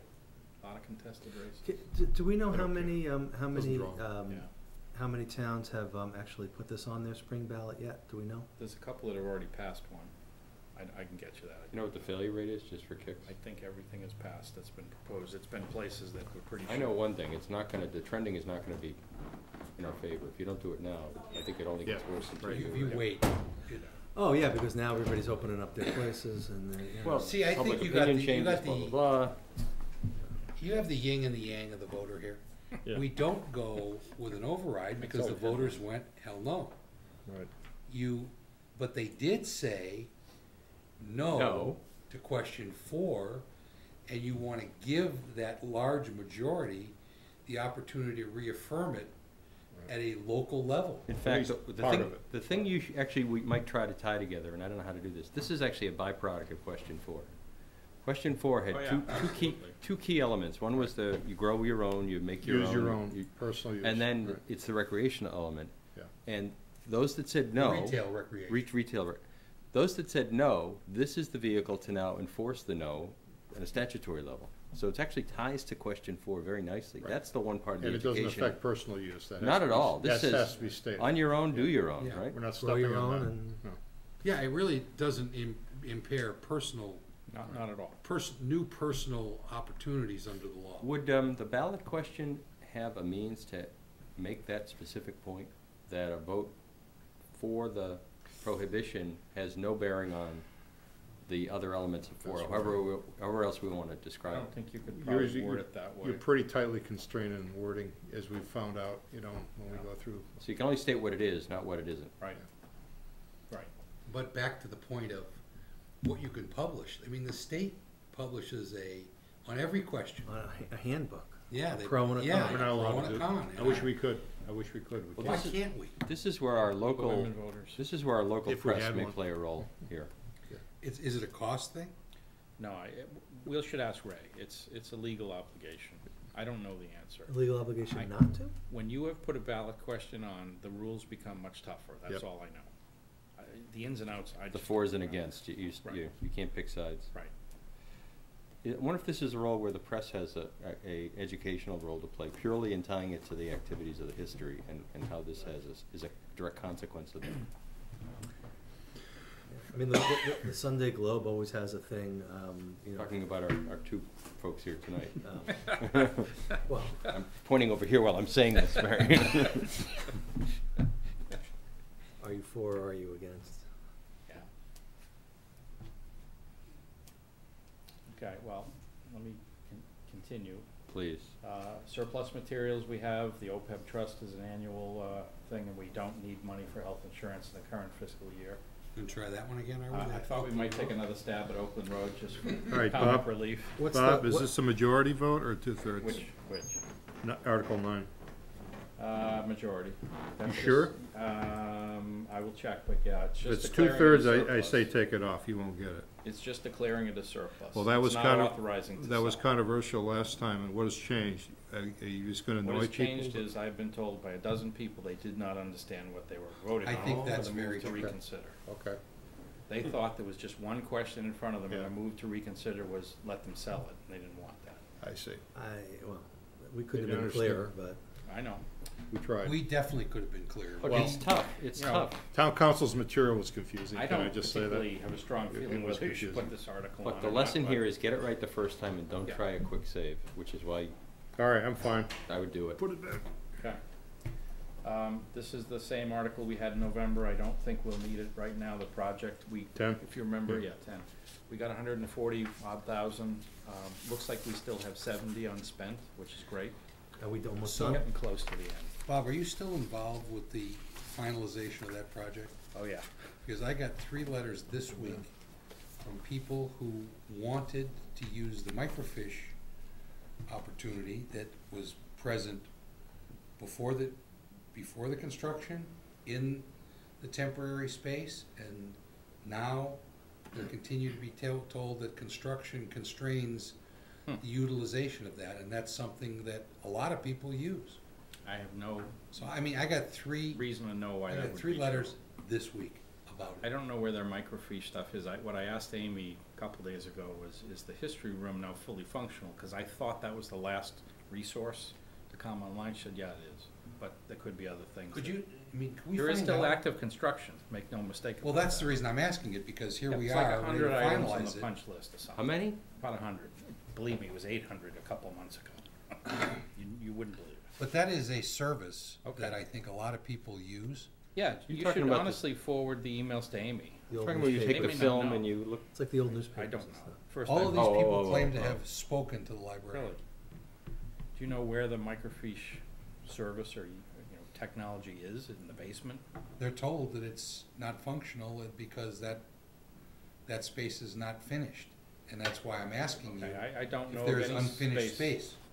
I, I thought the last unfinished space was the history room. Okay, well, let's check. I don't wanna, I don't Yeah. wanna run us off the rails, but Okay. because you have that up there, it made me think Yeah, of it. so, you know, we'll put it, I, I would ask you to put it on, I, I don't intend to use it, I hope I don't Sure. have to. uh, Yeah. We should have the project buttoned up by town meeting. We do have one debt, debt authorization to request, it's on the capital plan, one sewer station project. Uh, this article was, was tabled last fall by the retirement board. Um, I assume, and they've said they intend to bring it back, they did not really provide FinCom enough notice last time and information, so FinCom couldn't vote on it, so it was right to table it. Yep. Um, we have a sick leave and stabilization fund, vacation stabilization fund, we set it up, well, I guess in oh-nine. The idea was to fund it with all this cash we'd have lying around. and Right. We wouldn't have to pay as you go. Well, it turns out we were never able to do that, so there's Hmm. no point in having this. So there's never any money in it? or- Balance of like nine dollars in it right now. All right. we just spent nine bucks talking So about it. we ought to get, you know, I tried to spend it down last time and then the treasurer put interest in at the end of the year. It's like, oh, thanks. Great. Was this the thing, so you did it so that like if somebody, it, it wouldn't hit one person's budget? Yeah. More than? Yeah. Was it successful? While it Well- had money in it? It never had enough money to become successful. Okay.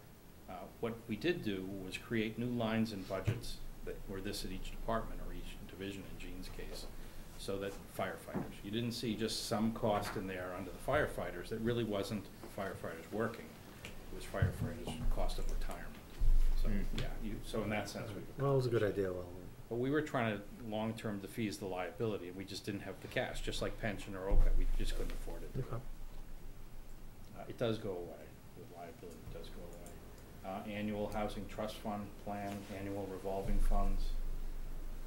Uh, There's the budget. Yep.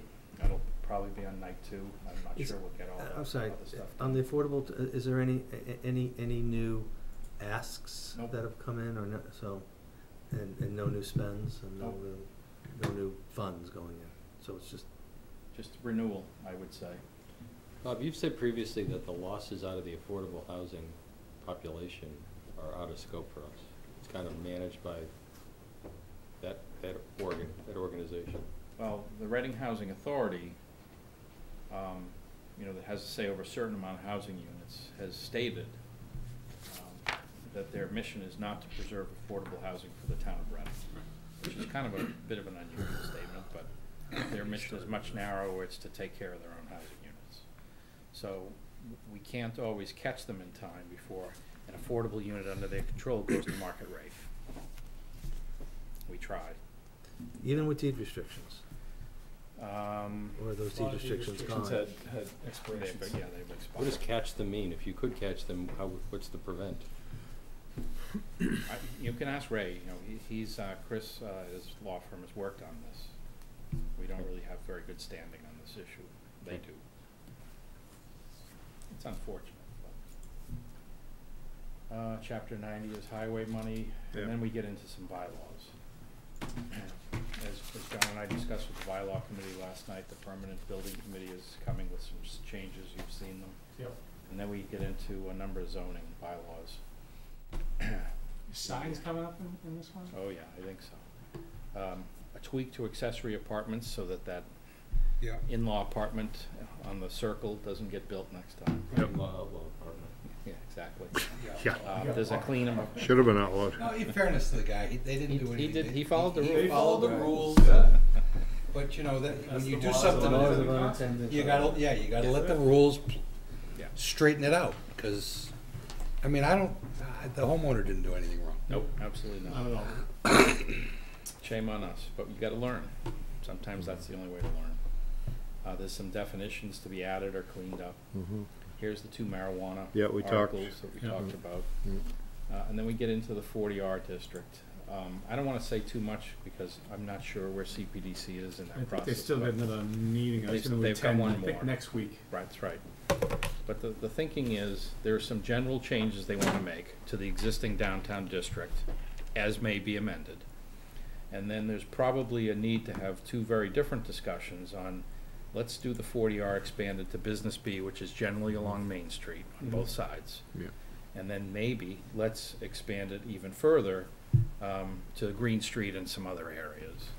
So if you look at a map, you're gonna see, you know, kinda commercial in the first question, and the second question would be a mix of commercial and residential. And they, they felt, and I, I agree, it's important that, you know, one of those is much, the second one's gonna be much more controversial if there's houses in it, it's just Yeah. simple. And it'd be a shame to lose any, you know, progress on something that people don't oppose Right. by putting them together. Uh, Could I have a go back, Mr. Chairman? Uh, Article twenty-one and the ballot question, will we know whether or not s- CPDC affirmatively approves that? Will the hearing have closed and will they have voted by the time we close the ballot? In other words, I, think I don't wanna that's- put yes. this on unless, I think that's their They intention for all voted of these. these. 'em, okay. They know, they know your deadline's the twenty-first, I think their meeting Okay. is it next Monday, all right. It's Monday night, I think so. so maybe, you know, Check what you. I, I planned on going, are you going?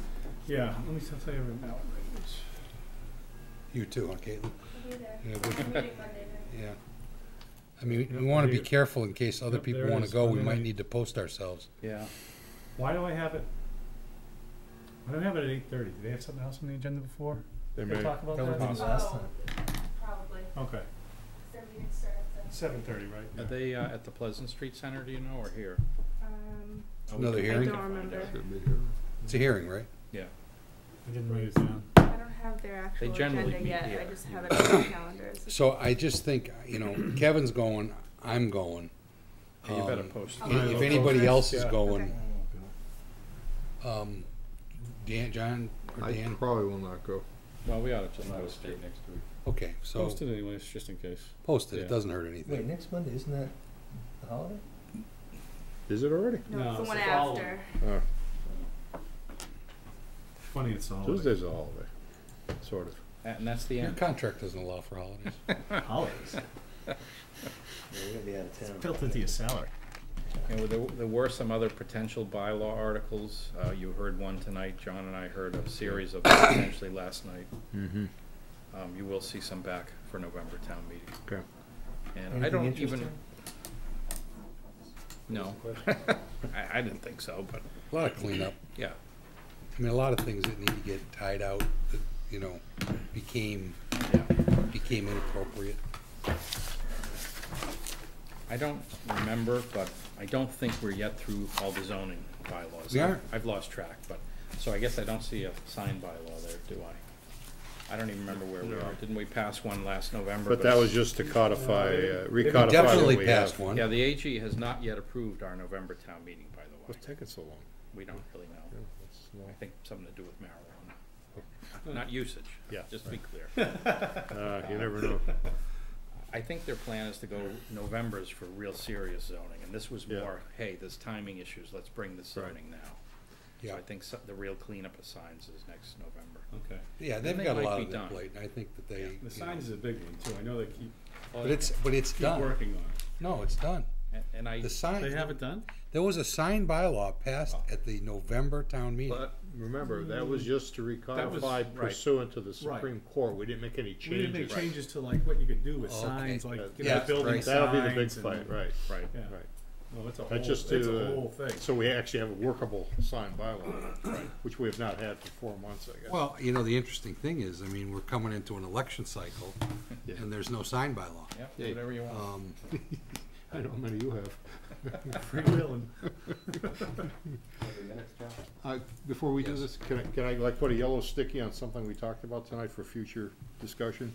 The idea of having a capital stabilization fund. I, I'd love to, I'd Segmenting- love to discuss Segmenting the free that. cash in other ways, uh, with the Okay. FinCom. Okay. Yeah. I think we should really, We've talked about that with FinCom, and they expressed no interest a few years ago. Well- But that doesn't mean we That can't, then. Can't have the same discussion. Hmm? A no vote or no interest? No interest. Well, now we know why. Not because there's no money? Not no interest, like no principal. Let's, They did let's not care. fence that free cash off so it's not viewed as, uh, Well, you know, there are other Okay. towns like Reading that have ten million bucks in a capital stabilization fund, and I wonder just that to much. throw an example, and I'm, I'm sorry the schools aren't here, but, you know, Killam, everybody knows we gotta do Killam. yeah, Everyone also assumes we're gonna do an excluded vote for that. if you had a ten million If you dollar had cash. five million sitting in a fund, someone could say, well, why don't we start with that five? If I had a hundred thousand sitting in a fund, I'd buy a pretty good car, you know, so. I think that that bears serious discussion. Yeah, that's one of the few longer-term financial planning things that I thought would- had merit that we just never did. Yep.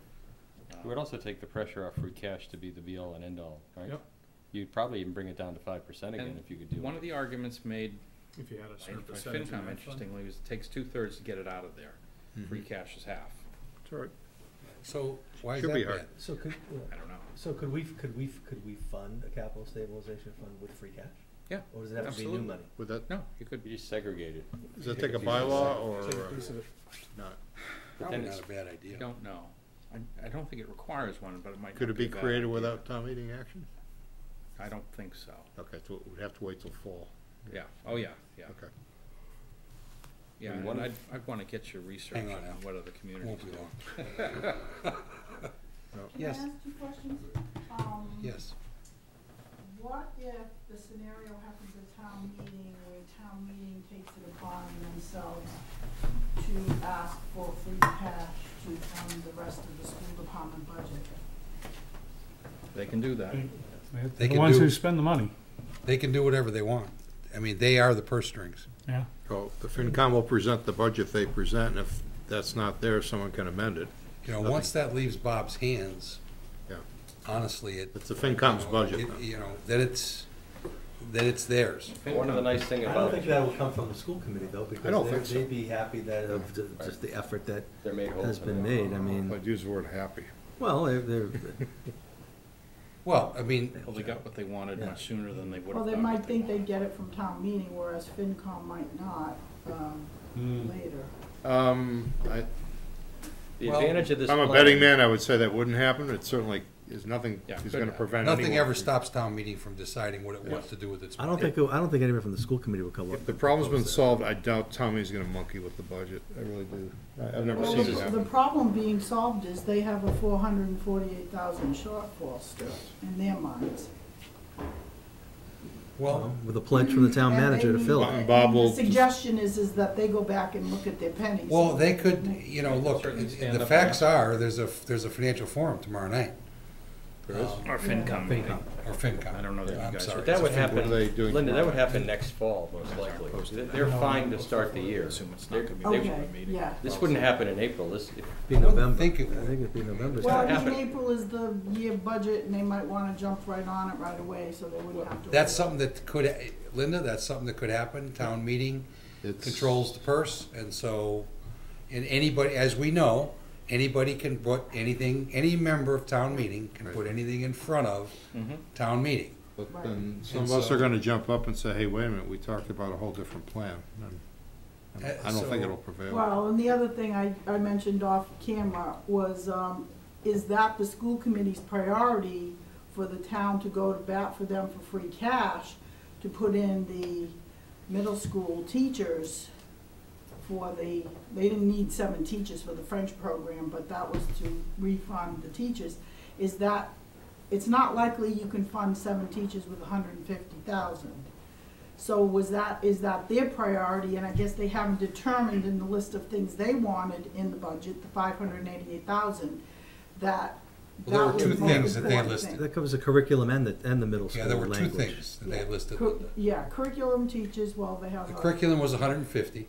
Right. And the middle school program was the middle four. school I'm sorry, program. so Thirty- is the curriculum the thing that they most wanted, the, the, I, I wouldn't they say. It seems like that's what they wanted. That's what they, well, that's what they were gonna go to FinCom to ask for, so. That's what they pulled that's out what of the list of Popped cuts. up to their most important Both, thing. not so. just one. no, they wanted the five eighty-eight to come out of the free cash. Right, so those two things They wanted both. would be Yeah, they like their wanted the four priority. eighty-eight for teachers and the one So, fifty for. and what we said tonight is the one fifty, we'll make a motion for town meeting to cover Right. that. Which they have done in the past, Right. which is, And that's worked well. There's another hundred that the town can probably find, looking under mattresses and so forth. That comes out of the four mm-hmm. thirty-eight. They may do a hundred. And the rest of it, they've got to kind of, no, but that's the second line, John. Luck with it? That's the second line of funding. Right. You know, there's a, there's an earlier line of funding that Bob talks about in his letter that, you know, that talks about the fact that there's an indeterminate number that will happen of retirements, unexpected Correct. exits. Um, there is, you know, there's certainly collective bargaining coming up and, you know, not to, we Yeah. can't go there and have that discussion. But these are all things that are the first line of discussion. that's what I meant. They've got to take care of that. And how, how will the town handle money that is left over from fiscal seventeen with the school department? They're, they're required to give it back to free cash if they don't spend it. Can't handle it. Because according to their budget, there's a lot of it. According to Yeah. the budget, based I- on the budget in their superintendent's budget, based on their new amended budget, and the money, for example, I, I I didn't wanna talk uh, about this when they were here because I didn't have enough copies for everyone. But I made copies, and maybe I, I'll just bring your attention to a couple of line, line items. Um, While you're doing that, let me explain how the past has worked. Um, There have been school committees, you know, Reading school committees in the past that, when faced with a surplus at the end of the year, Right. have voted to not use offsets in those revolving funds. So look at that, we have, I'll make up a number, five hundred thousand dollars. You know, we talked about needing four hundred thousand from revolving fund X, we don't even need that anymore. Let's just turn a hundred thousand back to free cash and leave that four hundred where it was. So that behavior has been corrected. Yes. Um, they did not understand that they did not really have that authority. Now they understand, Gail is right on them. Mhm. So in the past, they have had methods to preserve the funds, if you will, and push them into the next year. And, um, the special ed circuit breaker, uh, uh, fund was completely legal, totally appropriate. When they hit the one-year level of funding, they had to stop growing that, and they did, and they gave it back. Right. They expanded that to the other revolving funds, and, you know, they've been ruled out of order on that, so they don't do that anymore. So I don't, other than spending the money, they have no way to not give it back. They either spend it or they give it back.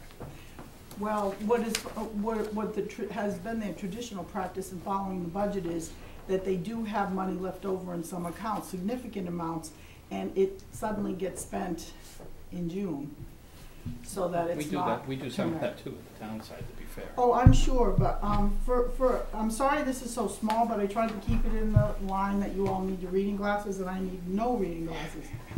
Um, the column is fiscal year seventeen difference on the right, that's handwritten. Fiscal year seventeen difference, that's the difference between the budgeted number Mm-hmm. and the actual number. Mm-hmm. And if you just take a glance at some of these numbers, the budgeting numbers are substantially higher than the actual numbers that they already are saying they have, they will need for mm. this year. For the first line item, for example, that's forty-seven thousand dollars that they'll be left over in that line item alone. And they won't need, uh, the forty-seven, they were asking for fifteen more, so my question is, is that forty-seven added to the fifteen and they're really gonna have sixty-two thousand dollars in that line item? Then you go down to some of the big items here, uh, the regular education, the twenty, twenty-three million point eight was their bud, budget, but they actually only used twenty-three million six. That's a big difference of two hundred and twenty-four K left over in that account. And as you can see, they're going down substantially, seventeen positions, and they're asking for hundred K. The second column is fiscal year eighteen, that, they're asking for hundred thousand more in that budget for minus seventeen positions, but they're gonna have two hundred and twenty-four left. And I picked out the accounts with the large numbers because the numbers become significant, especially in the elementary teacher, that's two hundred and forty-six thousand dollars they're going to have left over. And they're asking for three hundred and eight thousand more, and they're gonna have two less positions. What row were you in? Can, can I ask you, when you say leftover, how do you know they're gonna have two hundred forty-six thousand left over? Because right here, the actual fiscal year seventeen salary says it, the difference between what is budgeted, they budgeted twenty-three eight, but they're saying by the end of the year, they'll have actually spent twenty-three six. And the position goes from actual this year, three forty-one, I hope the numbers are correct, cause I did them all in my head. The positions are three forty-one point eight they've needed this year, that's mm-hmm. where they're going down to seventeen in the whole entire, entitled budget. So that's three twenty-four for fiscal year. But for seventeen less positions, they're asking for hundred K more in their eighteen budget. Let me just throw one thing out there. I don't think it answers the question, but just so everyone's aware. Um, The school's collective bargaining agreements run, I believe, September first to September first, the school year, which makes sense. School teachers have different choices to make of how many weeks to be paid. Um, One is they're paid, I'll say, throughout the year, and one is they're not paid during the summer. So at the end of June, the schools do, I'll, I'll, I'll use the words a little clumsily, because I don't know how they do it. They encumber the rest of the money due the teachers that have chosen to be paid through August thirty-first. Right, that's So- how I think they say what they So even though budgeted. the number hasn't been spent as of June thirtieth, it really has. It's Mm. really fiscal year, whatever it is, money. It's a But lot The of cash money. flow doesn't happen until the summer, because their school year and the fiscal year don't perfectly line up. And that's okay. A teacher could be chosen to be paid the whole amount by June thirtieth. It's a teacher's choice. Those Well, are the two and- choices. I understand that. In, in my history of going back to fiscal year fourteen and other town meeting warrants, the actual numbers, the budgeted and the actual numbers have also changed. So maybe their actual numbers are not their actual numbers and there'll be different numbers in the, in the eighteen budget. But this is what we can only go on now because this is all we have. So, I mean, some of these things are, you know, the line item at the very bottom, of the grand total of all the positions. They have 568 this year, and they're gonna go down 550, that's a seven, minus 17.7. So they were ahead. The budgeted salary number was 35.7, and they're only gonna use 35.5 of it. It's a $219,000 balance at the end of the year. That's a total, adding the two hundred and nineteen left over from fiscal year seventeen. Mm-hmm. And what they're asking for fiscal year eighteen is five hundred and ninety thousand dollars additional. Yeah, I- Somebody's gotta show me that this isn't right, because this is very concerning. Did you This talk, is- did you talk to the superintendent? This is what, Uh, I don't get send you answers. the- I don't get answers, just like the revolving fund that I brought to the Department of Revenue, I had to go outside of the town of Reading to get answers on that. And is this- if someone here in the town doesn't correct me, I'm gonna have to go outside the town and say, this is not voted on, these changes are not voted on at any school committee meeting. The superintendent doesn't, doesn't say, we only budgeted for four point three, and I decided this year we need five point one. Hmm. And he adds another person and still has extra left over in that budget line item. This is why people will not support an override for the schools. It's not transparent. It's, it's hit, who's gonna look at this but me on a snowy day? I did this in Well, Linda, if four you're right, it's a hours. fair observation, and it's I good you bring this it in to our four attention. hours, And town meeting members don't spend that much time on the warrant article. You know, Linda, I, I, believe me, I do understand, because I know that everybody up here does a lot of what you do. There's a lot of hours that have been put onto a lot of things. No different one things. questions this, not one Well- person on the school committee says. uh, That's a different pro- "Superintendent, that's a What different are we issue." gonna do with that two hundred forty thousand? Even if only one of those, um, are accurate and the rest are all mistakes. I came up with eight hundred and eighty-one thousand dollars more. And I'll bring your attention, just to show I'm not partial, I'll bring your attention to the line item where they under budgeted hundred and twenty-seven thousand. You can go down on the left-hand side, under regular ed, the tutor line, in the first, m- m- first top half. Yeah. Yeah. It says, okay, they had nine point seven last year, this year they went down to eight point nine.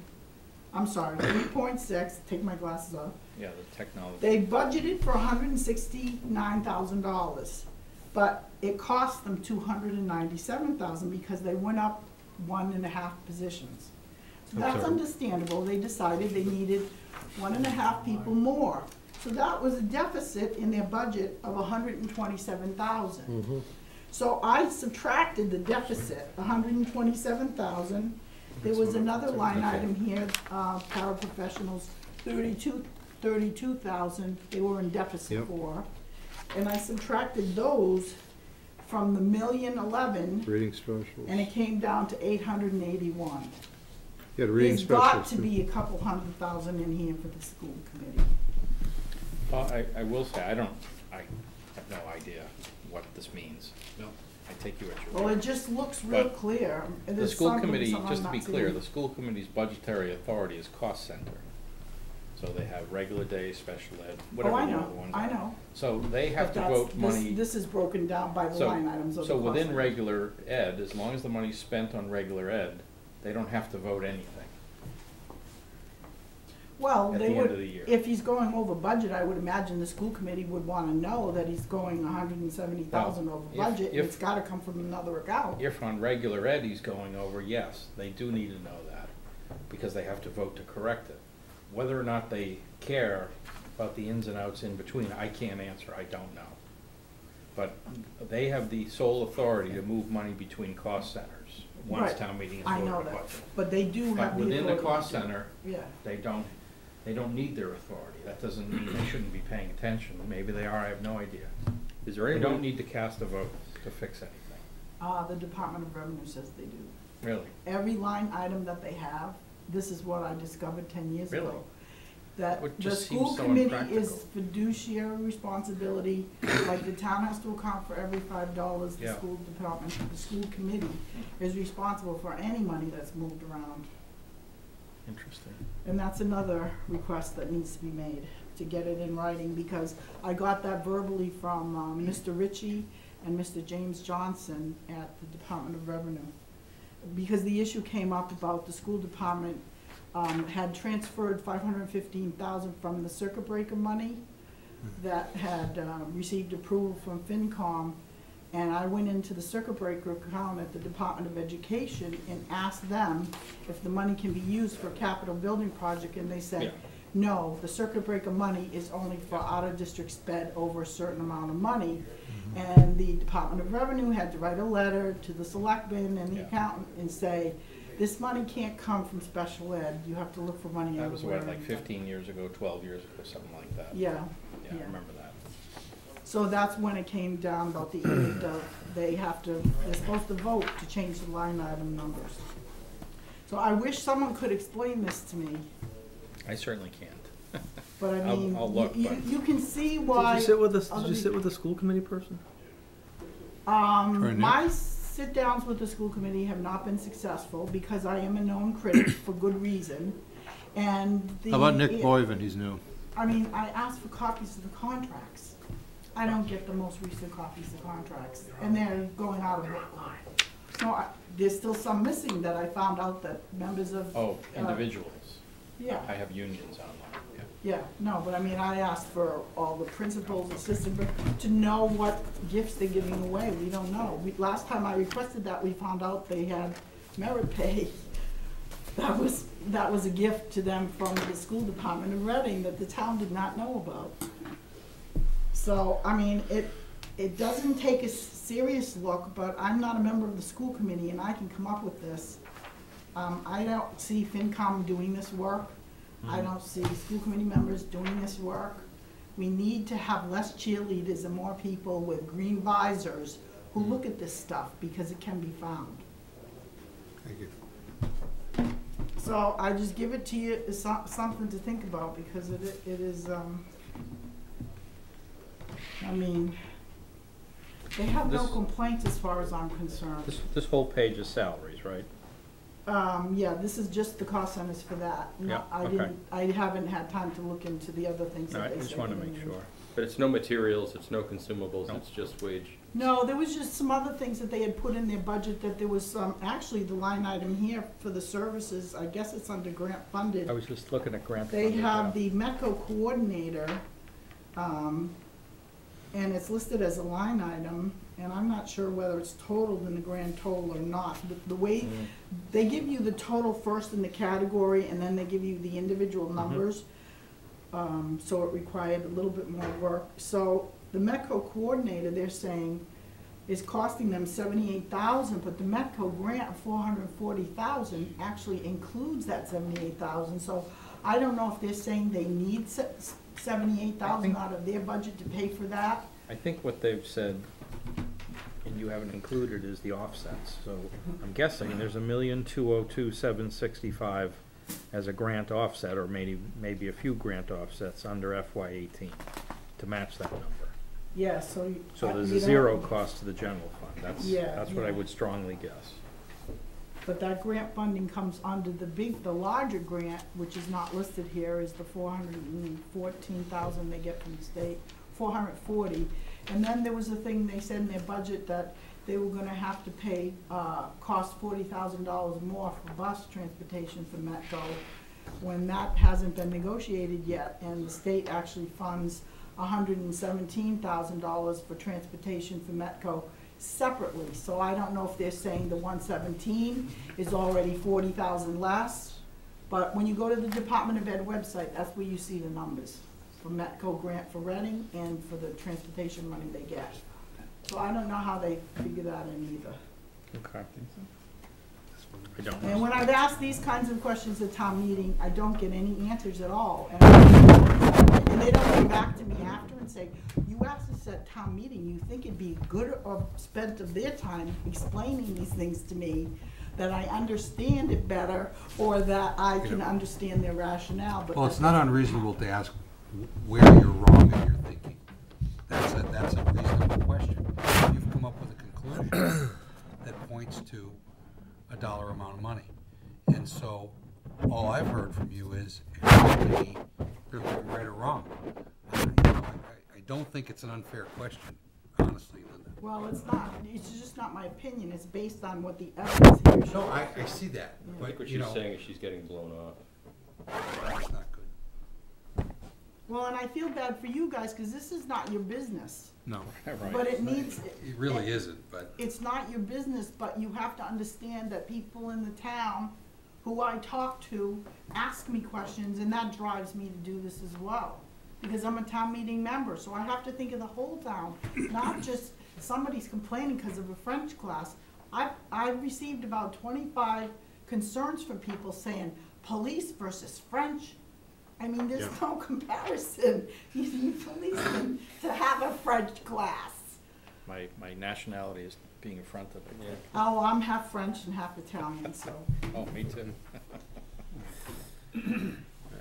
Thank you. So just something to think about. Keep in mind, if you have any questions or you have any insights on this, Is there any way to Please- ask this please question, let me Bob, that know. facilitate a better answer? because I may have to get up at town John, meeting I mean, the and show superintendent and, you know, and he would, I presume, ask Gail for help. I don't know who else could answer that. I, I couldn't. I could spend a week trying to figure this out, and I'd never answer figure it out. The answer, you know, Yeah. lives there. Yeah.